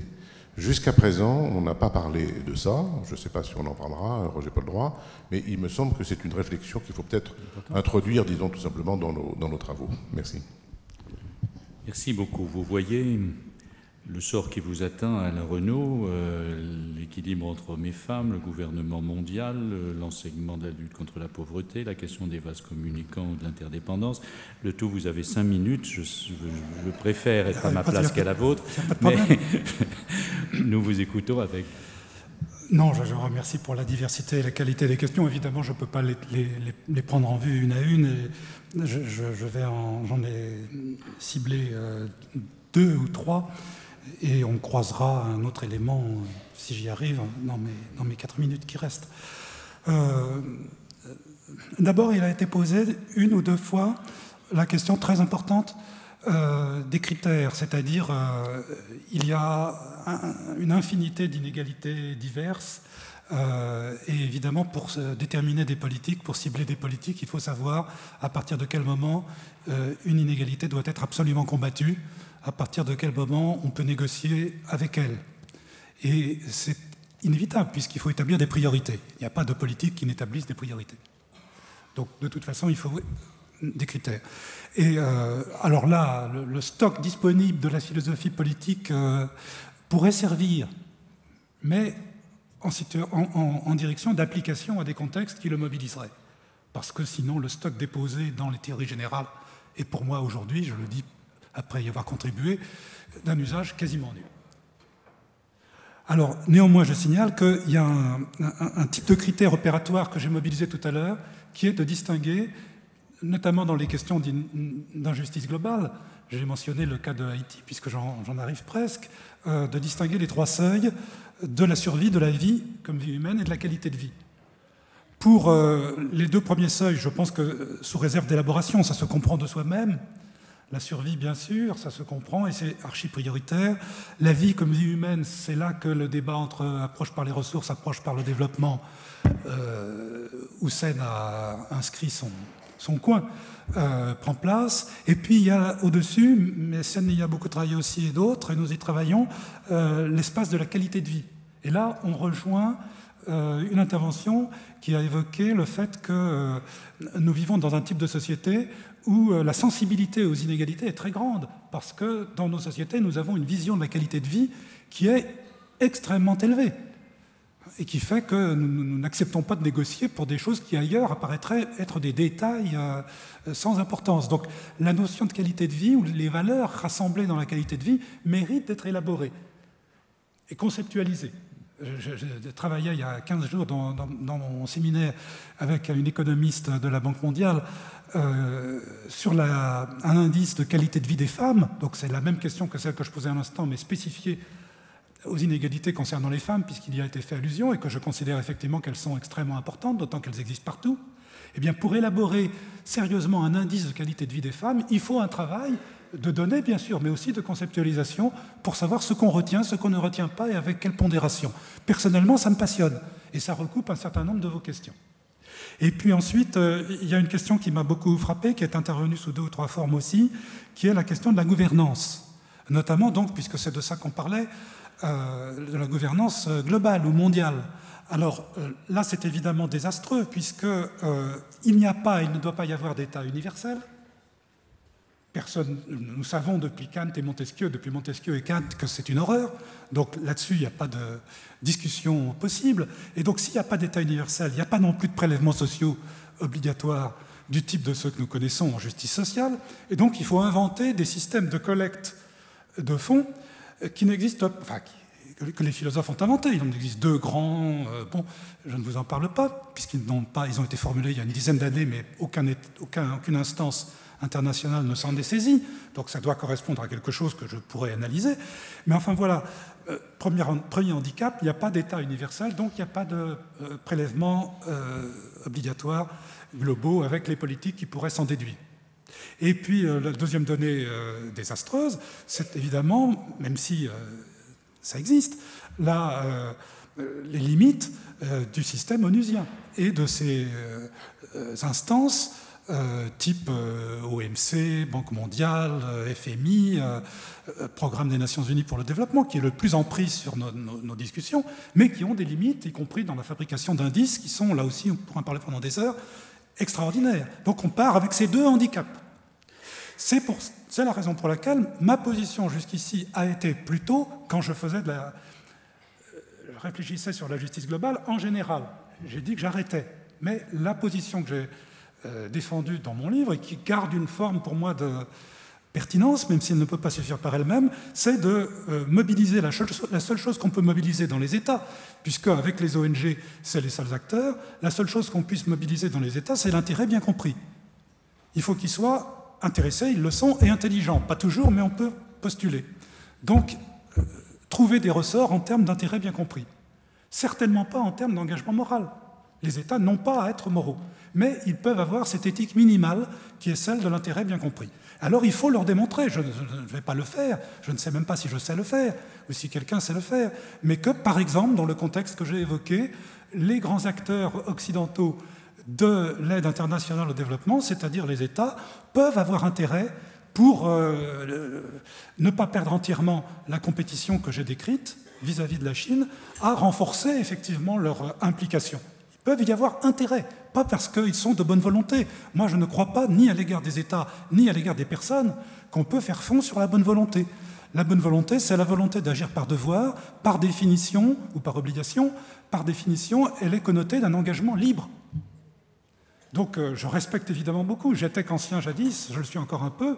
Je respecte beaucoup l'idée pure du devoir, mais elle ne constitue pas une motivation dans les relations internationales. Voilà. Pardonnez-moi de ne pas pouvoir faire plus. Ah oui, il y avait la question euh, transmise en, ligne sur l'intégration dans la formation des étudiants, euh, notamment des élites. Euh, mais ils font tous virtuellement partie des élites, à ma connaissance, d'un cursus de lutte contre la pauvreté, d'apprentissage des éléments de la lutte contre la pauvreté. C'est effectivement très souhaitable, très indispensable. On peut y contribuer. Le cours de justice globale que je fais à Sciences Po procède un peu de cette idée-là. Euh, simplement, il faut savoir que les élites vont devenir les décideurs de demain et que la politique se décide selon les motivations et les ressorts que je viens de décrire. Merci beaucoup. Je pense que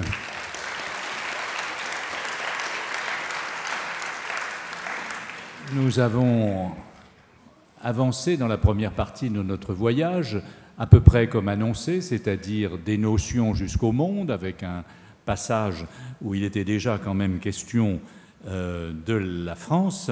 Et cet après-midi, nous arriverons en France, si j'ose dire, avec euh, ces tensions et ces moments de crise. Et ce sera euh, Didier Pourquerie, rédacteur en chef adjoint du Monde, qui mènera la première table ronde et je reprendrai pour la seconde et pour le débat euh, de clôture qui va se faire se rencontrer sur le thème quelle est votre richesse? et avec des perspectives d'avenir, les lycéens, les étudiants et six euh, personnalités. Rendez-vous ici même à 14h. Merci.